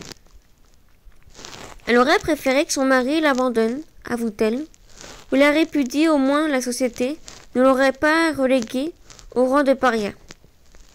Peut-être ses proches auraient-ils montré quelque compassion, là où ils ne lui témoignaient que mépris et hostilité. Elle aurait préféré naître sous la forme d'une vache. Ainsi, elle aura été respectée. Smita n'ose lui dire qu'elle a fait le choix de quitter son époux, d'abandonner son village et tout ce qu'elle connaissait. À cet instant, en écoutant l'ex-mama. Elle se demande si elle n'a pas commis une terrible erreur. La jeune veuve avoue avoir voulu se tuer, mais a finalement renoncé à cette perspective, redoutant que sa belle famille n'assassine ses fils pour garder l'héritage, ce qui arrive parfois. Elle a préféré choisir l'exil avant Dravan avec eux. On dit qu'elles sont des milliers à trouver refuge là-bas dans des ashrams caritatifs, des maisons de veuves, ou encore dans la rue. En échange d'un bol de riz ou de soupe, elles chantent dans les temples des prières à Krishna, craignant ainsi de quoi assurer leur maigre subsistance. Un seul repas par jour, elles n'ont pas le droit à plus. Smita a écouté la veuve sans l'interrompre. Celle-ci est à peine plus âgée qu'elle. Lorsqu'elle lui demande son âge, L'ax-mama répond qu'elle l'ignore. Elle pense néanmoins n'avoir pas plus de trente ans. Ses traits sont encore jeunes, je dis Smita. Ses yeux sont vifs, mais se dégage d'eux une infinie tristesse qu'on dirait millénaire. L'heure est venue pour l'ax-mama d'aller prendre son train. Smita la remercie pour le repas, promet d'adresser pour elle et ses enfants des prières à Vishnu. Elle, la regarde s'éloigner vers le quai, son plus jeune fils dans les bras, tenant l'autre par la main. Un maigre sac pour tout bagage, tandis que sa silhouette s'évanouit dans la foule des passagers en partance. Touche l'image de Vishnu sous son sari brillant pour qu'il l'accompagne et la protège dans son voyage et sa vie d'exil. Elle pense à ces millions de veuves qui partagent sa condition, abandonnées et démunies, oubliées en ce pays qui dissémine, qui dissédème, n'aime pas beaucoup les femmes et se sent soudain reconnaissance d'être elle-même. Smita née d'Ali, certes, mais entière, debout, promise à une vie meilleure peut-être. J'aurais préféré ne pas naître, lui a confié l'ex-mama avant de disparaître.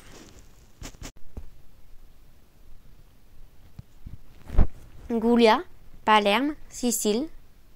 Lorsque Goulia a annoncé à sa mère et ses sœurs que l'atelier était ruiné, Francesca s'est mise à pleurer. Adola n'a rien dit. Elle manifeste envers toute chose cette indifférence propre aux adolescents, comme si elle n'était pas concernée. La maman est restée silencieuse avant de s'effondrer. Elle, si pieuse d'ordinaire, si dévote, a accusé le ciel de s'acharner contre eux. D'abord, son mari, maintenant leur atelier. Quels crimes ont-ils commis Quel péché pour mériter ce châtiment? Que vont devenir ces enfants? Adela est encore au lycée.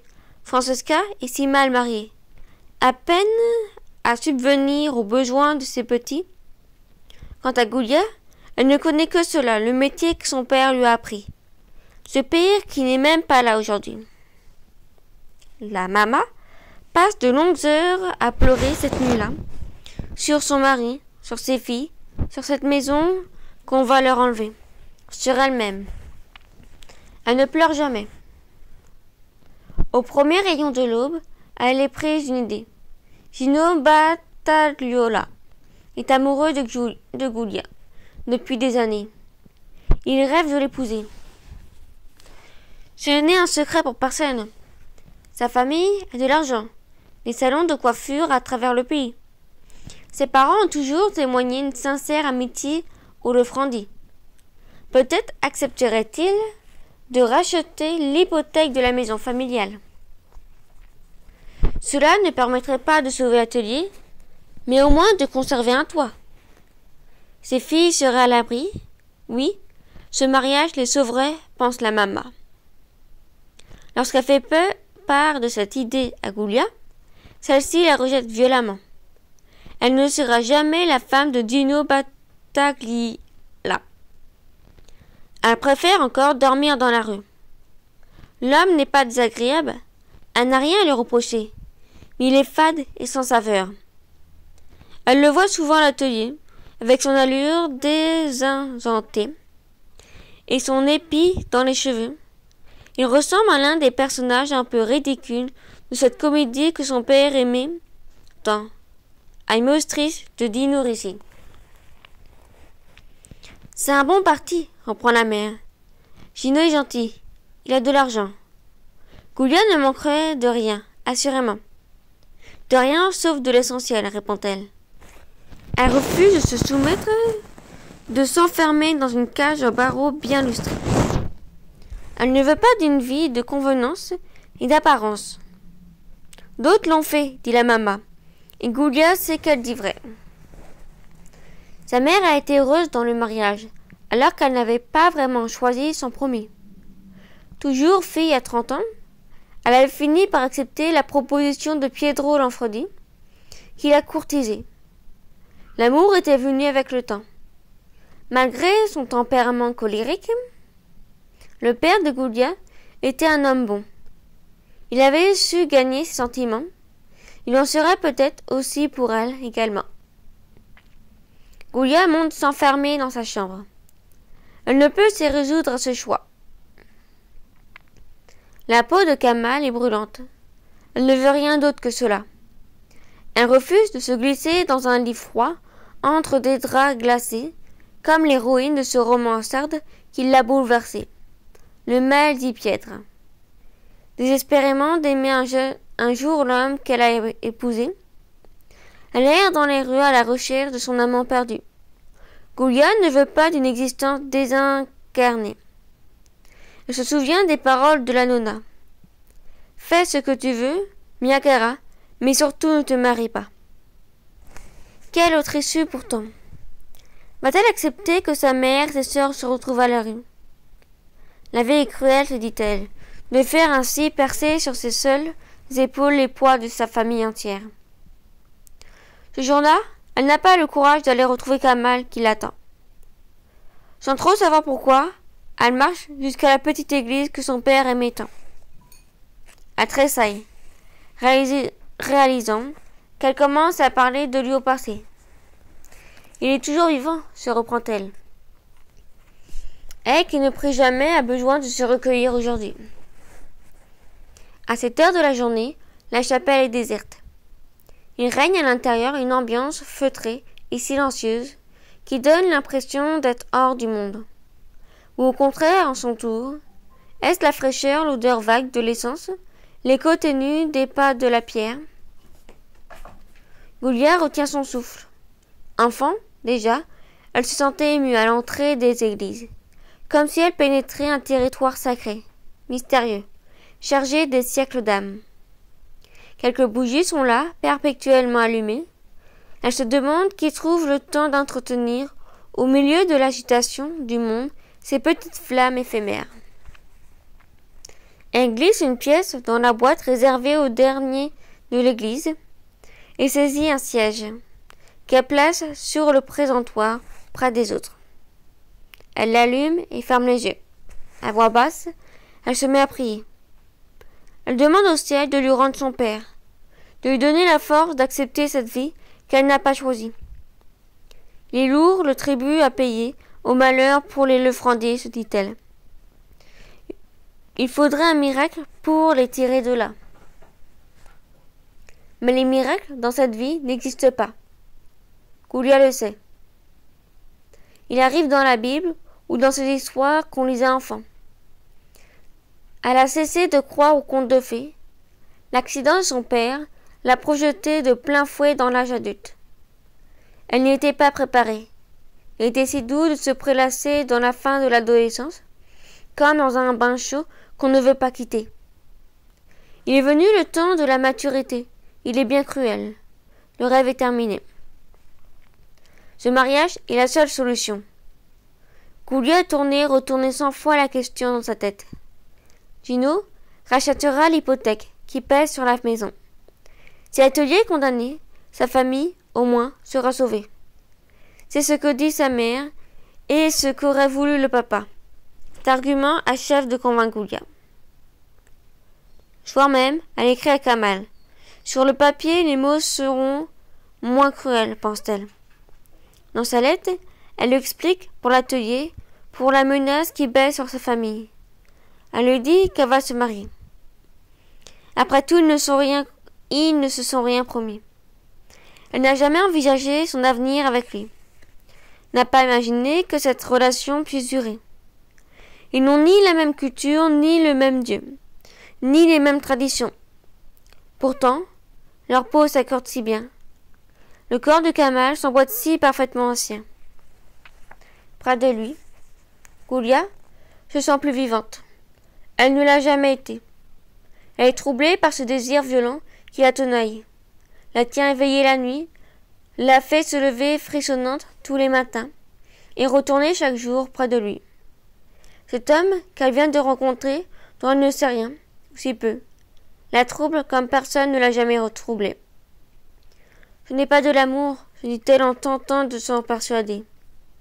C'est autre chose. Il faut y renoncer.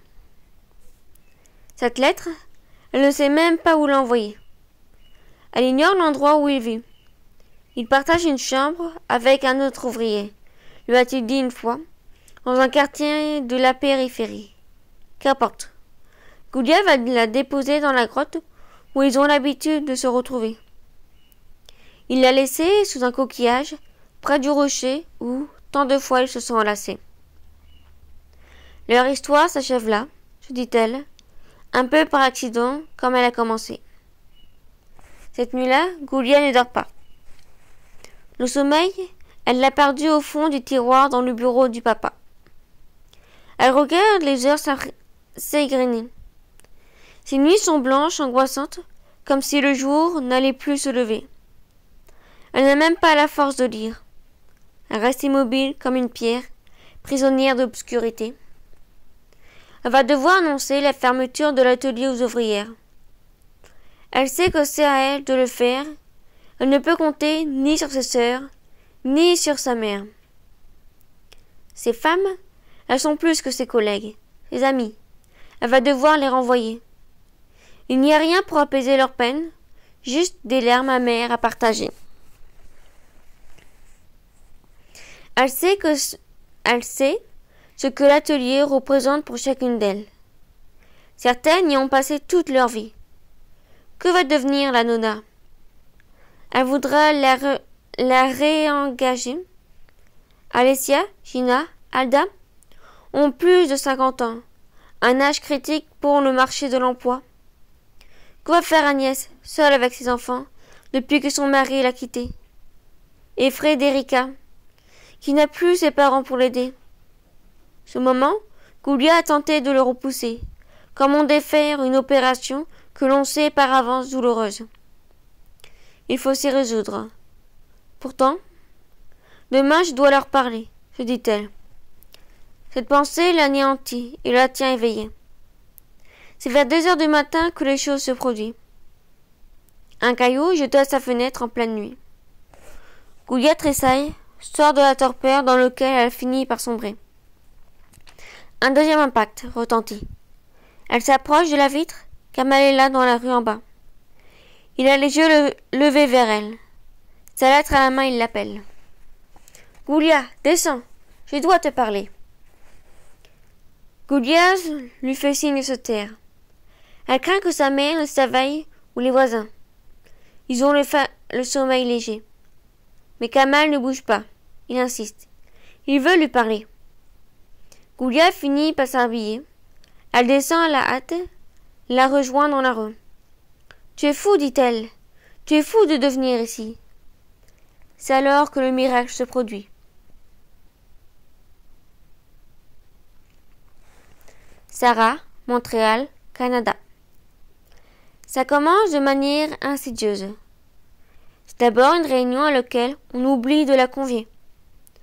On ne voulait pas te déranger, dira plus tard l'associé concerné. C'est ensuite un dossier dont on évite de lui parler. En ce moment, tu, as assez à en penser. Autant de formules qui fleurent bon la compassion. On y croirait presque. Les égards. Sarah n'en veut pas. Elle veut continuer à travailler, à être considérée comme avant. Elle refuse qu'on l'aménage. Elle le sent pourtant. Depuis quelque temps, on l'implique moins dans la vie du cabinet, dans les décisions à prendre, la gestion des dossiers. Il y a des choses qu'on oublie de lui dire, des questions qu'on va poser à d'autres. Depuis l'annonce de sa maladie, Gurs a pris du galon au sein du cabinet.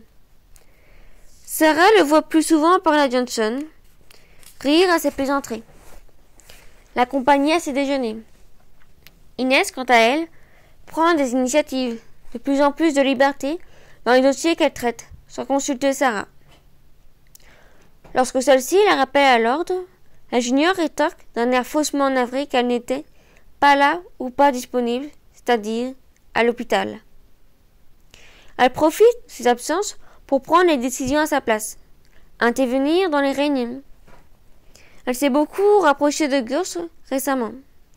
S'est même mise à fumer dans le seul but pense Sarah, de partager les pauvres cigarettes de son nouveau mentor. On ne sait jamais s'il y avait là quelques promotions inclinées. À l'hôpital, Sarah a démarré son traitement. Malgré la vie dans l'oncologue, elle refuse de prendre des jours de congé. S'absenter, c'est laisser sa place, abandonner son territoire. Le jeu est trop risqué. Elle doit tenir, coûte que coûte, elle se lève chaque matin, courageusement, pour aller travailler. Elle ne laissera pas le cancer lui prendre ce qu'elle a mis des années à construire. Elle va se battre, bec et ongles, pour garder son empire. Cette seule pensée la tient debout, lui donne la force, le cran, l'énergie dont elle a besoin. L'oncologue l'a pourtant averti. Le traitement sera lourd et plus encore ses effets secondaires on a établi une liste exhaustive dans un tableau qu'il lui a donné, précisant à quel point il aura des nausées, quelles conséquences pour ses cheveux, ses ongles, ses sourcils, sa peau, ses mains, ses pieds? Ce qu'il attend, jour après jour, pendant des mois de cure. Sarah est repartie avec une dizaine d'ordonnances, une pour chaque effet à contrecarrer. Ce qu'il n'a pas dit, c'est que personne n'a évoqué c'est cet effet plus indésirable encore que le syndrome main-pied, plus terrible que les nausées ou ce brouillard cognitif dans lequel parfois les plonger. Cet effet n'était pas préparé et aucune ordonnance ne viendra soigner. C'est l'exclusion qui va de pair avec la maladie. Cette lente et douloureuse mise à l'écart dont elle est devenue l'objet. Au début, Sarah ne veut pas mettre de mots sur ce qui se passe au cabinet. Elle préfère ignorer les oublis de ses collègues. Et cette indifférence nouvelle dans les yeux de Jackson. À dire vrai, le terme est mal choisi. C'est plutôt une forme de distance, un étrange refroidissement de leur échange. Il faut plusieurs semaines de rendez-vous auxquels on ne l'a pas convié, des réunions où elle n'a pas été invitée, des dossiers qu'on ne lui a pas donnés, de clients qu'on ne lui a pas présentés, pour qu'enfin on ait la certitude, on est en train de l'écarter. Cette violence porte un nom, qu'elle a du mal à prononcer. Discrimination. Un terme qu'elle a cent fois entendu lors de ses procès et qui ne l'a jamais vraiment concerné. Du moins le croyait-elle. Elle connaît pourtant par cœur la définition.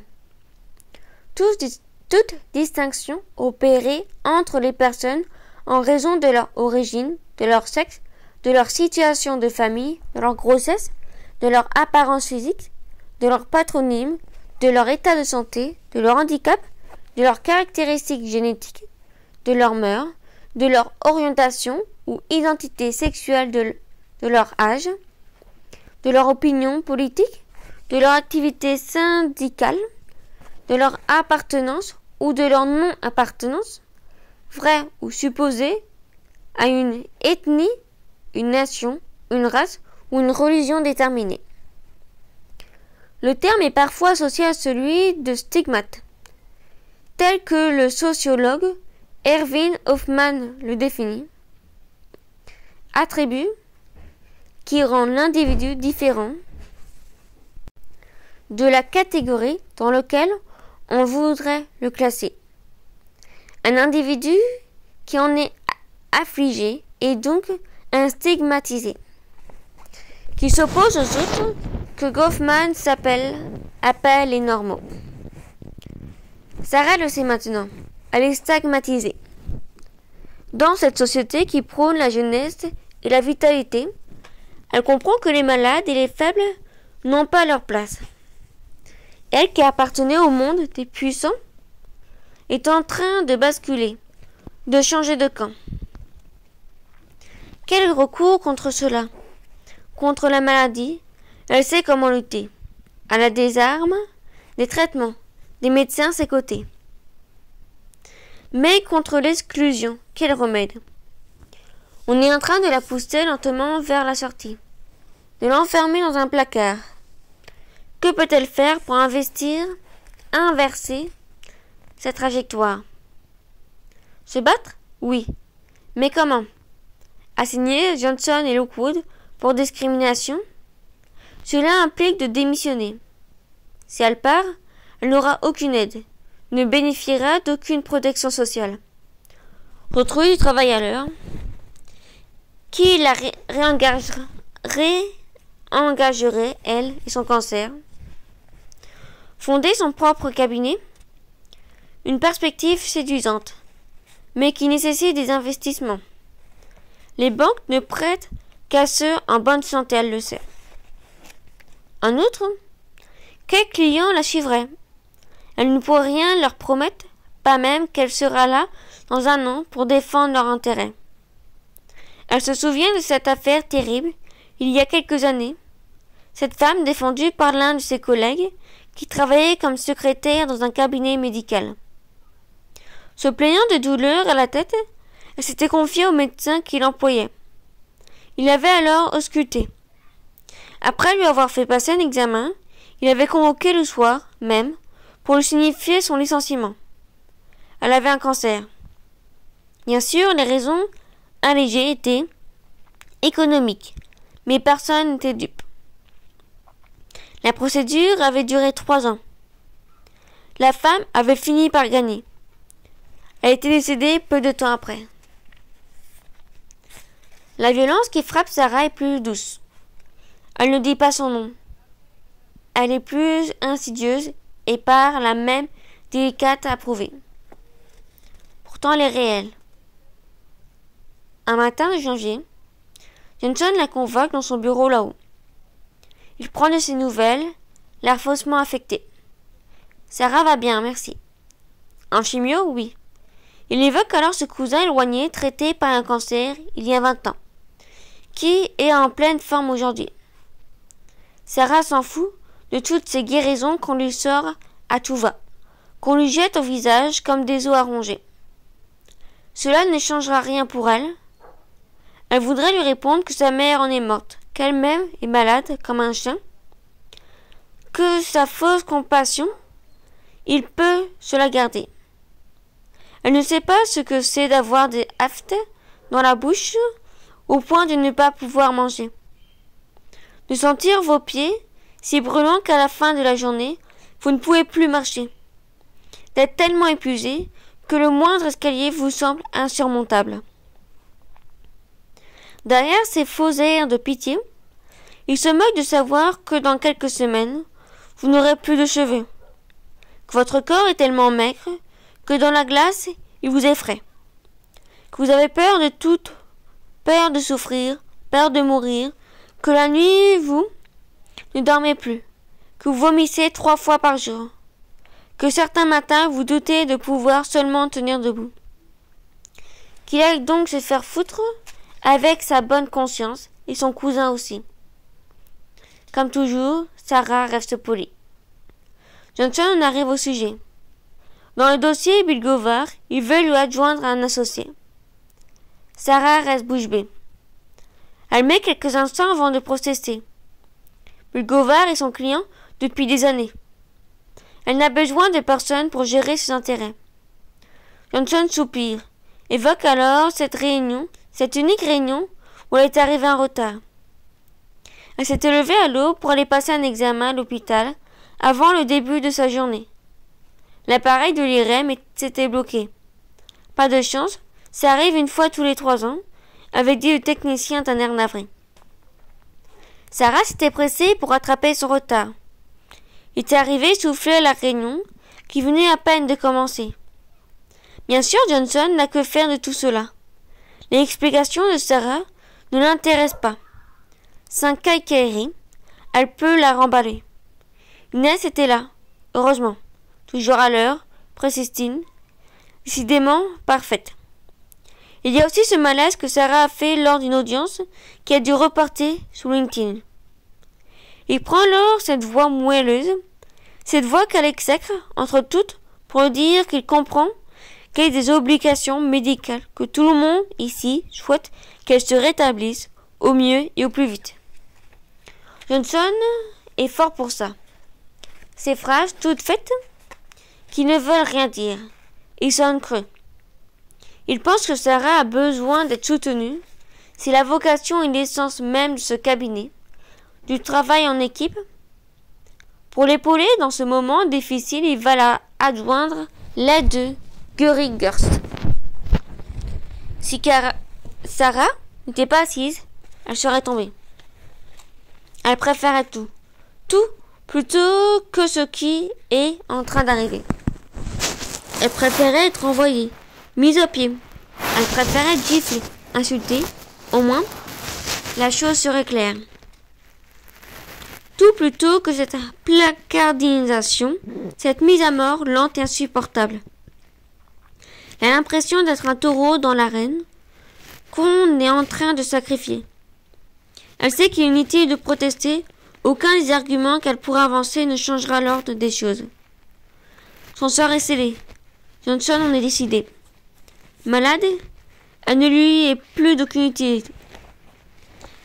Elle est une valeur sur laquelle il ne veut plus compter. Gurst ne va pas faire qu'une bouchée du dossier, Bulgavard. Il va lui prendre son plus gros client. Johnson le sait. Ensemble, ils sont en train de la dépecer. Leur calée à terre. Sarah voudrait crier au secours. Comme dans les jeux de ses enfants, elle voudrait crier au voleur. Autant hurler dans, dans le désert. Il n'y aura personne pour l'entendre, personne pour le venir en aide. Les brigands sont bien habillés, la chose ne se voit pas. Elle a même des allures de respectabilité. C'est une violence chic, une violence parfumée, une violence en costume trois pièces. Il tient sa revanche, Gary Avec le dossier Bulgavard, il devint l'associé le plus puissant du cabinet. Un successeur rêvé pour Johnson. N'est pas malade, lui, pas affaibli.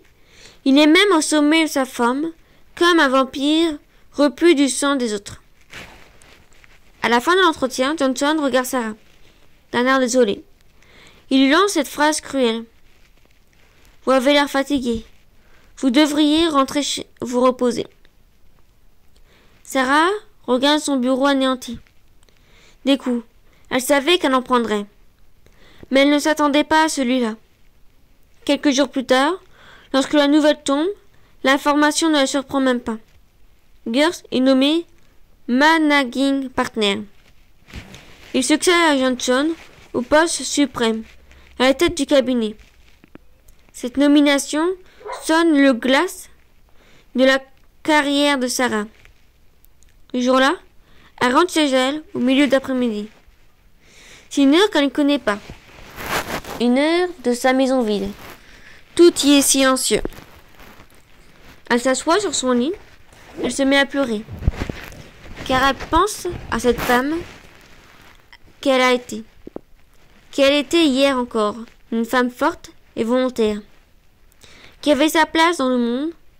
Se dit qu'aujourd'hui le monde l'a abandonnée. Il n'y a plus rien. Alors, qui s'oppose à sa chute La descente vient de commencer. Ce matin, un des fils a cassé. Cela arrive rarement. Pourtant, c'est arrivé. C'est une catastrophe, un ray de marée. L'échelle microscopique qui anéantit le travail de nombreuses journées. Je songe à Pénélope, alors, qui inlassablement refait chaque jour ce qu'elle détruit la nuit. Il faut tout recommencer.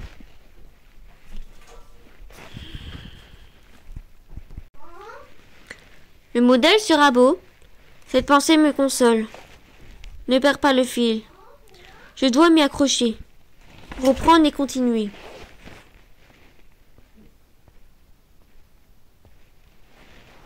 Smita, Varanasi, Uttar Pradesh, Inde.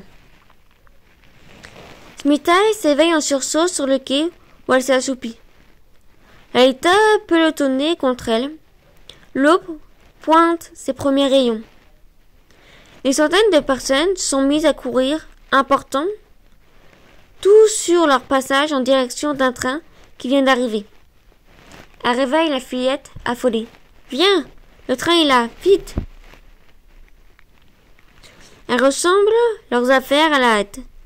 Elle a dormi sur leur sac pour le protéger des voleurs. Elle attrape la main de Lalita et s'élance en direction des wagons de troisième classe. C'est une véritable cahue sur le quai, une marée humaine. Les gens se poussent et bousculent, se piénient. Tialo, tialo crie-t-on de partout. Allez, allez Mita s'accroche à la poignée de la porte du train. L'impression est forte. Elle s'agrippe. Elle tente de faire monter Lalita en premier. Elle a peur que la petite fille n'étouffe entre les voyageurs empressés. Soudain prise d'un doute. Elle se tourne vers l'homme, et flanquée à côté d'elle. Est-ce bien le train qui va à Chennai crie-t-elle. Non, répond-il. Il va à Jenpur. Il ne faut pas se fier aux panneaux, ajoute-t-il. Ils sont souvent faux. Smita rattrape Lalita, déjà quasiment dans le wagon et repousse chemin en fondant la foule à grande peine. Comme un saumon remontant le courant. Après plusieurs allées et venues, des renseignements contradictoires, Une tentative vaine pour questionner un agent. Smita et Lalita trouvent enfin le train à destination de Shanghai. Elle monte dans le wagon bleu de Sleeper Class, une voiture sans air conditionné, au confort vétuste, au grouillon plate et souris. Elle se glisse péniblement dans le compartiment surpeuplé, jusqu'à une place minuscule sur une banquette en bois. Une vingtaine de personnes sont déjà entassées dans cet espace de quelques mètres carrés. Au-dessus, les emplacements réservés aux bagages sont occupés par des hommes et des femmes, dont les jambes pommes pendent dans le vide. Le trajet sera long, plus de 2000 km à parcourir ainsi. Le train est un omnibus moins cher que l'express. Il s'arrête partout et roule lentement. Traverser l'Inde, quelle folie, se dit Smita. Si l'humanité entière qui voyage ici, amassée, suffocante, épuisée dans ce wagon de dernière classe. Partout des familles, des bébés, des vieillards, assis par terre ou debout, serrés au point de ne pouvoir bouger. Les premières heures du wagon se déroulent sans encombre. Laïta dort. Smita entreprend de se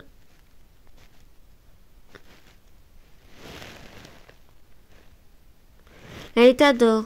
Smita somnole dans un état de demi-conscience dans son rêve. L'enfant s'éveille soudain, prise d'un besoin pressant. Smita entreprend de se frayer un chemin avec elle jusqu'au bout du wagon. L'entreprise est hasardeuse. Il est difficile de ne pas piétiner de nombreux passagers assis par terre. Malgré ces précautions, elle marche, l'un sur deux, qui l'investit d'un air furieux. Lorsqu'elle parvient devant la porte des toilettes, celle-ci est fermée à double tour. Smita tente de l'ouvrir. Il frappe plusieurs coups. Pas la peine d'insister, lance une vieille femme, édentée à la peau damnée comme un parchemin, assis par terre. Cela fait des heures qu'il s'est enfermé là. Une famille entière qui cherchait un coin où s'asseoir et dormir. Ils n'en sortiront pas avant la fin du voyage, leur dit-elle. Smita se met à tambouriner, tantôt autoritaire, tantôt suppliante. Inutile de s'égosiller, ajoute la vieille. D'autres ont déjà essayé. Ma fille a vraiment besoin, souffle Smita. La vieille dentée désigne un coin du wagon. Elle n'a qu'à faire là. Ou attendre le prochain arrêt. Laïta semble paralysée. Elle ne veut pas se soulager devant les autres passagers. À six ans, elle a déjà un sens aigu, aigu de la dignité. Laïta lui fait comprendre qu'elle n'a pas le choix. Elles ne pourront prendre le risque de descendre au prochain arrêt, trop bref, à la gare précédente. Une famille s'est retrouvée piégée. Il y avait du monde partout sur le quai. Ils n'ont pu remonter dans le train. Ils repartit sans eux, les abandonnant au milieu de nulle part, dans cette gare inconnue, sans bagages. Lalita secoue la tête. Elle préfère se retenir. Il y aura une hâte plus longue, dans une heure ou deux, à Jabalpur. Elle tiendra jusque-là. Tandis qu'elles regagnent leur banquette, une odeur pestilentielle envahit le wagon. Une puanture d'urine est extrêmement mêlée. C'est ainsi à chaque gare dans le train désert. Les habitants des villes ont l'habitude de venir soulager près des voies du chemin de fer. Smita la connaît bien, cette odeur. Elle est partout. La même, elle n'a pas de frontières. Elle ignore le rang, la caste ou la richesse. Elle est habituée, elle retient son souffle, comme elle l'a fait tant de fois lors de sa tournée. Elle place un foulard sous son nez et celui de sa fille. Plus jamais ça. Elle se l'est promis. Ne plus vivre en apnée. Respirer librement, dignement enfin. Le train repart. L'odeur infâme se dissipe pour faire place à celle, moins suffocante, bien que nauséabonde, les corps serrés et transpirants. Elle bien, il est bientôt midi. La chaleur est difficile à supporter dans le compartiment surpeuplé dont un simple ventilateur brasse l'air fétide. Smita fait boire Lalita. Lampe elle-même quelques gorgées. La journée s'étire dans une torpeur moite. Certains cirent leurs chaussures au milieu du compartiment. D'autres regardent le paysage à travers la porte entr'ouverte ou se prêchent au bourreau des fenêtres, espérant y trouver quelques bouffées d'air frais. Là où ne viennent s'engouffrer qu'un flux d'air tropical. Un homme arpente le train en récitant des prières, verse de l'eau sur la tête des voyageurs en guise de bénédiction. Un mendiant balaye le sol du wagon en réclamant quelques pièces pour son entretien. Il raconte à qui veut entendre sa triste histoire. Il travaillait au champ avec sa famille dans le nord lorsque des riches fermiers vinrent chercher son père, qui leur devait de l'argent. Ils l'assommèrent, fracturèrent ses membres et arrachèrent ses yeux, avant de le pendre par les pieds devant sa famille réunie. Laïta tressaille au récit de cette sombre histoire. Smitha invective le mendiant qu'il aille donc balayer ailleurs. Ici, il y a des enfants. À côté d'elle, une femme, ronde, trempée de sueur, raconte qu'elle se rend au temple de Tiraputi pour y faire une offrande. Smita sort de sa torpeur. Le fils de la femme est tombé malade et était perdu aux yeux des médecins. Un guérisseur lui a conseillé de faire un sacrifice dans un temple et son fils a guéri. Aujourd'hui, elle va remercier Vishnu pour ce miracle en déposant des vifs et des couronnes de fleurs au pied de la statue. Pour cela, elle a entrepris un périple de plusieurs milliers de kilomètres. Elle se plaint des conditions de mi des conditions de voyage, mais c'est ainsi, ajoute-t-elle. Dieu décide si le chemin qui mène à lui doit être difficile. La nuit arrive. Dans le wagon, on s'organise pour trouver un semblant de repos. Les banquettes en bois se transforment en couchettes. Il est néanmoins malaisé d'y dormir. Smita finit par s'assoupir, collé au petit corps de Lalita, près de la femme ambulante. Elle repense à la promesse qu'elle a faite elle-même, à Vishnu, avant d'entreprendre ce voyage. Elle doit tenir parole, se dit-elle. Elle prend alors une décision, là, sur cette couchette en bois, dans cette nuit profonde, quelque part dans l'état du Skatika et de l'Andhra Pradesh, Demain, Laïta et elle ne poursuivront pas la route jusqu'à Chennai, comme elle l'avait prévu. Lorsque le train s'arrêtera en gare de Tirapati, alors descendront et gagneront une montagne sacrée pour rendre hommage à leur divinité. Smita s'endort avec cette pensée, soudain apaisé. Vishnu les attend. Son Dieu est là, tout près. Goulia, Palerme, Sicile. Goulia rejoint Kamal dans la rue, en pleine nuit. Elle se sent fébrile. Soudain, face à lui, que va-t-il dire? Qu'il l'aime? Qu'il ne veut pas qu'il soit séparé? Assurément. Il va tenter de la retenir, de l'empêcher de contracter ce mariage insensé. Comme dans ces mélodrames, que la maman regarde à longueur de journée. Goulia s'attend à des étreintes, des adieux déchirants. Il faudra se quitter pourtant. Mais Kamal n'est pas larmoyant, pas même ému, excité plutôt impatient. Ses yeux brillent d'un étrange éclat. Il parle à voix basse, rapidement, comme on livrerait un secret. J'ai peut-être la solution, dit-il pour l'atelier. Sans plus d'explications, il lui prend la main et l'entraîne en direction de la mer, vers cette grotte où ils ont l'habitude de se retrouver. Dans l'obscurité, Goulia a du mal à discerner ses traits. Il a lu sa lettre, dit-il. La fermeture de, l'atelier n'est pas une fatalité. Il y a une solution qui pourrait les sauver. Elle le dévisage incrédule. Quelle étrange énergie s'emparait de lui. Si calme d'ordinaire, Kamal est exalté. Il poursuit. Si le code de conduite des Sphinx leur interdit de se couper les cheveux, il n'en est pas le même pour les hindous dans son pays. Eux les coupent au contraire par milliers, dans des temples aux offrandes à leur divinité. Si l'acte de se raser la tête est considéré comme sacré, les cheveux, eux, ne le sont pas.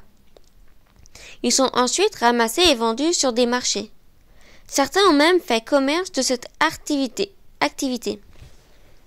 Si la matière première vient à manquer ici, conclut-il, il faut aller la chercher là-bas, importer. C'est la seule façon de sauver l'atelier. Goulia ne sait que dire. Elle oscille entre sidération et crédulité. Le projet de Kamal lui paraît insensé. Des cheveux indiens, quelle étrange idée. Bien sûr, elle saurait les traiter. Elle connaît la formule magique de son père. Elle pourrait les décolorer, les rendre de ce blanc laiteux qui permet de les reteindre ensuite. Elle en a la connaissance et la capacité. Mais cette idée l'effraie. Importer. Le terme lui paraît presque barbare comme emporter à une langue étrangère, une langue qui n'est pas celle d'ici. Des petits ateliers. Les cheveux traités par les Lamphodies viennent de Sicile. Il en a toujours été ainsi. Ce sont des cheveux locaux, des cheveux de l'île. Lorsqu'une source tarit, il faut en chercher une autre, répond Kamal. Si les Italiens ne gardent pas, ne gardent plus leurs cheveux, les Indiens, eux, les donnent. Ils sont des milliers à se rendre dans les temples chaque année. Leurs cheveux sont vendus par tonnes. C'est une manne presque inépuisable. Goulia ne sait que penser. Cette idée la se dit, et la seconde d'après lui semble hors de portée. Kamal affirme qu'il peut l'aider. Il parle la langue, il connaît le pays. Il pourrait être un trait d'union entre l'Inde et l'Italie. Cet homme est merveilleux, dit-elle. Il semble croire que tout est possible. Elle s'en veut d'être aussi sceptique et désespérée. Elle revient chez elle, la tête en feu. Son esprit s'agite comme un singe dans une cage, impossible à calmer. Elle ne parviendra plus à dormir. Inutile d'essayer. Elle allume son ordinateur et passe le reste de la nuit à faire des recherches enfiévrées. Kamal dit vrai. Sur Internet, elle trouve des images d'Indiennes et d'Indiens dans les temples dans l'espoir d'une bonne récolte, d'un mariage heureux ou d'une meilleure santé. Des hommes et des femmes viennent offrir leurs cheveux à leur divinité. Il s'agit pour la plupart de pauvres et d'intouchables dont la chevelure constitue la seule richesse. Il y a aussi cet homme d'affaires anglais dans cet article qu'elle vient de découvrir. Il a fait fortune dans le commerce des cheveux importés. Il est maintenant connu dans le monde entier. Il se déplace en hélicoptère. Dans son usine près de Rome, il fait venir les mèches indiennes par tonnes. Les marchandises arrivent par avion à l'aéroport de Fiumicino avant d'être acheminées dans une zone industrielle au nord de la ville, où elle est traitée dans l'immense atelier. L'anglais l'affirme. Les cheveux indiens sont les meilleurs du monde. Dans sa villa roumaine, allongée près de sa piscine, il explique comment ils sont désinfectés puis démêlés, plongés dans des bains de dépigmentation, avant d'être recolorés en blond, châtain, roux ou en berne devenant en tout point semblable aux cheveux européens.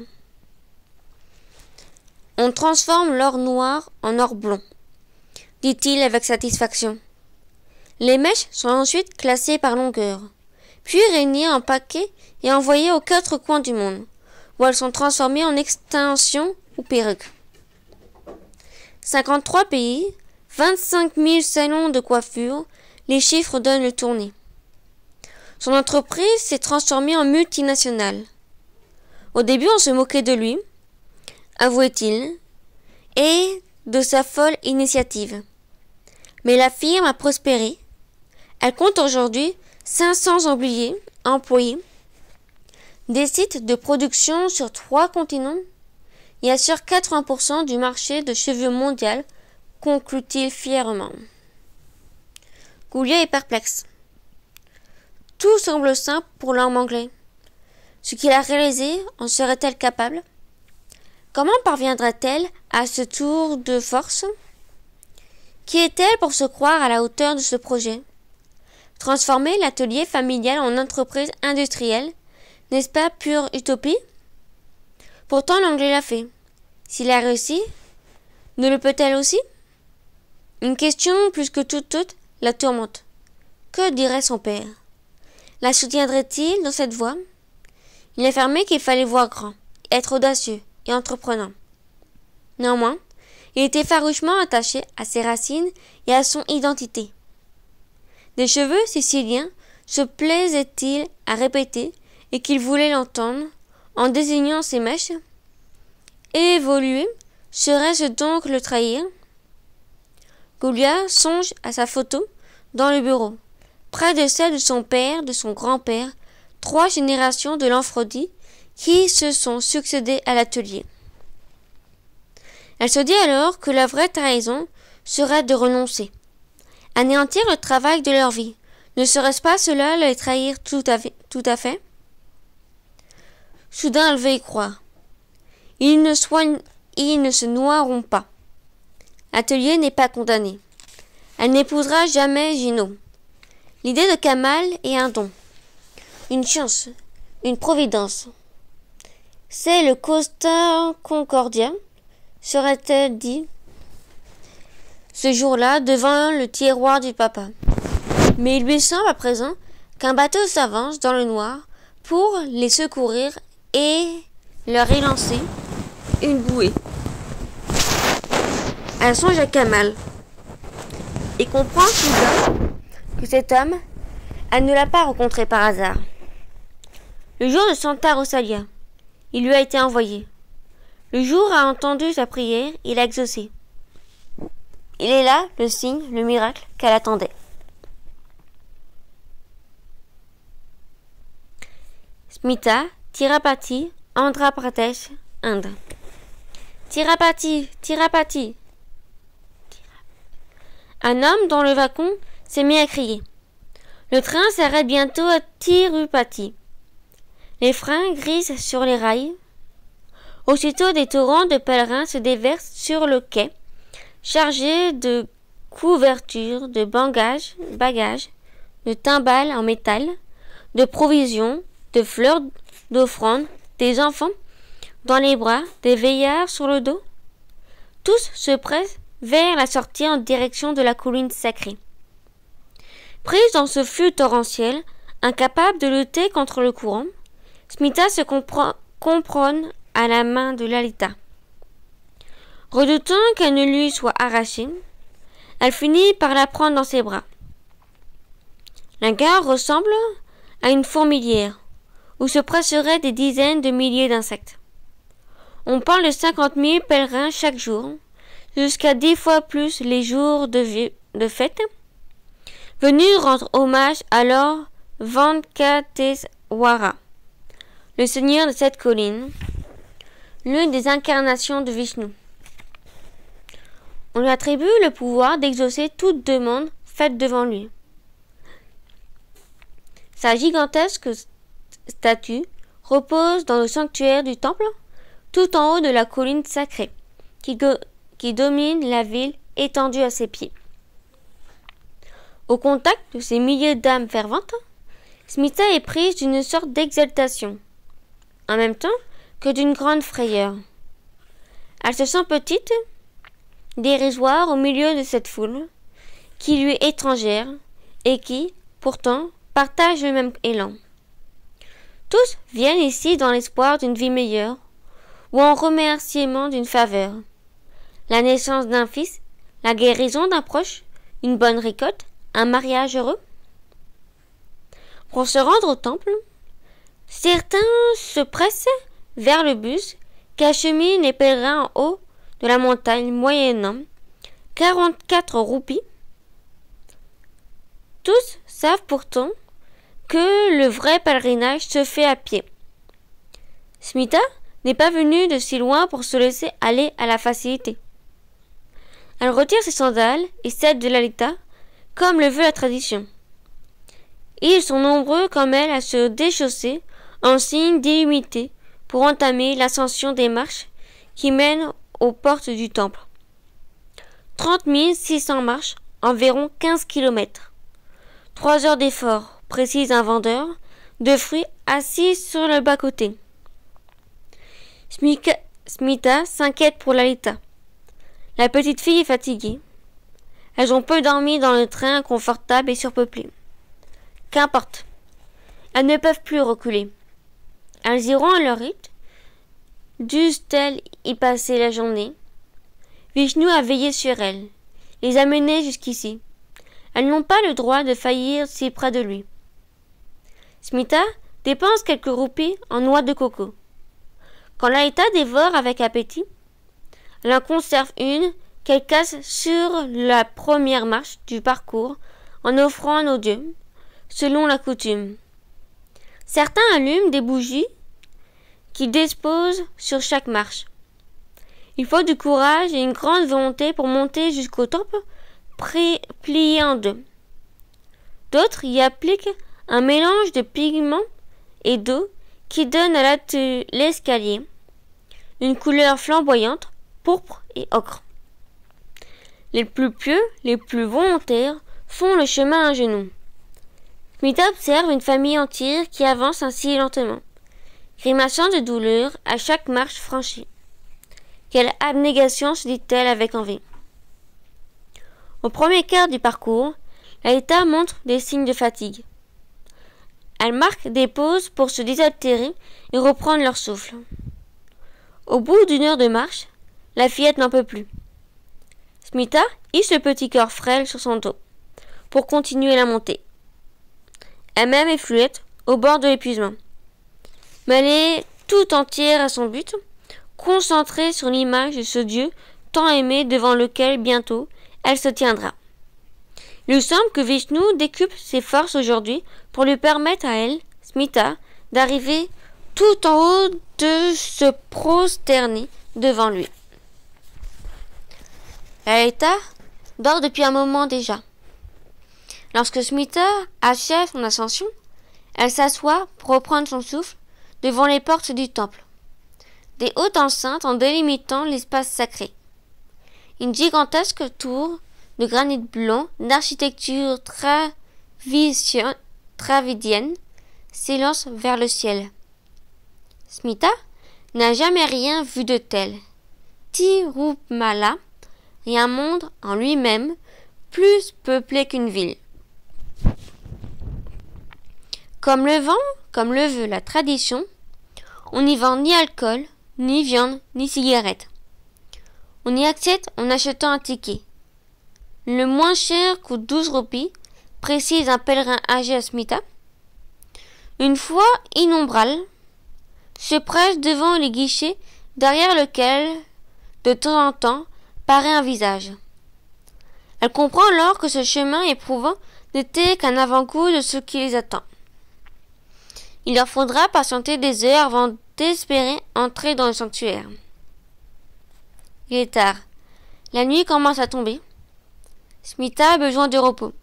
Elle doit dormir un peu, ou du moins essayer.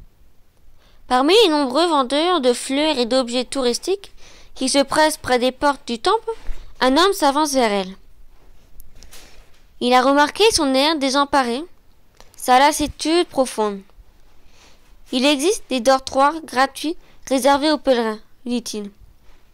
Il peut leur montrer le chemin. Il a des visages, t'attarde sur l'alita. En échange d'une ou deux faveurs, il les emmènera là-bas. Smita saisit la main de sa fille et l'entraîne vivement loin du prédateur.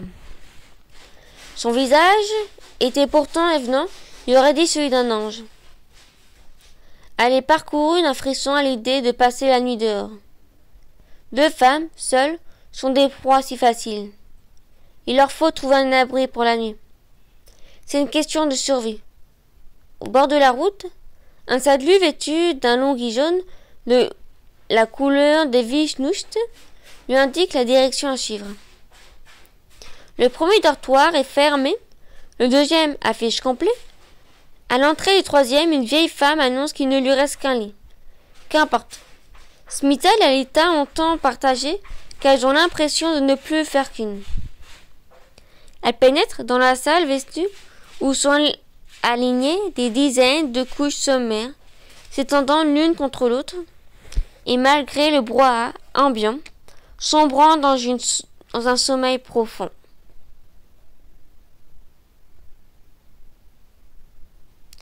Sarah, Montréal, Canada. Voilà trois jours que Sarah ne sort plus de son lit. Hier, elle a appelé le médecin pour lui demander un arrêt de travail. Le premier de sa carrière. Elle ne veut pas retourner au cabinet. Elle ne supporte plus cette hypocrisie, cette mise à l'écart dont elle est devenue l'objet. D'abord, il y a eu le déni, l'incrédulité, puis la colère, une rage incontrôlée s'est emparée d'elle. L'abattement lui a succédé incommensurable, comme une étendue désertique n'offrant pas d'échapper. Sarah a toujours été maîtresse de ses choix, des orientations de sa vie. Elle était une exécutive woman. Comme on dit ici littéralement, une personne jouissant d'une position dominante dans une entreprise ou une compagnie qui prend la décision et, les fait appliquer. Dorénavant, elle subit. Elle se sent trahie, comme une femme répudiée qu'on renvoie parce qu'elle n'a pas donné ce qu'on attendait d'elle, parce qu'on la juge inapte, insuffisante, stérile.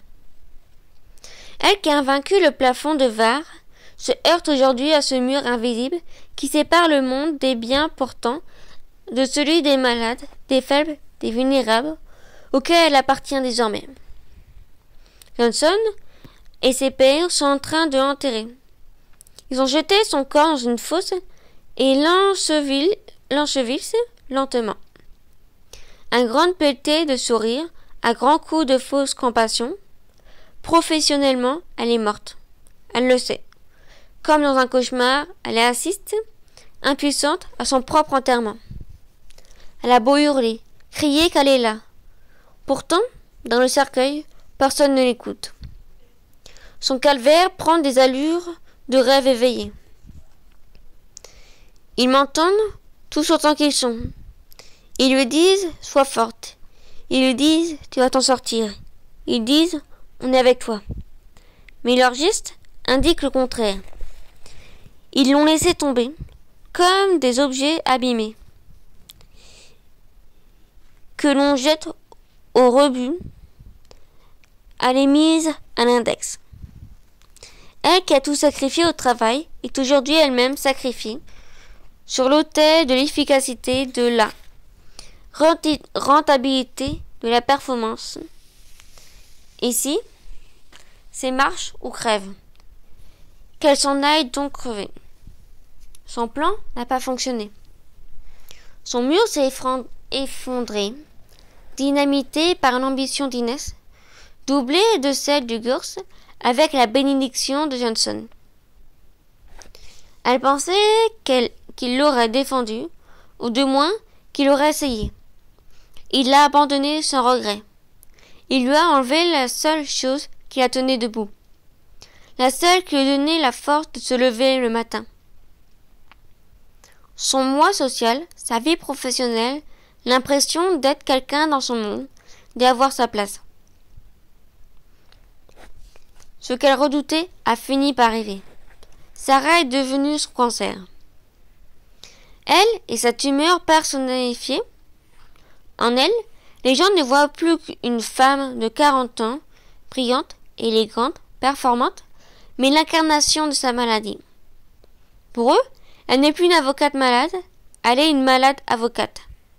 L'indifférence est de taille. Le cancer fait peur. Il isole, il éloigne, il pue la mort. À son contact, on préfère se détourner, se boucher le nez. Intouchable. Voilà ce que Sarah est devenue reléguée au banc de la société. Alors non, elle ne retournera pas là-bas. C'est ta reine qui l'a condamnée. Ils ne la verront pas tomber. Ils ne se donneront pas un spectacle, ne s'offrira pas en pâture au lion. Il lui reste encore ça, sa dignité, le pouvoir de dire non. Ce matin, elle n'a pas touché au plateau de petit déjeuner que Ron a préparé pour elle. Les Gémeaux sont venus l'embrasser, se sont glissés dans son lit. Elle n'a même pas réagi au contact de leur petit corps chaud et souple. Anna l'a supplié, a tout essayé pour la faire se lever. Elle l'a encouragée, menacée, culpabilisée en vain. Elle sait qu'elle trouvera sa mère dans la même position en rentrant ce soir. Sarah passe ses journées ainsi, dans une léthargie morbide, un engourdissement progressif. Elle se laisse lentement dériver loin du monde. Elle revoit le film de ces dernières semaines, se demande ce qu'elle aurait pu faire pour en changer les cours. Rien, sans doute. La partie s'est nouée sans elle. Game over. Terminé. Prétendre que tout va bien, que rien n'a changé, conserver une vie normale, garder le cap, tenir, faire semblant, elle s'en est crue capable. Elle pensait gérer la maladie et la manière d'un dossier, avec méthode, application et volonté. Cela n'a pas suffi. Dans rêve semi-éveillé, elle imagine la réaction de ses collègues à l'annonce de sa mort. C'est une pensée macabre. Pourtant, elle s'y complète. Comme on choisit parfois d'écouter un air triste lorsqu'on a du chagrin. Elle voit déjà leur mine éplorer, leur aise faussement navrée. Ils diront La tumeur était maligne, ou bien Elle se savait condamnée. Ils était trop tard, ou pire, elle avait trop attendu. La rendant aussi responsable, voire coupable de son sort. La vérité est ailleurs. Ce qui tue Sarah Cohen, ce qui la ronge au petit feu, ce n'est pas seulement la tumeur qui a pris possession de son corps, et même la danse, une danse cruelle, aux mouvements imprévisibles. Non, ce qui la tue, c'est l'abandon de ceux qu'elle considérait comme ses pères, dans ce cabinet dont elle a contribué à faire la renommée. C'était sa raison d'être, le sens de sa vie, son ikigai, comme disent les Japonais. Sans lui, Sarah n'existe plus. Elle n'est qu'un être creux, vidé de sa substance. Elle s'étonne encore de sa crédulité. Elle, il craignait que sa maladie déstabilise le cabinet, se heurte à une vérité plus cruelle.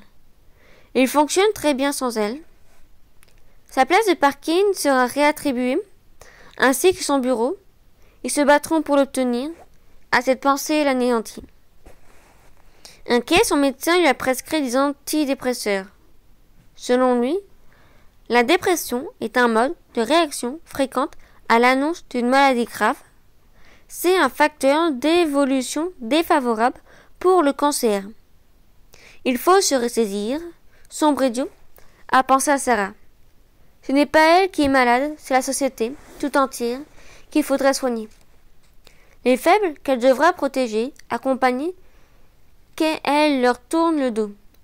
Comme ces vieux éléphants que le troupeau laisse derrière lui, les condamnant à une mort solitaire dans un livre pour enfants sur les animaux. Elle a lu un jour dans cette phrase Les carnivores sont utiles à la nature car ils dévorent les faibles et les malades. Sa fille s'est mise à pleurer. Sarah l'a consolée en lui disant que les humains n'obéissent pas à cette loi. Elle se croyait de bon côté de la barrière, dans un monde civilisé. Elle se trompait.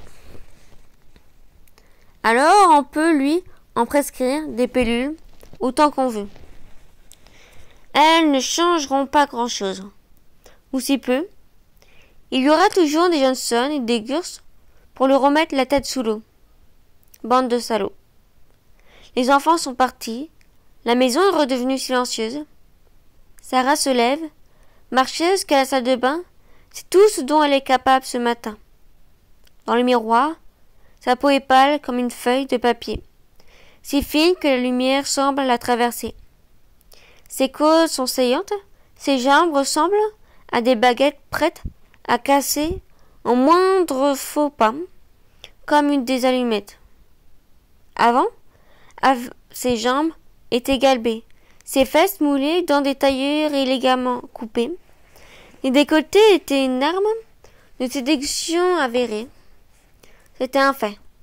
Sarah plaisait. Peu d'hommes le résistaient. Elle avait eu des aventures, des histoires. Elle avait même eu deux amours.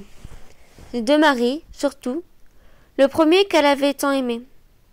Qu'il a trouvé belle aujourd'hui, avec sa mine blanc-farte et son cœur amaigri, dans ce jogging trop grand qui flotte sur elle tel le drap d'un fantôme. La maladie effectue son travail de sape. Bientôt, elle en sera réduite à prendre des affaires de sa fille de douze ans. Voilà tout ce qu'elle portera, tout ce qu'elle pourra porter. Une taille d'enfant. Quelle flamme pourrait-elle allumer ainsi, dans les yeux de qui? À cet instant, Sarah se dit qu'elle donnerait n'importe quoi pour que quelqu'un la prenne dans ses bras. Pour se sentir une femme, quelques secondes encore dans les bras d'un homme, ce serait si doux. Un sein au moins, au début, elle n'a pas voulu se l'avouer la peine, le chagrin. Comme elle le fait toujours, elle a placé un voile sur la chose dans une tentative, un peu vaine pour le mettre à distance. Derrière un écran, ce n'est rien. C'est-elle répété, la chirurgie plastique fait des miracles. Le mot, pourtant, lui a paru bien laid. Ablation. Un mot qui rime avec punition, agression, mutilation, amputation, démolition. Guérison aussi peut-être, si elle a de la chance. Qui peut lui promettre? Lorsque Lana a appris sa maladie, elle a paru très triste. Elle a réfléchi un moment, puis elle a prononcé cette phrase. Tu es une Amazone, maman. Quelque temps plus tôt, elle avait rédigé un exposé sur le sujet que Sarah avait corrigé. Elle s'en souvient encore. Amazon vient du mot grec mazos, mamelle, précédé du A, privé de. Ces femmes de l'Antiquité se coupaient le sein droit pour mieux tirer à l'arc. Elles formaient un peuple de guerrières, de combattantes, à la fois craintes et respectées, qui s'unissaient au mal des peuplades voisines pour se reproduire mais élevaient leurs enfants seuls. Elle employait des hommes pour assurer les tâches domestiques. Elle menait de nombreuses guerres dont elle sortait souvent vainqueur. Cette guerre-là, hélas, Sarah n'est pas sûre de la gagner. Ce corps qu'elle a pendant des années contraint, ignoré, ce corps qu'elle a négligé, parfois même affamé, pas le temps de dormir, pas le temps de manger. Tiens, aujourd'hui sa revanche. Il nous rappelle cruellement qu'il existe. Sarah n'est plus une ombre, un ersatz d'elle-même, un pâle reflet de celle qu'elle a été, que lui renvoie le miroir sans pitié. Ses cheveux, plus que tout, le désolent. Elle les perd maintenant par poignée. L'oncologue l'avait prévenu. Sombre oracle. À la deuxième séance de chimiothérapie, ils commenceront à tomber. Sarah trouve ce matin des dizaines de petites victimes sur son oreiller. Cet événement, elle l'appréhende. Plus que tout autre. L'alopécie. C'est l'incarnation de la maladie. Une femme chauve, c'est une femme malade. Peu importe qu'elle ait un pull magnifique, des hauts, un sac dernier cri, personne ne le remarquera. Il n'y aura rien d'autre que ça ce crâne nu, qui aveu, une confession, une souffrance. Un homme rasé peut être sexy. Une femme chauve sera toujours malade, pense Sarah. Le cancer lui aura donc pris son métier, son apparence, sa féminité. Elle songe à sa mère, vaincue par la même maladie. Elle se dit alors qu'elle pourrait regagner son lit, s'éteindre en silence, la rejoindre là-bas, dans sa demeure sous la terre, partager son repos éternel. C'est une pensée morbide, bien que réconfortante. Il est parfois doux de songer que tout a une fin, que les plus grands des tourments peuvent s'arrêter demain. Lorsqu'elle pense à elle, c'est son élégance qui lui revient. Même affaiblie, sa mère ne sortait jamais sans être maquillée, coiffée, les ongles faits. Les ongles, c'est un détail d'importance. Elle le disait souvent. Toujours soigner ses mains. Pour beaucoup, ce n'était rien, coquetterie, une futilité, mais pour elle, c'était un signe, un geste qui signifiait je prends encore le temps de m'occuper de moi. Je suis une femme active, débordée. J'ai des responsabilités, trois enfants, un cancer. Le quotidien me dévore, mais je n'ai pas renoncé, je n'ai pas disparu. Je suis là, toujours là, féminine et soignée, entière. Voyez le bout de mes doigts, je suis là. Sarah est là, devant la glace. Elle regarde ses ongles abîmés, ses cheveux clairsemés. Elle sent alors quelque chose vibrer du plus profond d'elle-même, comme si une infime partie de son être refusait de se laisser condamner. Non, elle ne va pas disparaître. Elle ne va pas renoncer. Une Amazone, voilà ce qu'elle est. Une guerrière, combattante. Une Amazone ne se laisse pas aller. Elle se bat jusqu'à son dernier souffle. Elle n'abandonne jamais. Il faut retourner au combat, reprendre la lutte au nom de sa mère, au nom de sa fille et de ses fils qui ont besoin d'elle, au nom de toutes ces guerres qu'elle a menées. Elle doit continuer. Elle ne s'allongera pas dans ce lit, ne s'abandonnera pas à cette petite main qui lui tend les bras. Elle ne se laissera pas ensevelir, pas aujourd'hui. Rapidement, elle s'habille. Pour casser ses cheveux, elle attrape un bonnet dans le placard. C'est un bonnet d'enfant, oublie-la. Un effigie d'un super-héros. Qu'importe, il lui tiendra chaud. Ainsi vêtue, elle sort de la maison. Dehors, il, il neige. Elle a mis un manteau par-dessus trois pulls qu'elle a superposés. Ainsi vêtue, elle paraît toute petite, on dirait un mouton d'Écosse, voyant sous le fardeau de sa laine enchevêtrée.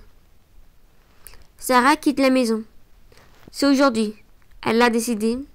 Elle sait exactement où aller.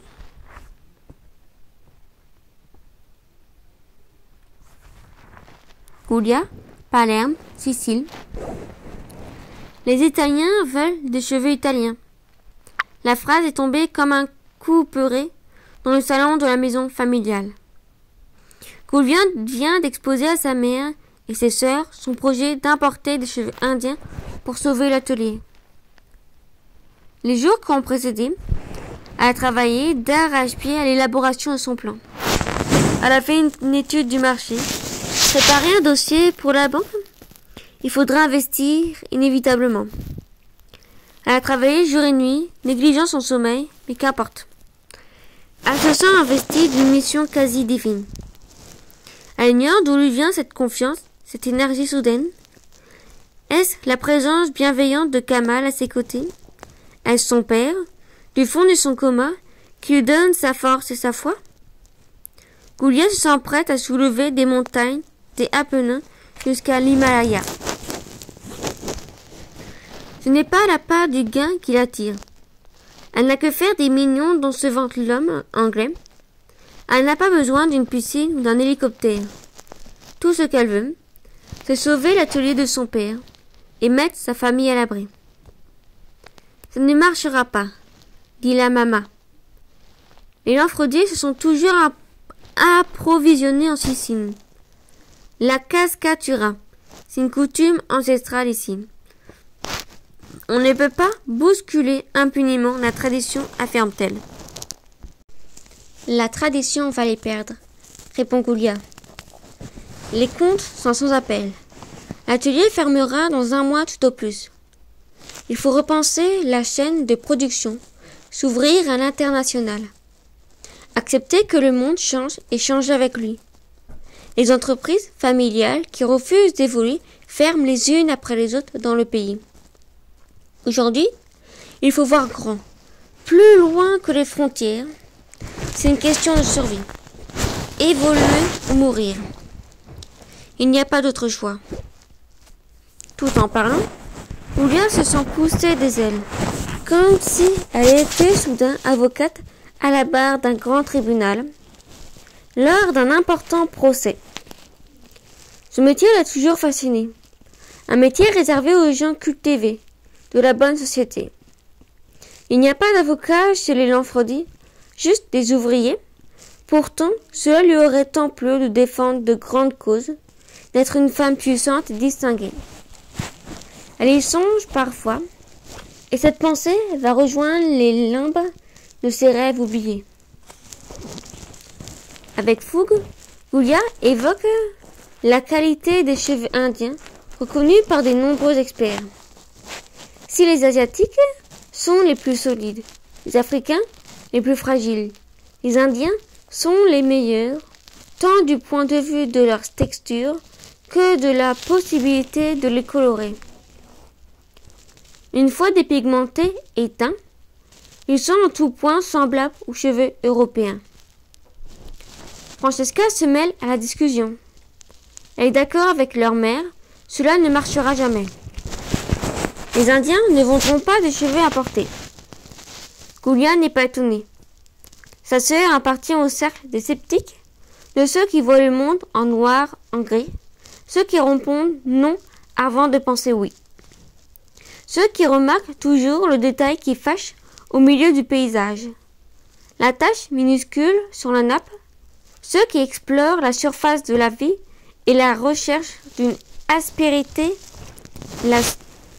à gratter, comme s'ils se réjouissaient de ces fausses notes du monde, qu'ils en faisaient leur raison d'être. Elle est une image inversée de Goulia une version d'elle en négatif, au sens photographique du terme. Sa luminance est inversement proportionnelle à la sienne.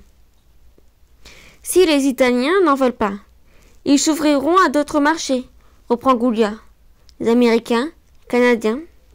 Le monde est grand. Il a besoin de cheveux. Les rajouts, les extensions, les perruques sont un secteur en pleine expansion. Il faut prendre la vague au lieu de se laisser submerger. Francesca n'épargne à Goulia ni ses doutes ni sa défiance. Elle ne mâche pas ses mots. La grande sœur. Comment compte-t-elle s'y prendre? Elle qui n'a jamais quitté l'Italie, n'a même jamais pris l'avion. Elle dont l'horizon s'arrête au contour de la baie de Palerme, Comment parviendra-t-elle à ce tour de force, ce miracle?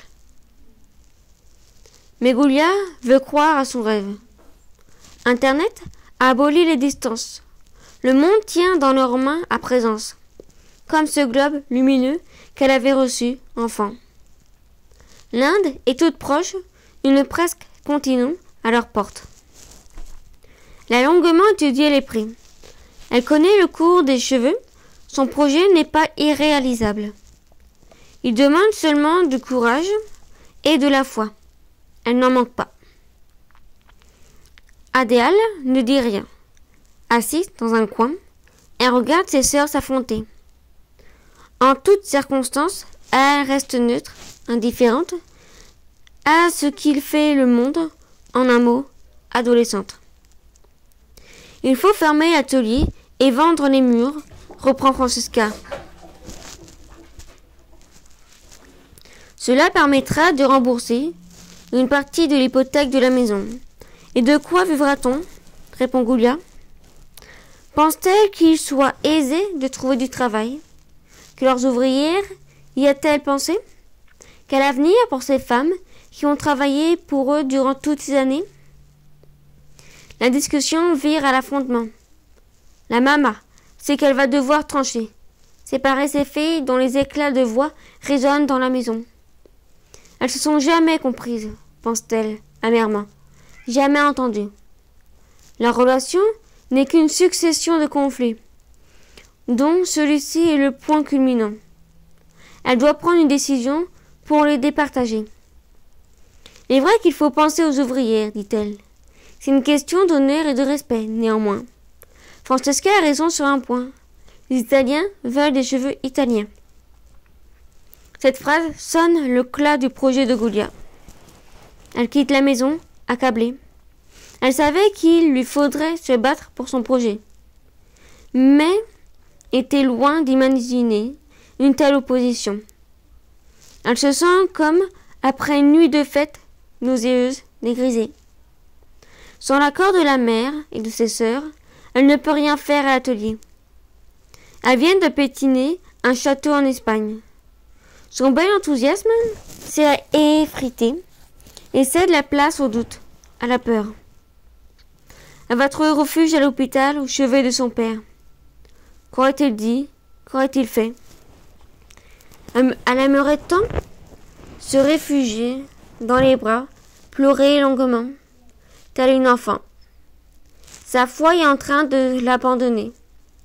Elle ne sait plus ce qu'elle devrait faire, persévérer dans ce projet ou l'enterrer, le brûler sur l'autel de la raison, au nom de ces traditions qui meurent lentement. Elle est abattue, épuisée, si lasse de ses nuits sans sommeil, qu'elle pourrait dormir là, sur le lit, près du papa. Dormir s'entendre comme lui, voilà ce qu'elle voudrait. Julia ferme les yeux. Elle se retrouve soudain là-haut sur le toit dans le laboratoire. Son père est là, assis devant la mer comme autrefois. Il n'a pas l'air de souffrir, il semble serein, apaisé. Il lui sourit comme s'il l'attendait. Goulia vient s'asseoir près de lui. Elle lui dit des tourments, son chagrin, le sentiment d'impuissance qui l'étreint. Elle lui dit qu'elle est désolée pour l'atelier.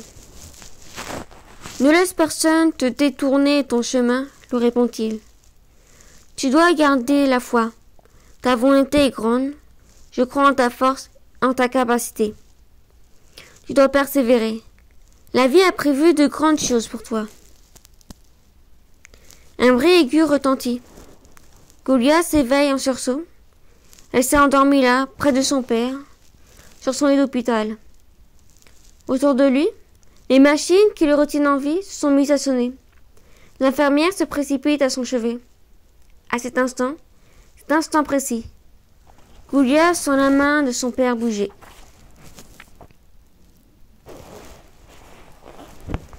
Smita, temple de Tirapati, Andhra Pradesh, Inde. L'aube se lève sur la montagne de Tiramula. Smita et Lalita ont rejoint la queue des pèlerins devant l'entrée du temple. Un enfant s'avance et leur tend des ladus, ces pâtisseries rondes préparées à base de fruits secs et de lait concentré. Leur poids et leur composition sont codifiés. La recette a été dictée par le dieu lui-même, précise-t-il. Elles sont cuisinées à l'intérieur du temple par les Achaka, ces prêtres de père en fils qui les offrent aux pèlerins. En consommer fait partie intégrante du processus de purification. Smita remercie Dieu pour ce repas providentiel. Ragaillardi par ces quelques heures de sommeil et le goût sucré de la douce, elle se à tous les sacrifices. Elle n'a pas encore dit à Lalita ce qui les attend à l'intérieur. Si les plus riches déposent des offrandes, des vivres et des fleurs, des bijoux d'or et des pierres précieuses, les plus pauvres offrent à l'ordre Vankateswara le seul bien qu'ils possèdent, leurs cheveux. C'est une tradition ancestrale millénaire Faire don de ses cheveux, c'est renoncer à toute forme d'ego, accepter de se présenter à Dieu dans son apparence la plus humble, la plus nue. Après avoir pénétré dans le temple, Smita et Lalita s'engagent dans les couloirs grillagés où des milliers de Dali patientent des jours durant. L'attente est longue, jusqu'à quarante-huit heures, précise un homme, assis par terre à l'entrée. Les plus fortunés peuvent acheter un ticket pour passer plus vite. Des familles entières dorment là pour ne pas perdre leur tour. Après des heures interminables, passées en ces cages de fortune, elle débouche enfin dans le Kalyanakata, un gigantesque bâtiment de quatre étages qui s'active des centaines de barbiers. Une véritable fourmilière fonctionnant jour et nuit. Le plus grand salon de coiffure du monde, dit-on ici.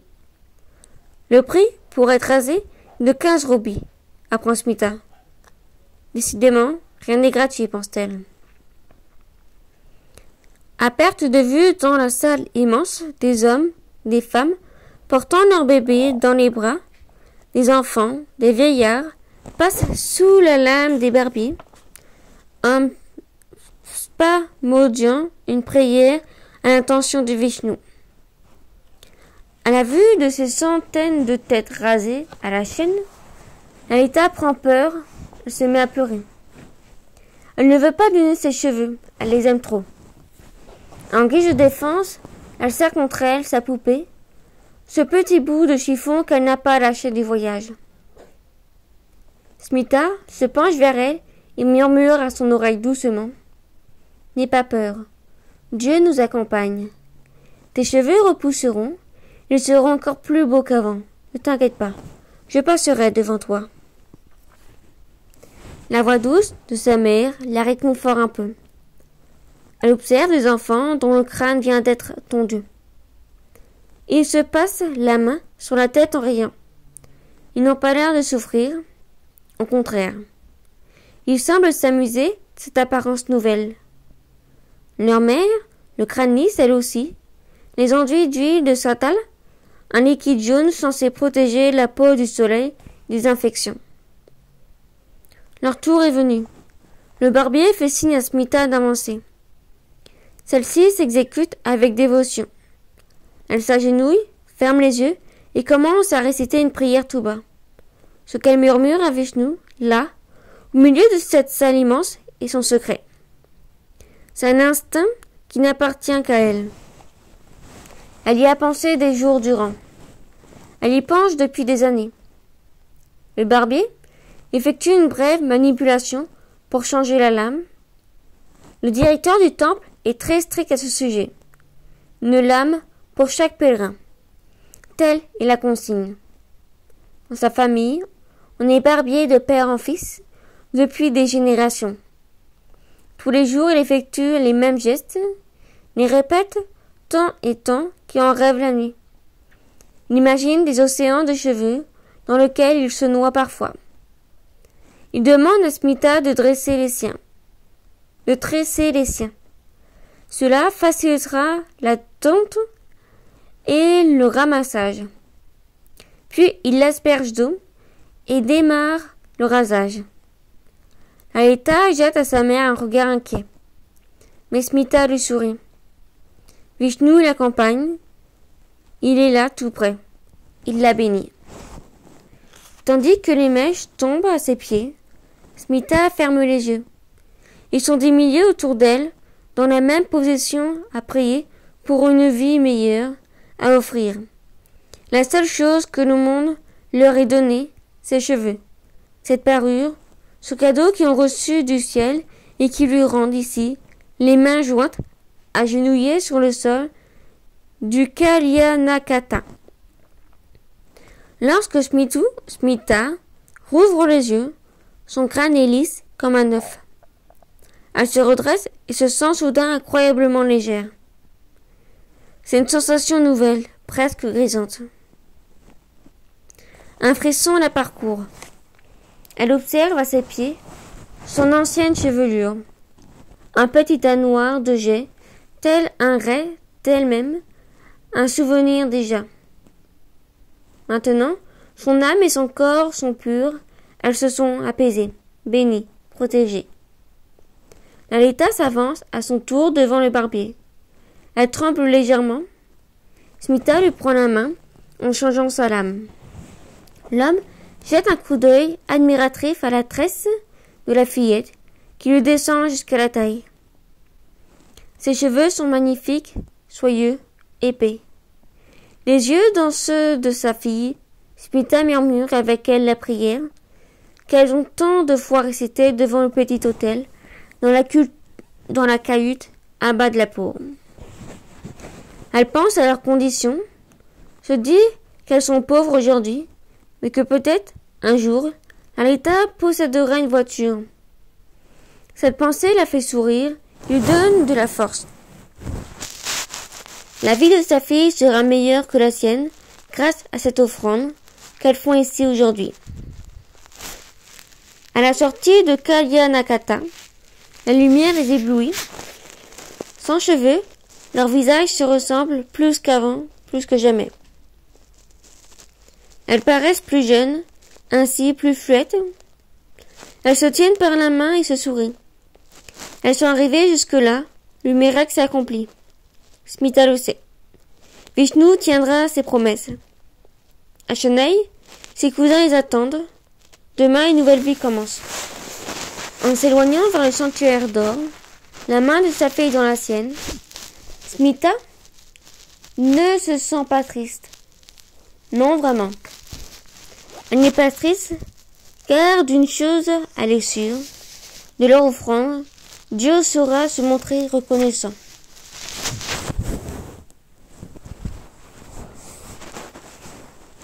Julia, Palem, Sicile.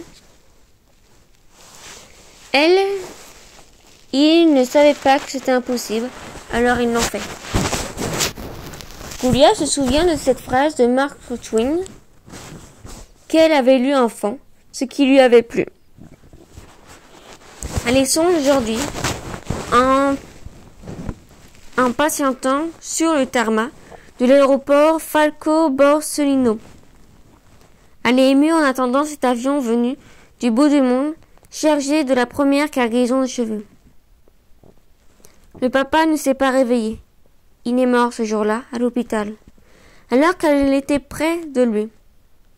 Après ce rêve étrange, dont elle se souviendra toute sa vie, au moment de partir, il a serré sa main, comme pour le dire adieu.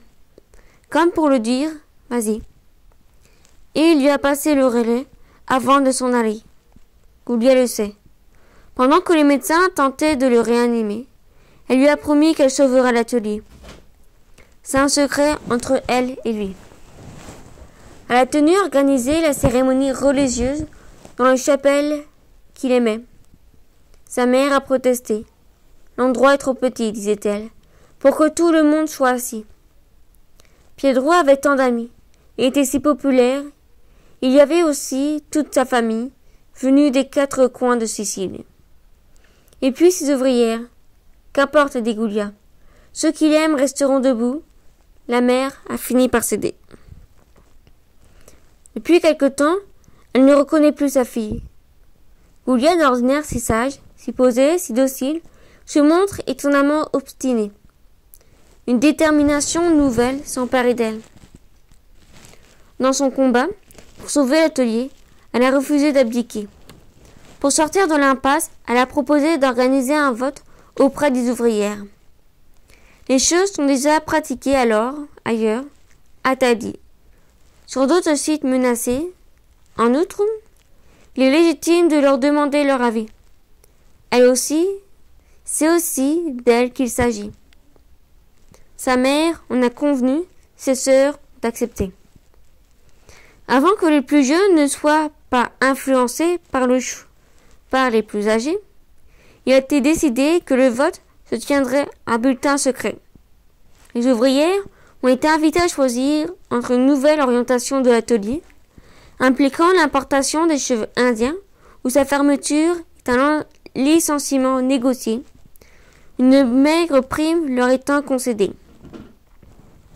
Bien sûr, la première solution comporte des risques.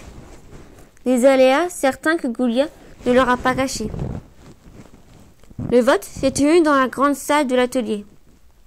La maman était présente, ainsi que Francesca et Adola. C'est Goulia qui a procédé au dépouillement. D'une main tremblante, elle a ouvert chacun des papiers, jetés dans le chapeau du papa.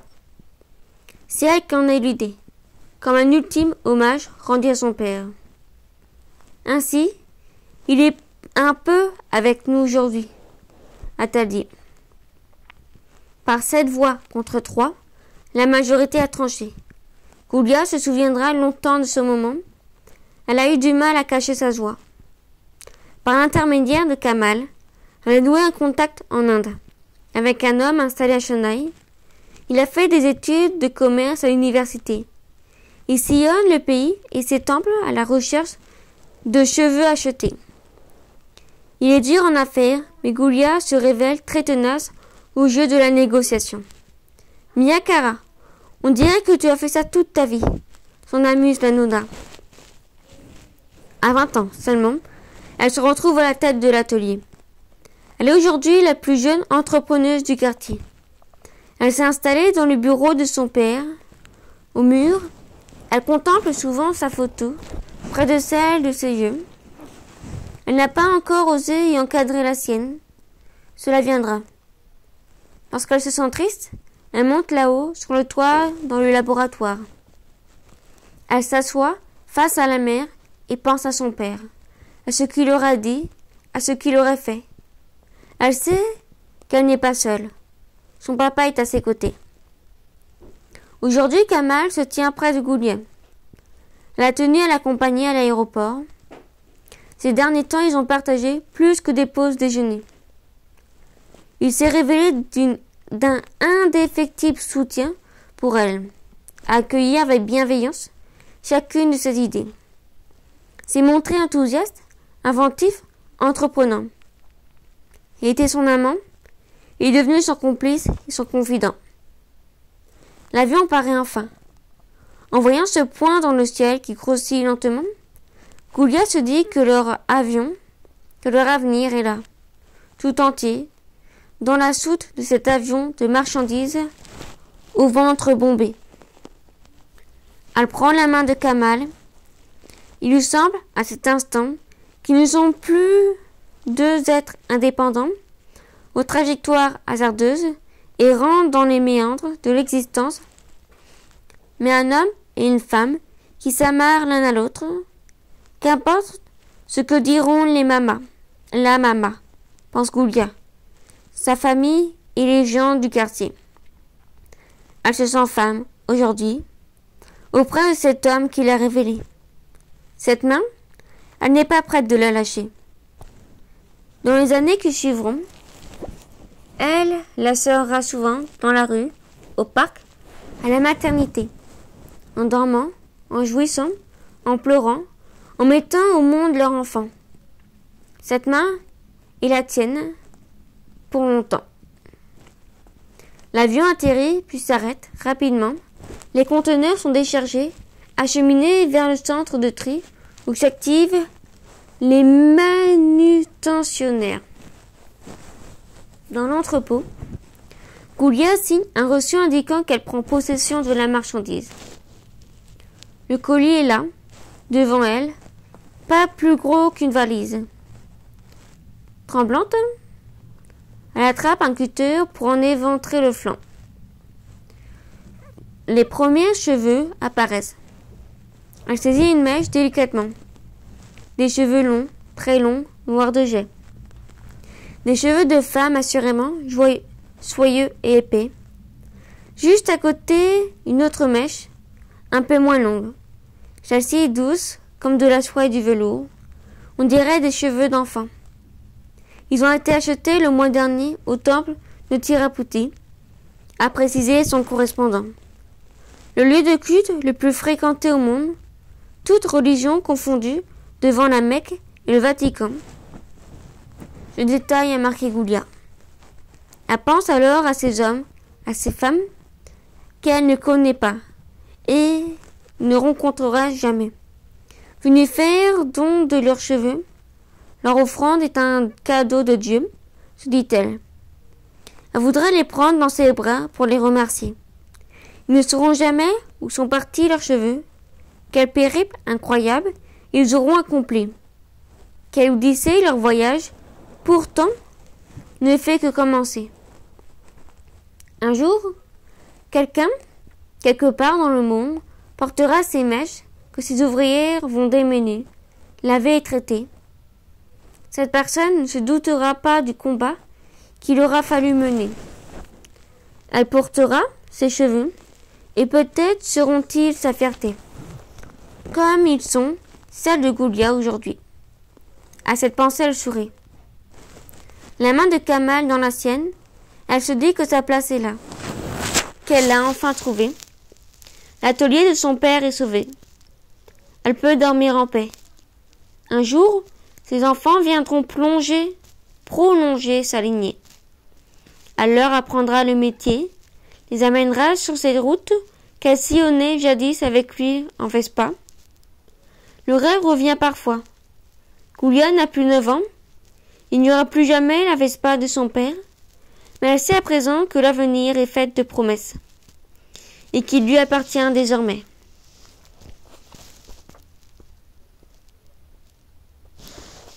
Sarah, Montréal, Canada. Sarah marche dans les rues enneigées. En ce début du mois de février, les températures sont polaires, mais elle, elle bénit l'hiver. Il est son alibi. Grâce à lui, son bonnet de fond dans la foule, des padottes coiffées comme elle pour affronter le froid. Elle croise un groupe d'écoliers se tenant par la main. Parmi eux, une fillette porte le même bonnet. Elle lui jette un regard complice et amusé. Sarah poursuit son chemin. Dans la poche de son manteau, elle tient la petite carte donnée pour cette femme rencontrée à l'hôpital, quelques semaines plus tôt. Elle était assise dans la même salle pour recevoir leur traitement. Elles avaient engagé la conversation, naturellement, telles deux clientes à la terrasse d'un café. Elles étaient restées ainsi à parler toute l'après-midi. La discussion avait rapidement pris un tour intime, comme si la maladie les rapprochait, tissait un fil invisible entre elles. Sarah avait lu de nombreux témoignages sur Internet, sur des forums et des blogs qui lui donnaient parfois l'impression de faire partie d'un club, d'un groupe de personnes averties. Celles qui savent, qui ont traversé ça. Il y avait des anciens combattants, les jadis, qui n'en étaient pas à leur première guerre. La nouveauté entrait dans la maladie, les pétowants, cela, tel. Sarah avait tout à apprendre. Ce jour-là, cette femme à l'hôpital, une jeudi, sans aucun doute, qui avait dû mener plus d'un combat, même si elle restait impudique sur sa maladie, avait évoqué ce magasin de chevelure d'appoint. Selon l'expression consacrée au personnel comportant et discret. Elle avait donné à Sarah la carte du salon, à utiliser le moment venu. Dans la lutte pour la guérison, il ne fallait pas négliger l'estime de soi, disait-elle. L'image que vous renvoie le miroir doit être votre allié non votre ennemi, avait-elle conclu d'un air avisé. Sarah avait rangé la carte. Il n'y avait plus pensé. Elle avait tenté de retarder l'échéance, mais la réalité l'avait rattrapée. Le moment venu est arrivé. Sarah marche vers le salon, dans les rues enneigées. Elle aurait pu prendre un taxi, mais elle a choisi de marcher. C'est comme un pèlerinage, un trajet qu'elle doit faire à pied, tel un rite de passage. Aller là-bas, cela veut dire beaucoup, cela signifie accepter enfin la maladie, ne plus la rejeter, ne plus la nier, la regarder en face telle qu'elle est. Pas comme une punition, une fatalité, une malédiction à laquelle il faudra se soumettre, mais plutôt comme un fait, un événement de sa vie, une épreuve affrontée. Tandis qu'elle se rapproche du salon, Sarah est prise curieuse impression. Ce n'est pas un sentiment de déjà-vu, ni une prémonition, non. C'est une sensation plus profonde, diffuse dans sa pensée, et tout son être, comme si ce chemin, étrangement, l'avait déjà fait. C'est pourtant la première fois qu'elle s'aventure dans ce quartier, sans qu'elle puisse l'expliquer. Il semble que quelque chose l'attend là-bas. Elle, qu'elle y a rendez-vous depuis longtemps déjà. Elle pousse la porte du salon. Une femme élégante l'accueille poliment et la conduit dans un couloir jusqu'à une petite pièce meublée d'un fauteuil et d'un miroir. Sarah enlève son manteau, pose son sac. Elle marque un temps avant de retirer son bonnet. La femme l'observe un instant sans parler. Je vais vous montrer nos modèles. Avez-vous une idée de ce que vous recherchez? Le ton de sa voix n'est ni obséquieux, ni compatissant. Il est juste sans fériature. Instantanément, Sarah se sent en confiance. La femme sait de quoi elle parle, assurément. Elle a dû rencontrer des dizaines, des centaines de femmes dans son cas. Elle doit en voir toute la journée. Pourtant, cet instant, Sarah a l'impression d'être unique, du moins d'être traitée comme elle. Ne pas traumatiser, ne pas banaliser, c'est tout un art que la femme exerce avec délicatesse. Devant sa question, Sarah est embarrassée. Elle ne sait pas. Elle n'a pas réfléchi. Elle voudrait quelque chose de vivant, naturel, qui lui ressemble en fait. C'est un peu bête, se dit-elle. Comment des cheveux qui lui sont tout à fait étrangers pourraient-ils lui aller? Épouser son visage, sa personnalité La femme s'éclipse un moment. Elle revient avec des cartons en forme de boîte à chapeau. De la première, elle sort une perruque Auburn. Synthétique, précise-t-elle, fabriquée au Japon. Elle la secoue vigoureusement, tête en bas. Dans les boîtes, elles prennent parfois des faux plis. Il faut leur redonner forme humaine, se dit-elle. Sarah l'essaye, peu convaincue. Elle ne se reconnaît pas sous cet amas de cheveux épais. Ce n'est pas là.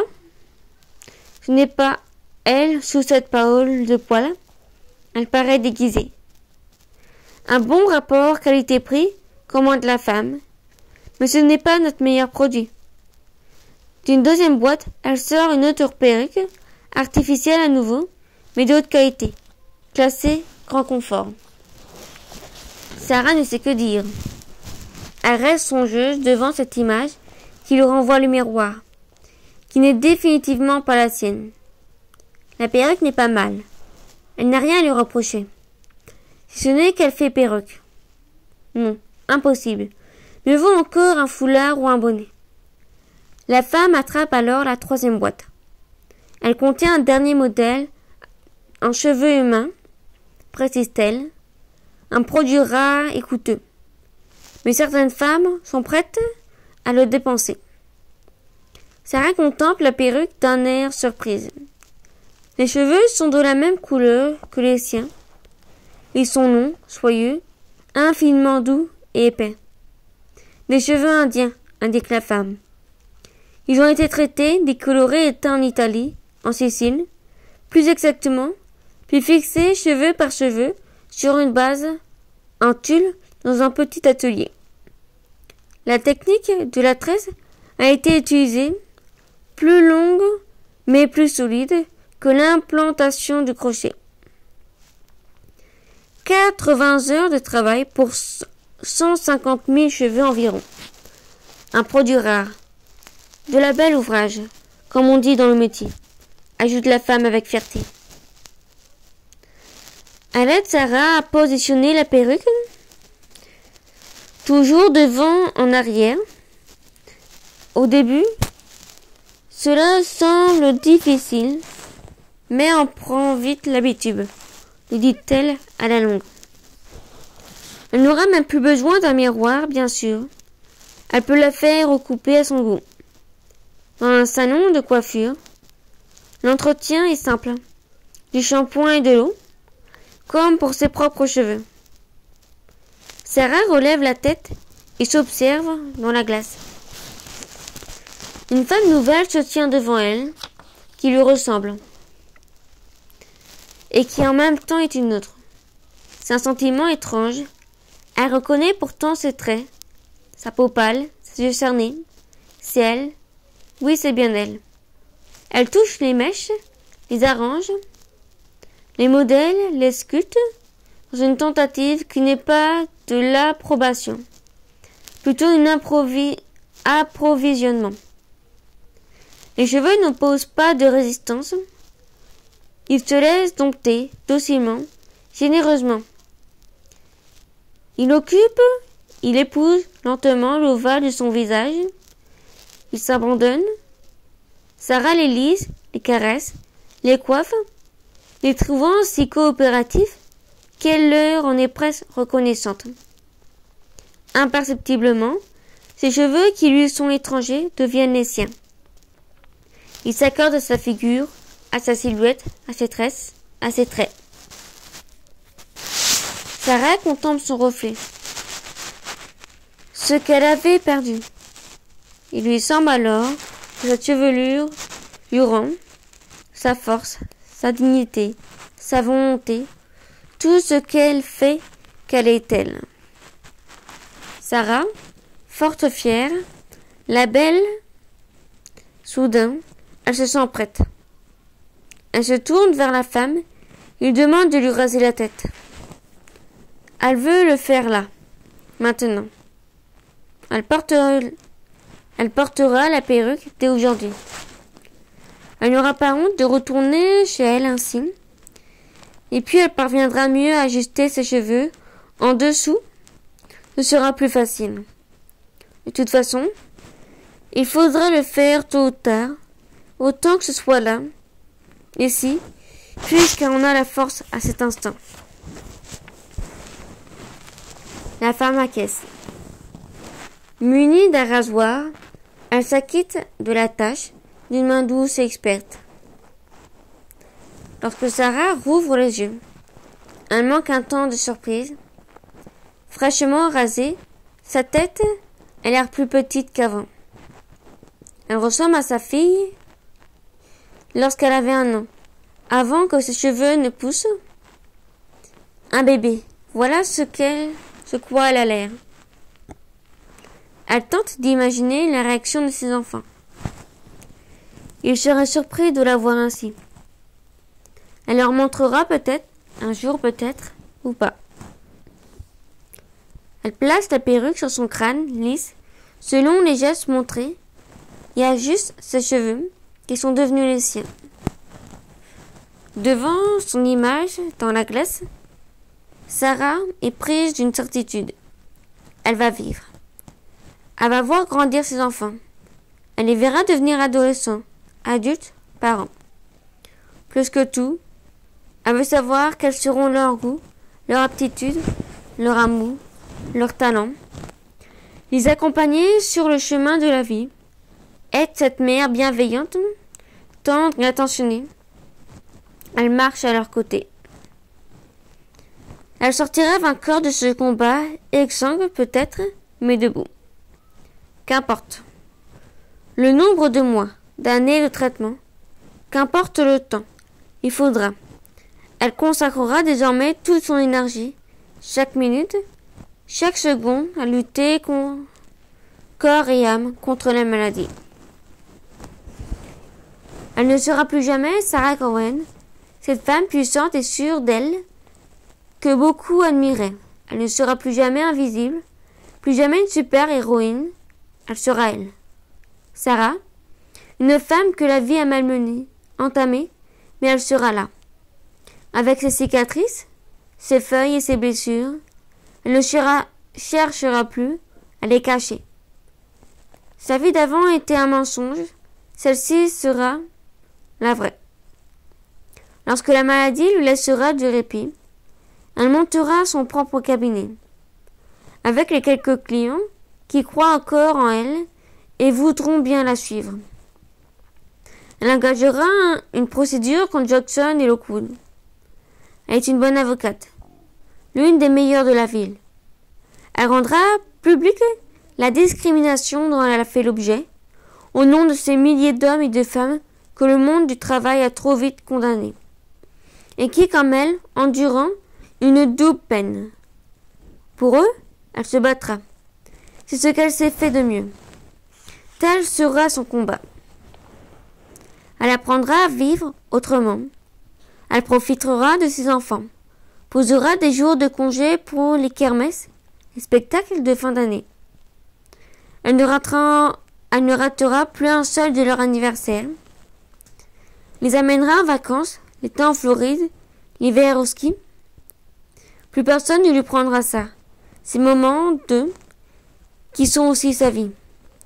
Il n'y aura plus de murs, plus jamais de mensonges. Elle ne sera plus jamais une femme coupée en deux. En attendant, il faut lutter contre la maladie. Avec des armes que la nature a bien voulu lui donner. Son courage, sa force, sa détermination, son intelligence, aussi sa famille, ses enfants, ses amis, et puis les médecins, les infirmières, les oncologues, les radiologues, les pharmaciens qui se battent chaque jour pour elle à ses côtés.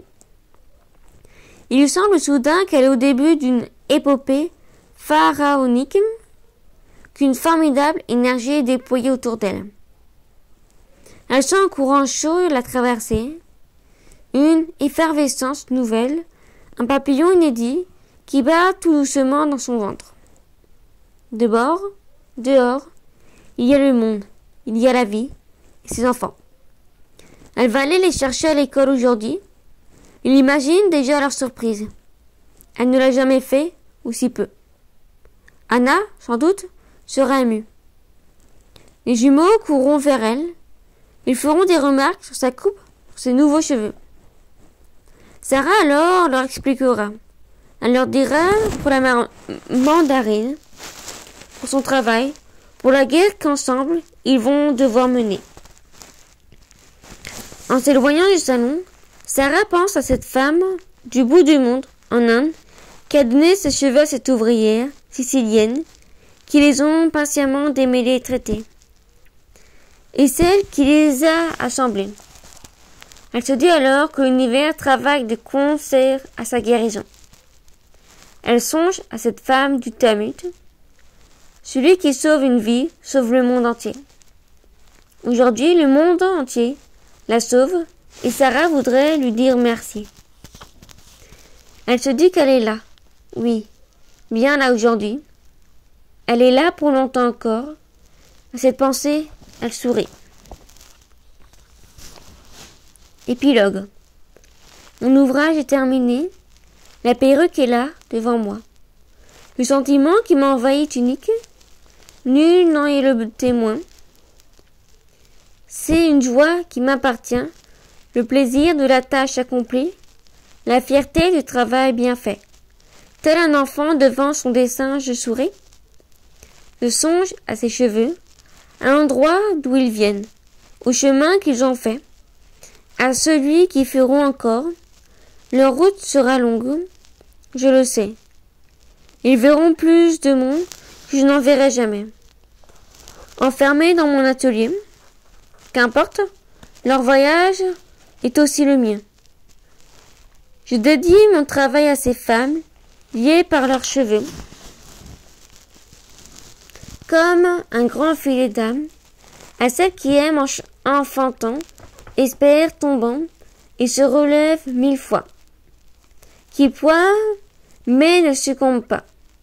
Je connais leurs combats, je partage leurs larmes et leurs joies. Chacune d'elles y a un peu moi. Je n'en suis qu'un lien, un trait d'union dérisoire qui se tient. À l'intersection de leur vie, un fil tenu qui les relie, aussi fin que cheveux, invisible au monde et aux yeux.